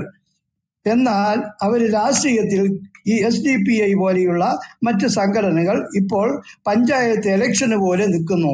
അപ്പോഴ് അവർക്ക് ഒരു തത്വസംഹിത ഇളകാത്ത ഒരു തത്വസംഹിതയില്ല ആടി ഒലിയുന്ന ഒരു തത്വസംഹിതയാണ് ഇസ്ലാമിനുള്ളത്. അത് നമ്മൾ മനസ്സിലാക്കേണ്ടത് ആവശ്യമാണ്. ഇവിടെ അനിൽ കൊടിത്തോട്ടം പാസ് പറഞ്ഞു സുനൻ തിരുമതി ആയിരത്തി എഴുന്നൂറ്റി അറുന്നൂറ്റി ഏഴ് അറുന്നൂറ്റി എട്ട്. നോക്കണേ ഞാൻ ഒറ്റ വാക്ക് പറഞ്ഞുകൊണ്ട് നിർത്താം. നിങ്ങൾ ഒരുപാട് സംസാരിക്കാൻ കഴിവുള്ളവർ ഇവിടെ ഉണ്ടല്ലോ. ഞാൻ കേട്ടുകൊണ്ടേ ഇരിക്കുകയാണ്. ദൈവത്തിന് സ്തോത്രം. ഇവിടെ ഇപ്പോഴത്തെ ഇസ്ലാമിന്റെ ഒരു ദുര്യോഗം കൂടെ ഞാൻ പറഞ്ഞിട്ട് നിർത്താം. ഓക്കെ. എന്താണ് ഇപ്പോഴത്തെ ഇസ്ലാമിന്റെ ദുര്യോഗം? എല്ലാവർക്കും അറിയാം. ആരെല്ലാം വെളുപ്പിച്ചാലും ഇത് വെളുക്കയില്ല അത് നശിച്ചു കൊണ്ടിരിക്കുകയാണ് ഏതുപോലെ നശിക്കുന്നു എന്ന് ചോദിച്ചാൽ ഈ ഒച്ച ഒച്ചെന്ന് പറഞ്ഞിട്ടൊരു സാധനമുണ്ട്. അതാണ് ഞാൻ ഈ മത്തായ സുവിശേഷം അഞ്ചാം അധ്യായത്തിന്റെ പതിമൂന്നാം വാക്യം പറഞ്ഞത്. നിങ്ങൾ ഭൂമിയുടെ ഉപ്പാകുന്നു. ഉപ്പ് കാരമില്ലാതെ പോയാൽ അതിന് എന്തൊന്നുകൊണ്ട് രസം വരുത്താം? പുറത്ത് കളഞ്ഞിട്ട് മനുഷ്യർ ചവിട്ടുവാനല്ലാതെ മറ്റൊന്നിനും പിന്നെ കൊള്ളുന്നതല്ല. ദൈവത്തിന് സ്തോത്രം. നാം ഉപ്പാകുന്നു എന്ന് നമ്മളുടെ കർത്താവ് പറഞ്ഞിട്ടുണ്ടെങ്കിൽ ആ ഉപ്പിന്റെ ഗുണം എന്താണെന്ന് നാം പഠിച്ചും പഠിപ്പിച്ചും കൊണ്ടിരിക്കുകയാണ്. ദൈവത്തിന് സ്തോത്രം. ഈ ഉപ്പിൽപ്പെട്ട ഒച്ചുപോലെ ഇന്ന് ഇസ്ലാം ആയിക്കൊണ്ടിരിക്കുകയാണ്. എന്താണ് ഒച്ചിന്റെ മുകളിൽ ഉപ്പ് പെട്ടാലുള്ള അവസ്ഥ എന്നറിയാമോ? അത് ദ്രവിച്ചു പോകും ഇല്ലാതെയാകും. അതിന്റെ സയന്റിഫിക്കൽ നയം എനിക്കറിയാമായിരുന്നു. പക്ഷെ ഇപ്പൊ പറയാൻ ഓർമ്മ വരുന്നില്ല. ആ ഒച്ച ഈ ഉപ്പിൽപ്പെട്ടാൽ ദ്രവിച്ചില്ലാതെയാകുകയാണ്. ഇസ്ലാം പത്ത് വർഷം കൊണ്ട് ഇന്ത്യയെ പിടിച്ചടക്കും ഇന്ത്യ ഇന്ത്യയിൽ ഇസ്ലാം ആണെങ്കിൽ അത് സൗദി അറേബ്യയെ പോലെ ഇവിടുത്തെ മതം ഒന്ന് ചുരുക്കി പറയാം. പടച്ചുരുക്കി പറയാണ്. ഞാൻ പറയുമ്പോൾ മാത്രം നിങ്ങൾ പലപ്പോഴും ചുരുക്കി പറയാൻ പറയുന്നുണ്ടല്ലോ. ഇവിടെ മുപ്പത്തിരണ്ട് മിനിറ്റ് സംസാരിച്ചവരുണ്ടല്ലോ സ്നേഹിത. നിങ്ങൾക്ക് ഞാൻ വരുന്നത് ഇഷ്ടമല്ലെങ്കിൽ ഞാൻ ഇനി വരുന്നില്ല. ഞാൻ പറയുന്നത് നസ്രാണി പാസ്റ്റർ ഒരു സെക്കൻഡ് എങ്ങനെ തെറ്റിദ്ധാരണ പരുത്തല്ലേ ഇവിടെ മുപ്പത്തിരണ്ട് മിനിറ്റ് ആരും സംസാരിച്ചിട്ടില്ല. ഇവിടെ വിഷയം അവതരിപ്പിച്ചപ്പോൾ മാത്രമാണ് വിഷയം അവതരിപ്പിച്ച ആൾ മാത്രമാണ് ഇപ്പോൾ സമയമെടുത്തത്. നമുക്ക് താഴെ കുറെ സഹോദരന്മാര് ഓർഡർ ലിസ്റ്റിലുണ്ട്. അതുകൊണ്ടാണ് പറഞ്ഞത്.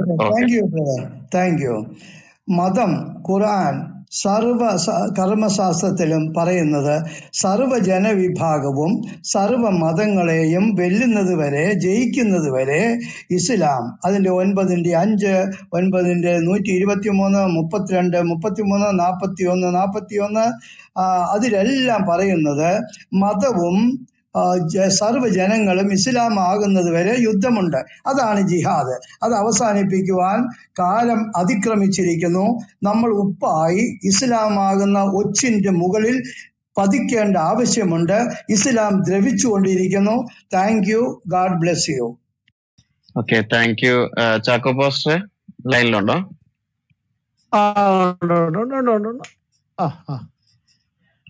കേൾക്കാവോ? കേൾക്കാം കേൾക്കാം. Okay okay okay. എന്തുകൊണ്ടാണ് ജിഹാദികൾ അക്രമപാതയിൽ? അതിന് ഉത്തരം ജിഹാദി മതഗ്രന്ഥങ്ങൾ തന്നെയാണ്.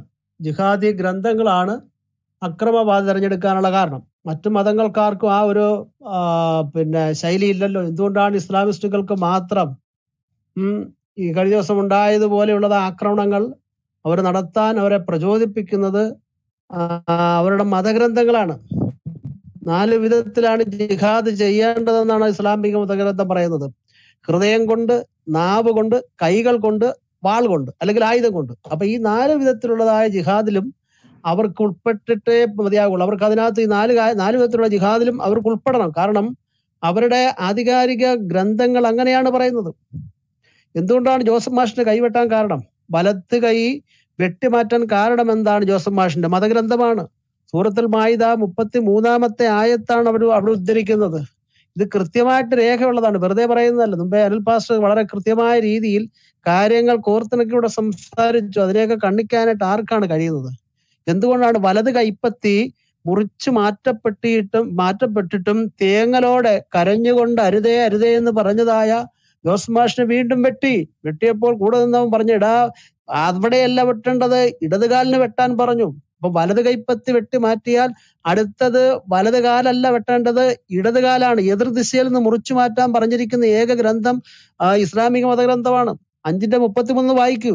അള്ളാഹുവിനോടും അവന്റെ ദൂതനോടും എതിർക്കുന്നവരുടെ കൈകാലുകൾ എതിർ ദിശയിൽ നിന്ന് മുറിച്ചു മാറ്റണം. ആ ആയത്താണ് ജോസഫ് മാഷിന്റെ ഇടതുകാലിന് വെട്ടാൻ കാരണം. ദൈവകൃപയാൽ അദ്ദേഹത്തിന്റെ കാൽ വെട്ടി മാറ്റിയില്ല വലത് കൈപ്പത്തി മാത്രമേ പോയുള്ളൂ. അപ്പം വെട്ടാൻ വരുന്നവർക്കും ആയുധം ഓങ്ങുന്നവർക്കും ആയുധത്തിന് മൂർച്ച കൂട്ടുന്നവർക്കും എല്ലാം പ്രചോദനം എന്താണ്? ഇസ്ലാമിക മതഗ്രന്ഥമാണ്. ഇവിടെ സാധാരണ വിഷയങ്ങളല്ല പ്രശ്നം. സമകാലിക സംഭവങ്ങളോ നിസ്സാരമായ കാര്യങ്ങളെ ചൊല്ലിയുള്ള പ്രശ്നങ്ങളോ അല്ല. വിഷയം പ്രത്യയശാസ്ത്രപരമാണ്. അതങ്ങനെ ഹിമാലയ പർവതം പോലെ മുഴച്ചു നിൽക്കുന്നിടത്തോളം കാലം ഇവിടെ നിന്ന് ഈ വക പ്രശ്നങ്ങളൊന്നും ഒട്ടൊഴിഞ്ഞു പോവുകയില്ല. നാളെ തുടർന്നുകൊണ്ടിരിക്കും. മറ്റന്നാളും തുടർന്നുകൊണ്ടിരിക്കും. ഇന്ന് മനോജനെയാണ് ആക്രമിച്ചെങ്കിൽ നാളെ മറ്റൊരു മനോഹരനെ ആക്രമിക്കും. കാരണം വിഷയം പ്രത്യയശാസ്ത്രപരമാണ്. ഇത് നമ്മൾ ഇസ്ലാമിന്റെ പ്രവാചകനായ മുഹമ്മദിന്റെ ജീവിതം പരിശോധിച്ചാൽ കൃത്യമായി കണ്ടെത്താൻ കഴിയും. മുഹമ്മദിനെ പുകഴ്ത്തി പറഞ്ഞവർ നിരവധി ആളുകളുണ്ട്. മുഹമ്മദ് മദീനയിൽ ചെന്നപ്പോൾ മുഹമ്മദിനെ സ്വീകരിക്കാനായിട്ട് തിരുവാതിര കളിച്ച സ്ത്രീകളുണ്ട്. മുഹമ്മദിനെ സ്വീകരിക്കാനായിട്ട് ദർബ് ആ മുട്ട് പാട്ടുപാടിയതായ പെൺകുട്ടികളുണ്ട്. അതൊക്കെ മുഹമ്മദിന് ഭയങ്കര ഇഷ്ടമായിരുന്നു. പക്ഷേ മുഹമ്മദിനെതിരെ കവിതകൾ എഴുതിയതായ കവികളെ ഉം, കൊലപ്പെടുത്തി. എത്രയോ കവിതകളാണ് അന്ന് കൊല്ലപ്പെട്ടത്. അപ്പം അദ്ദേഹത്തിന്റെ ആശയങ്ങളെ വിമർശിക്കുന്നവർക്ക് അന്ന് ജീവിക്കാൻ കഴിഞ്ഞിരുന്നില്ല. അവരെ ജീവിക്കുവാൻ മുഹമ്മദ് അനുവദിച്ചിരുന്നേയില്ല. മുഹമ്മദിന്റെ കാലത്ത് തന്നെ പ്രവാചകത്വമായി രംഗത്ത് വന്ന രണ്ടു പേരാണ്. ഒന്ന് മുസ്ലിമത്തും രണ്ട് അസ്വദുൽ അൻസിയും. എന്തായിരുന്നു അവരുടെ സ്ഥിതി? അവർ പ്രവാചകത്വം അവകാശപ്പെട്ടതാണ്. മുഹമ്മദിന് പ്രവാച പ്രവാചകത്വം അവകാശപ്പെടാമെങ്കിൽ എന്താ അവർക്ക് അവകാശപ്പെട്ടാൽ? അവർ അവകാശപ്പെട്ടു എന്ന ഒരൊറ്റ കാരണം കൊണ്ട് രണ്ടുപേരെയും പണി തീർത്തു. അപ്പൊ ഇസ്ലാമിന്റെ ആവിർഭാവം തന്നെ വിമർശനങ്ങളെ സഹിഷ്ണുതയോടെ വീക്ഷിക്കുന്ന മതമല്ല. വിമർശിക്കുന്നവരെ അല്ലെങ്കിൽ എതിരഭിപ്രായം പറയുന്നവരെ മുച്ചൂട് നശിപ്പിക്കുന്ന സിദ്ധാന്തമാണ് ഈ മത ഗ്രന്ഥത്തിനകത്ത് അടങ്ങി നിൽക്കുന്നത്. അതുകൊണ്ടാണ് ഈ മനോജ്മാർക്ക് ഇവിടെ ആക്രമണങ്ങൾ നേരിടേണ്ടി വരുന്നത്. അതുകൊണ്ട് വിഷയങ്ങൾ പ്രത്യയശാസ്ത്രപരമാണെന്നുള്ള വസ്തുത നമ്മുടെ ഇസ്ലാം മത സുഹൃത്തുക്കൾ ദയവായി മനസ്സിലാക്കണം. നിസ്സാരമായ കാര്യത്തെ ചൊല്ലിയല്ലേ വിഷയം. ഇപ്പൊ ഒരു പോസ്റ്റ് തയ്യാറാക്കുന്ന പോസ്റ്റ് എങ്ങോട്ടെങ്കിലും ഫോർവേഡ് ചെയ്യുന്നു. എഴുതിയ വ്യക്തി അദ്ദേഹം പിന്നെ ഫോർവേഡ് ഫോർവേഡ് ചെയ്യുന്ന വ്യക്തിയല്ല. ആരോ എഴുതിയതാണ്. ആ ഒരൊറ്റ പോസ്റ്റിന്റെ പേരിൽ ഒരുത്തനെ ആക്രമിക്കാനോ ഒരുത്തന്റെ കൈവെട്ടാനോ അല്ലെങ്കിൽ മറ്റൊരുത്തനെ ഇല്ലായ്മ ചെയ്യാനോ പ്രേരണ നൽകുന്നത് പോസ്റ്റല്ല. അതിന്റെ പിന്നിൽ നിൽക്കുന്ന പ്രത്യയശാസ്ത്രമാണ്. ഇത് ഇസ്ലാമിക ചരിത്രം പരിശോധിച്ചാൽ നമുക്ക് കൃത്യമായിട്ട് കണ്ടെത്താനായിട്ട് കഴിയും. മുഹമ്മദിന്റെ ചാക്കോ കാലത്ത് തന്നെ ആ. ഫസ്റ്റ് ഒരു ക്വസ്റ്റ്യൻ നമ്മുടെ ഇപ്പൊ ഏതായാലും ഇനി ഇനി ചർച്ചകൾ കടന്നു വരാൻ സാധ്യതയുള്ള ഒരു ചോദ്യമാണ്. എന്തായാലും ഇസ്ലാം ഇസ്ലാമിക് ടെക്സ്റ്റുകളിൽ സംസാരിക്കുകയാണ് ഇപ്പൊ ഇതിന്റെ അകത്ത് ഇനിയിപ്പോ വരാൻ പോകുന്ന ഒരു ഒരു സ്റ്റേറ്റ്മെന്റ് ഇതാണ്. അങ്ങനെ ഇസ്ലാം ഒരിക്കലും അങ്ങനെ പഠിപ്പിക്കുന്നില്ല. കാരണം ഇസ്ലാം പറയുന്നത് നിനക്ക് നിന്റെ മതം എനിക്ക് എന്റെ മതം. അപ്പൊ അങ്ങനെ മതത്തിൽ നിർബന്ധമില്ല എന്ന് പറയുമ്പോൾ ഈ ഇവർ ഈ കാട്ടിക്കൂട്ടുന്നത് ശരിക്കും പറഞ്ഞ ഇസ്ലാമുമായിട്ട് ബന്ധപ്പെട്ടതാണോ അത് ഇസ്ലാമിന്റെ പുറത്തുള്ള പ്രവൃത്തിയാണോ എന്നും കൂടെ അതും കൂടെ ഒന്ന് ചേർത്ത് പറഞ്ഞാൽ കൊള്ളായിരുന്നു ഓക്കെ ഓക്കെ ഓക്കെ. ആ അത് എനിക്ക് എനിക്ക് എനിക്ക് എന്റെ നിരക്ക് നിന്റെ മതി. മക്കയിലൊക്കെ ആയത്താണ് പറയാത് അത്. മക്കയിൽ മുഹമ്മദിനോടൊപ്പം തൊണ്ണൂറിന് താഴെ അനുയായികളുള്ള സമയത്ത് മുഹമ്മദ് പറഞ്ഞ ആയത്താണ്. എന്താ അവിടെ നിലനിൽപ്പില്ല? ആ മക്ക ജീവിത കാലയളവിൽ മുഹമ്മദിന് അങ്ങനെ പറഞ്ഞേ മതിയാകൂ. മനസ്സിലാകുന്നുണ്ടോ അതുകൊണ്ടാണ് അദ്ദേഹത്തിന്റെ കൂടെ ഉണ്ടായിരുന്ന തൊണ്ണൂറ്റി രണ്ടോളം വരുന്നതായ ആളുകളെ അദ്ദേഹം അബിസീനിയയിലേക്ക് ഹിജ്റ പറഞ്ഞു വിട്ടിട്ട് മുഹമ്മദ് അവിടെ നിന്നു. അപ്പൊ അവിടെ നിന്നുകൊണ്ട് ആ സമയത്താണ് മുഹമ്മദ് ലാത്തെയും ഹുസൈൻ മനാത്തെയും പ്രസാദിപ്പിച്ചുകൊണ്ട് ആയി തറക്കുന്നത്. അപ്പൊ അന്നാരം മുഹമ്മദ് സമാധാനത്തിന് വെള്ളരിപ്രാവായിരുന്നു. അതിനുശേഷമാണ് സൂറത്ത് തൗബ ത- ത- തൗബ ആയും അതുപോലെ തന്നെ മായിദയും മദീനയിൽ വെച്ചിറങ്ങുന്നത്. അവിടെയാണ് മതം അള്ളാഹുവിന് വിധേയപ്പെടുന്നത് വരെ യുദ്ധം ചെയ്യുക. സൂറ എട്ടിന്റെ പന്ത്രണ്ടത് വായിച്ചേ? ഞാൻ എന്റെ ഖുറാൻ ഇപ്പം അപ്പുറത്തിരിക്കുക ലൈബ്രറിക്കകത്തിരിക്കുക അലമാരിക്കകത്തിരിക്കുക. എട്ടിന്റെ പന്ത്രണ്ടെന്ന് വെച്ച് അവിടെ രേഖപ്പെടുത്തിയിരിക്കുന്നത് എന്താണ്? ബഹുദൈവ വിശ്വാസികളെ നിങ്ങൾ കാണുന്നത് അവരുടെ കഴുത്തുകൾക്ക് മീതെ വെട്ടുക. അവിടെ അവരുടെ വിരലുകളെല്ലാം വെട്ടിമാറ്റുക. ആ ആയത്ത് ഈ മുകളിൽ പറഞ്ഞതായ നൂറ്റി പതിനൊന്നാമത്തെ ആയത്ത് സൂറത്തിൽ കാഫിറുൻ. എനിക്ക് എന്റെ മതം നിനക്ക് നിന്റെ മതം എന്നുള്ളത് ആ സിദ്ധാന്തത്തെ പൊളിച്ചു കളഞ്ഞു. അത് മദീന മക്കയിൽ വെച്ചിറങ്ങിയതാണ്. അപ്പം ഇപ്പോൾ ഇവർ ചെയ്യുന്ന എല്ലാ പ്രവർത്തനങ്ങളും തന്നെ മദനീയ ആയത്തുകളുടെ അടിസ്ഥാനത്തിലാണ് പറയാനൊക്കത്തില്ല കാരണം കുറേശികളും ഭൂരിപക്ഷം അവരെ വോയിസ് ബ്രേക്ക് ആവുന്നേ.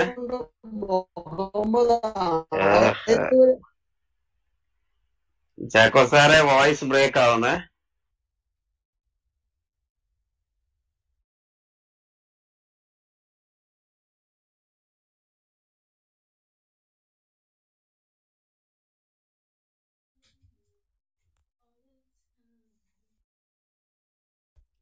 എന്താ പറ്റിയേ?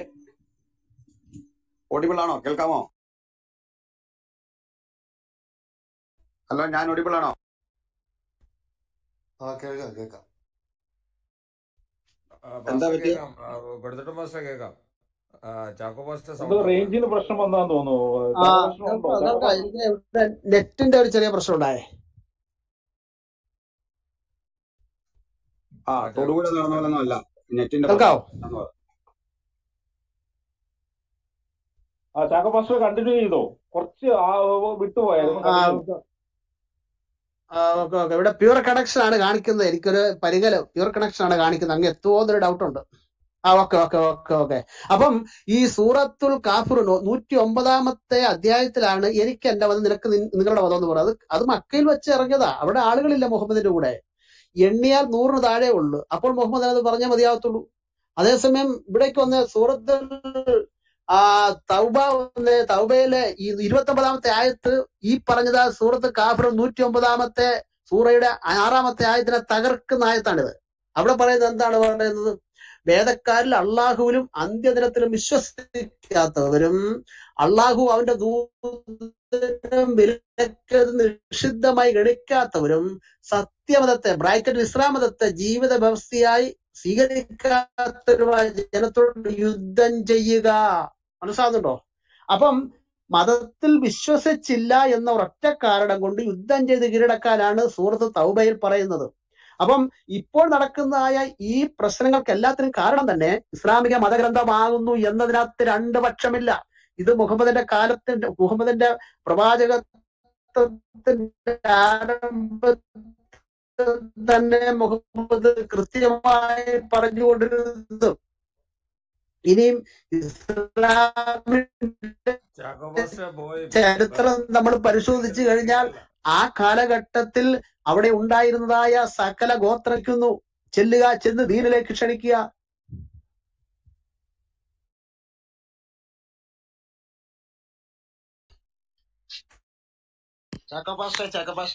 കേൾക്കുന്നില്ല. സ്റ്റക്ക് ആയി പോയിട്ടുണ്ട്.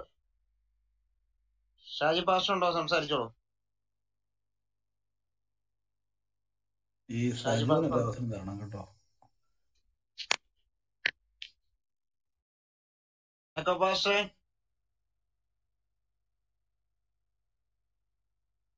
ഷാജി പാഷ ഉണ്ടോ? ഷാജി ബ്രദർ സംസാരിച്ചായിരുന്നോ? എനിക്കൊരു അവസരം കിട്ടിയില്ല? ഇടയ്ക്ക് കയറാൻ കഴിയാൻ ഞാൻ പറ്റും ഉണ്ടായിരുന്ന സംസാരിച്ചോളൂ സംസാരിച്ചോളൂ.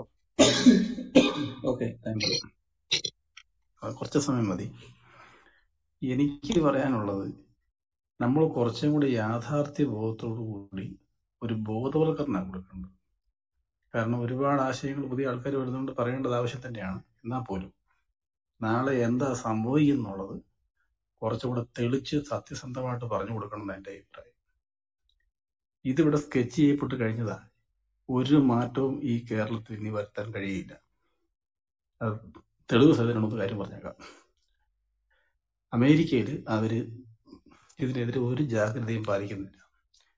മുപ്പത് കോടിയിൽ ഒരു മുപ്പത് ലക്ഷം പേരെ ഉണ്ട് അവിടെ ആകെ. ഈ ഇന്ത്യയുടെ മൂന്നിരട്ടി വലിപ്പമുള്ള ആ രാജ്യത്ത് ഭൂപ്രകൃതി ഉള്ളവർക്ക് മുപ്പത് കോടി ജനസംഖ്യയിൽ മുപ്പത് ലക്ഷം പേരെ അവിടെ ഉള്ളൂ. അതിന്റെ ഒരു സംവിധാനത്തെയും അട്ടിമറിക്കാൻ കഴിയുന്ന ഒരു ശക്തിയല്ല അത്. അതുകൊണ്ട് അവർ ഇതിനെ കെയർ ചെയ്യുന്നില്ല. എന്താണെന്ന് വെച്ചാൽ ആക്കിക്കോളാൻ പറഞ്ഞേക്കുക. യൂറോപ്പ് മൊത്തം എടുത്തു കഴിഞ്ഞാൽ ഒന്നര ടു രണ്ട് ശതമാനമേ ഉള്ളൂ. ഇച്ചിരി ഉള്ളത് ഫ്രാൻസിലേ ഉള്ളൂ. അത് അതിന്റെ സാമ്പത്തികവും രാജ്യപരവുമായിട്ടുള്ള മുഴുവൻ കാര്യങ്ങളെ നാളെ അട്ടിമറിക്കുന്ന ഉറപ്പുള്ളത് കൊണ്ട് രാഷ്ട്രീയ ഇസ്ലാമോട് അനുവദനീയമല്ല. നിങ്ങൾ പ്രാർത്ഥിക്കുകയോ പാടുകയോ എന്നാ ചെയ്തു. ഗവൺമെന്റ് തലത്തിൽ ഇടപെട്ടവർ അവരതിന്റെ അപകടം മനസ്സിലാക്കി. യൂറോപ്പിൽ ഫ്രാൻസിലുള്ള പ്രശ്നം കാര്യമുണ്ട് റഷ്യയിൽ ഇങ്ങനെ ഒരു സാധനമേ ഇല്ല. അതുകൊണ്ട് അവർ അവരുടെ രാജ്യം തകരുകയെന്ന് ഉറപ്പുള്ളത് കൊണ്ട് ലോകവ്യാപകമായിട്ട് അമേരിക്കനെതിരെ ചേരിപ്പിന് ഏത് ഗൾഫ് കൺട്രീസ് വന്നാലും അവർ കയറി ഇടപെടുന്നുണ്ട്. സഹായം ചെയ്യുന്നുണ്ട്. ഒരു ഓപ്പോസിറ്റ് ശക്തി എന്ന അതിന്റെ സേഫ് അങ്ങനെ അടക്കുന്നു അതല്ലാത്ത കേസ് എടുത്തു കഴിഞ്ഞാൽ എവിടെ ഇതിന് വളരാനുള്ളൊരു അവസരം ഉണ്ടായിട്ടുണ്ടോ? അതെല്ലാം തീർന്നിട്ടേ ഉള്ളൂ. ഒരു തരത്തിലും അതിനെ മാറ്റുവാൻ കഴിഞ്ഞിട്ടില്ല. ആ സത്യം താഴെ ഇരിക്കുന്നവരും ഇതിനകത്തിരിക്കുന്നവരും ആദ്യം മനസ്സിലാക്കണം. ഈ ബോധവൽക്കരണം കൊണ്ടൊന്നും ഇവിടെ സ്കെച്ച് ചെയ്യപ്പെട്ടതിനെ മാറ്റാൻ കഴിയില്ല. അതെന്താണ് പറയാനുള്ള കാരണം എന്ന് പറയാം ജീവിവർഗത്തിലാണേലും പ്രകൃതിയിലാണേലും നിലനിൽപ്പിനാവശ്യമായ മുൻകരുതലെടുക്കാത്ത സകല ജീവിവർഗങ്ങളും സ്വയം പ്രതിരോധിക്കാത്തതും സ്വയം മുൻക മുൻകരുതൽ എടുക്കാത്ത സകല ജീവി വർഗങ്ങളും തീർന്നു പോയിട്ടുണ്ട്. അത് പഠിച്ചാൽ മതി. അപ്പൊ അത് വെച്ച് ഞാൻ കൂട്ടിയത് ചേർത്ത് പറയുകയാണ്. ഈ അനിൽക്കൂടിത്തോട്ടം ഭാഷ അല്ലെങ്കിൽ ഈ പറയണ ക്രിസ്ത്യൻ പ്രഭാഷകന്മാരൊക്കെ എടുക്കുന്ന ഈ സ്റ്റാൻഡുകളും അവരുടെ പ്രഭാഷണങ്ങളും. എന്റെ പൊന്നു സുഹൃത്തുക്കളെ രണ്ട് ലക്ഷം പേര് ഇന്ന് വരെയും കണ്ടിട്ടില്ല.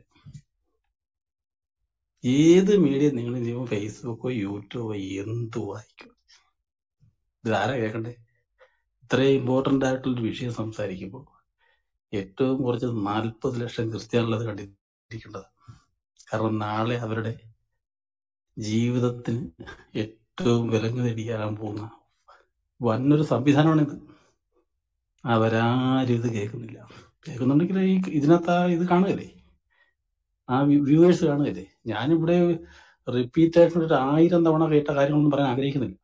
കാരണം ആൾക്കാർ ഇട്ടച്ച് പോകുള്ളൂ ഇപ്പൊ തന്നെ നാനൂറ്റി തൊണ്ണൂറ് പേരെ കടന്നായി. അവിടെ മുന്നൂറ്റമ്പതിലെത്തി. വ്യത്യസ്തമായിട്ട് കാര്യങ്ങൾ പറയണം നിങ്ങൾ അപ്പൊ ഞാൻ അഞ്ചു മിനിറ്റ് കാര്യം പറഞ്ഞാൽ നിർത്തിയേക്കാം. അപ്പോ ഒറ്റ ക്രിസ്ത്യാനി രണ്ട് ലക്ഷം ഇവർ ചെയ്യുന്ന തല അത്രമാത്രം അപകടത്തിൽ വെച്ചിട്ട് വിളിച്ചു പറയുന്നു. അത്ര ഇമ്പോർട്ടന്റ് കാര്യം. രണ്ട് ലക്ഷം വ്യൂവേഴ്സ് വന്നിട്ടുണ്ട്. ആർക്ക് വേണ്ടി പറയണത്? ഈ സമൂഹം. ഹിന്ദുക്കളുടെ കാര്യം പിന്നെ പറയുകയേ വേണം ഇവരാരും ഇത് കെയർ ആക്കുന്നില്ല. നിങ്ങൾ നോക്കിക്കോ ഇത് തീർന്നതാണ്. കേരളത്തെ നിങ്ങൾ ഇനി ഒരു കാരണവശാലും തിരിച്ചു പിടിക്കാൻ വിചാരിക്കണ്ട. ആരും ഇതിനെ കേറില്ല എന്നാൽ മറുഭാഗത്ത് കൃത്യമായിട്ട് പ്ലാൻഡ് ആയിട്ട് അതിനെ എങ്ങനെ കൈകാര്യം ചെയ്യാന്നുള്ള ഒരു ഒന്നടങ്കം ശ്രമിക്കുന്ന ഒരു പദ്ധതി ഇവിടെ നടക്കുന്നുണ്ട്. കഴിഞ്ഞ ദിവസം പി സി ജോർജ് വളരെ സത്യമാണെന്ന് എനിക്കറിയാൻ പാടില്ല. നിങ്ങൾ ആരാ പറഞ്ഞു ഇവിടെ ഇരുപത്തെട്ട് ശതമാനം ഇരുപത്തെട്ട് ശതമാനം നാൽപ്പത് ശതമാനം കടന്നിട്ടുണ്ട് ഈ കമ്മ്യൂണിറ്റി അതിനെന്താ കുഴപ്പമൊന്നുമില്ല. എന്ന് കൈ ദിവസം അദ്ദേഹം പറഞ്ഞു. അതൊന്നും എനിക്കറിയാൻ പാടില്ല. അദ്ദേഹം പറഞ്ഞ ഞാൻ കേട്ടെന്ന് പറയുന്നേ ഉള്ളൂ. കൃത്യമായിട്ടും സ്കെച്ച് ചെയ്ത് കഴിഞ്ഞത് കേരളത്തെ. കൂടിപ്പോയ പതിനഞ്ച് വർഷം. അത് എന്തുകൊണ്ടാണ് ഇതിനെ നമ്മൾ ഈ ബോധ ഒന്നാമത്തെ കാര്യം ഇത് കേൾക്കാനോ കാര്യങ്ങളോ നാളത്തെ തലമുറയ്ക്ക് വേണ്ടി മനസ്സിലാക്കുവാനോ ശ്രമിച്ചുകൊണ്ട് അതിന് വളരെ ഇമ്പോർട്ടൻസ് കൊടുത്ത് കേൾക്കുവാൻ ആരാണോ കേൾക്കാതിരിക്കേണ്ടത് അവരിൽ രണ്ട് ലക്ഷം വ്യൂവേഴ്സ് പോലും പോലും കിട്ടുന്നില്ലെന്ന്. അവർ കേൾക്കാൻ അവർക്ക് സമയമില്ലെന്ന് അവർക്ക് നേരമില്ലെന്ന്. അതുകൊണ്ട് എന്നാ സംഭവിക്കുന്നത് ഒമാനിലെ അവസ്ഥ മസ്റ്റായിട്ടും വരും. അന്ന് ഒമാനിൽ അന്ന് ഈ സംഭവം നടക്കുമ്പോൾ ഇതുപോലെ കുറെ പ്രഭാഷകന്മാരുണ്ടായിരുന്നു. എല്ലാം തീർന്നുപോയി. അവർ പാട്ട് പാടിയും ഡാൻസ് കളിച്ച് നൃത്തം കളിച്ച് നടക്കുമായിരുന്നു നല്ല ഭക്ഷണം ഉണ്ടാക്കി തിന്നുകൊണ്ട് നടന്നു. എന്നിട്ട് ഇപ്പൊ യൂറോപ്പിൽ കൂടെ തെണ്ടി നടക്കുക. ഒറ്റ ഒരെണ്ണം ഇവിടെ ഇല്ല ഉള്ളതിനെയൊക്കെ ഞെക്കി പിഴിഞ്ഞ് ഒതുക്കി കുപ്പിയിലാക്കി. മെജോറിറ്റികളാക്കി എടുത്ത്. എന്തുകൊണ്ടാണ് സംഭവിക്കുന്നത് സാജു കേൾക്കാം. കേൾക്കാം കേൾക്കാം. ചുരുക്കി പറഞ്ഞാട്ടെ. ആ. അപ്പൊ അതുകൊണ്ട് ഈ അലസമായിട്ടുള്ള ഒരു സമീപനമാണ് ഇവിടെ ഈ രാജ്യത്ത് കാണുന്നത്. എല്ലാ വലിയ രാജ്യങ്ങളിലും ഇതിന് ഒരു ഭീഷണിയാകാൻ പറ്റുന്ന രീതിയിലുള്ള ജലസംഖ്യാ സംവിധാനം വന്നിട്ടില്ല. അതുകൊണ്ട് വെസ്റ്റേൺ കൺട്രീസുകളെല്ലാം ആ കാര്യത്തിൽ അലസതയാണ്. പക്ഷെ ഇന്ത്യയിലും പ്രത്യേകിച്ച് കേരളത്തിലും ഇത് കൃത്യമായിട്ടും വളരുകയും ചെയ്യും. മറ്റുള്ള എല്ലാം താഴ് താഴ്ത്തപ്പെട്ടു പോവുകയും ചെയ്യും. കാരണം ഭരണ സംവിധാനം വരെ മൊത്തത്തിൽ ഹൈജാക്ക് ചെയ്യപ്പെട്ടു പോയി കഴിഞ്ഞു. യാതൊന്നും ചെയ്യാൻ കഴിയുന്നില്ല എന്നുള്ളതാണ് കഴിയില്ലെന്നാണ് ഞാൻ മനസ്സിലാക്കി വെച്ചിരിക്കുന്നത്. ഓക്കെ ഓക്കെ ഓക്കെ നമ്മുടെ സാജു സഹോദരൻ പറഞ്ഞതിൽ ഫാക്റ്റ് ഉണ്ട്. നമ്മുടെ രാഷ്ട്രീയ സംവിധാനം ഹൈജാക്ക് ചെയ്യപ്പെട്ടിട്ടുണ്ട്. ഇത്തരത്തിലുള്ള യഥാർത്ഥ്യങ്ങൾ ഉള്ളപ്പോൾ തന്നെ ഉള്ളപ്പോൾ തന്നെ ഇസ്ലാമിൽ നിന്ന് ഒരുപാട് പേർ അടുത്ത സമയങ്ങളിൽ വിട്ടു പോകുന്നുണ്ട് എന്നുള്ളത് വലിയ യഥാർത്ഥ്യമാണ്. കേരളത്തിൽ തന്നെ മെജോറിറ്റി ഇസ്ലാമിക പ്രാധാന്യമുള്ള ജില്ലകളിൽ നിന്ന് ഇസ്ലാം വിടുന്നവരുടെ എണ്ണം കൂടുതലാണ്. അങ്ങനെയൊന്നും മിഡിൽ ഈസ്റ്റ് മിഡിൽ ഈസ്റ്റ് ഒന്ന് പറഞ്ഞോളൂ. ഇസ്ലാം അങ്ങനെ വിട്ടുപോ സമീറെ സമീറെ സമീറെ സമീറിലേക്ക് ഞാൻ വരും. അതിനു മുമ്പ് സമീറെ സംസാരിക്കാൻ തുടങ്ങിയ താഴേക്ക് വിട്ടോളൂ. എൻ- നിങ്ങൾ എന്തോ ആണ് നിങ്ങൾ ഇങ്ങനെ പറയുന്നത് സിജോ? നിങ്ങൾ എന്തുവാ പറയുന്ന? നിങ്ങൾ എന്ത് കാര്യം പറയുന്ന എടാ ഈ ഭീഷണിയൊന്നും വേണ്ട. അത് കയ്യിൽ വെച്ചാൽ മതി. അതൊക്കെ മനസ്സിൽ വെച്ചാൽ മതി. ഇങ്ങോട്ട് വേണ്ടാവുന്നു അതെ നിങ്ങൾ വേറെ പണി നോക്ക്. തിരിച്ചോ സംസാരിച്ചേട്ടെ. ഭീഷണി നമ്മളെ ഭീഷണിപ്പെടുത്തുക എന്നുള്ളത് എല്ലാ കാലത്തും നയമാണല്ലോ. നമ്മളിവിടെ ആദ്യം പറഞ്ഞതുപോലെ നമ്മുടെ മനോജ് സഹോദരനൊക്കെ വന്നതുപോലെ ജോസഫ് മാഷിന് വന്നതുപോലെ ഞങ്ങൾ എല്ലാവരും ഒരു അർത്ഥത്തിൽ അതൊക്കെ പ്രതീക്ഷിക്കുന്നുണ്ട്. എവിടെയെങ്കിലും വെച്ച് അത്തരത്തിലുള്ള കാര്യങ്ങൾ ഞങ്ങൾക്കുണ്ടാകും. ഏതെങ്കിലും ജിഹാദികൾ ഗുണങ്ങൾ ഞങ്ങളൊക്കെ നേരിട്ടേക്കാം എന്നൊരു ചിന്ത ഞങ്ങൾക്ക് എപ്പോഴും ഉണ്ട്. പക്ഷെ ഞങ്ങൾക്കൊരു ഞങ്ങളെ സംരക്ഷിക്കുന്ന ഒരു അതിർ അദൃശ്യ ശക്തിയുണ്ട്. അത് കർത്താവായ യേശു ക്രിസ്തുവാണ് ഈ സുവിശേഷം അത് യുണീക്കാണ്. ഞങ്ങൾ നിൽക്കുന്നത് ആ സുവിശേഷത്തിന് വേണ്ടിയാണ്. യേശു ക്രിസ്തുവിന്റെ സന്ദേശത്തിന് വേണ്ടിയാണ്. അത് സ്നേഹത്തിന്റെ സന്ദേശമാണ്. വാളെടുക്കരുന്ന് പറഞ്ഞ സന്ദേശമാണ്. ശത്രുവിനെ സ്നേഹിക്കാൻ പറഞ്ഞിട്ടുള്ള സന്ദേശമാണ്. ആ സ്നേഹത്തിന്റെ ആശയം മത തീവ്രവാദികളെ രൂപാന്തരപ്പെടുത്തിയിട്ടുണ്ട്. അത് ഇന്നും അത്രമാത്രം ശക്തിയുണ്ടെന്നും രൂപാന്തരപ്പെടുത്തുമെന്നും പരിവർത്തനപ്പെടുത്തുമെന്നും ഞാൻ വിശ്വസിക്കുന്നു. സുവിശേഷത്തിന് വേണ്ടി തന്നെയാണ് ഞങ്ങൾ നിൽക്കുന്നത്. ഇസ്ലാമിനെ ഞങ്ങൾ എക്സ്പോസ് ചെയ്യുന്നത് ഒരു സാമൂഹ്യ പരിഷ്കരണമായിട്ടാണ് കണക്കാക്കുന്നത്. ആശയത്തെ ആശയം കൊണ്ട് നേരിടാൻ ത്രാണിയില്ലാത്തവർ ഇത്തരത്തിലുള്ള ഭീഷണികൾ ഉണ്ടാക്കിക്കൊണ്ടിരിക്കും ഭീഷണിപ്പെടുത്തിക്കൊണ്ടിരിക്കും. അത്തരം ഭീഷണികളെ ഞങ്ങൾ കാര്യമാക്കുന്നില്ല. അത് ആ ആ ആശയത്തിന്റെ ക്യാരക്ടറാണെന്നും ആ ആശയത്തിന്റെ രൂപമാണെന്നും ഞങ്ങൾ ചിന്തിക്കുന്നു ഞങ്ങൾ അത് മനസ്സിലാക്കുന്നു. ഇതെല്ലാം അറിഞ്ഞുകൊണ്ട് തന്നെയാണ് ഞങ്ങൾ ഇസ്ലാമിനെ എക്സ്പോസ് ചെയ്യുന്നത്. ഖുറാൻ പറയുന്ന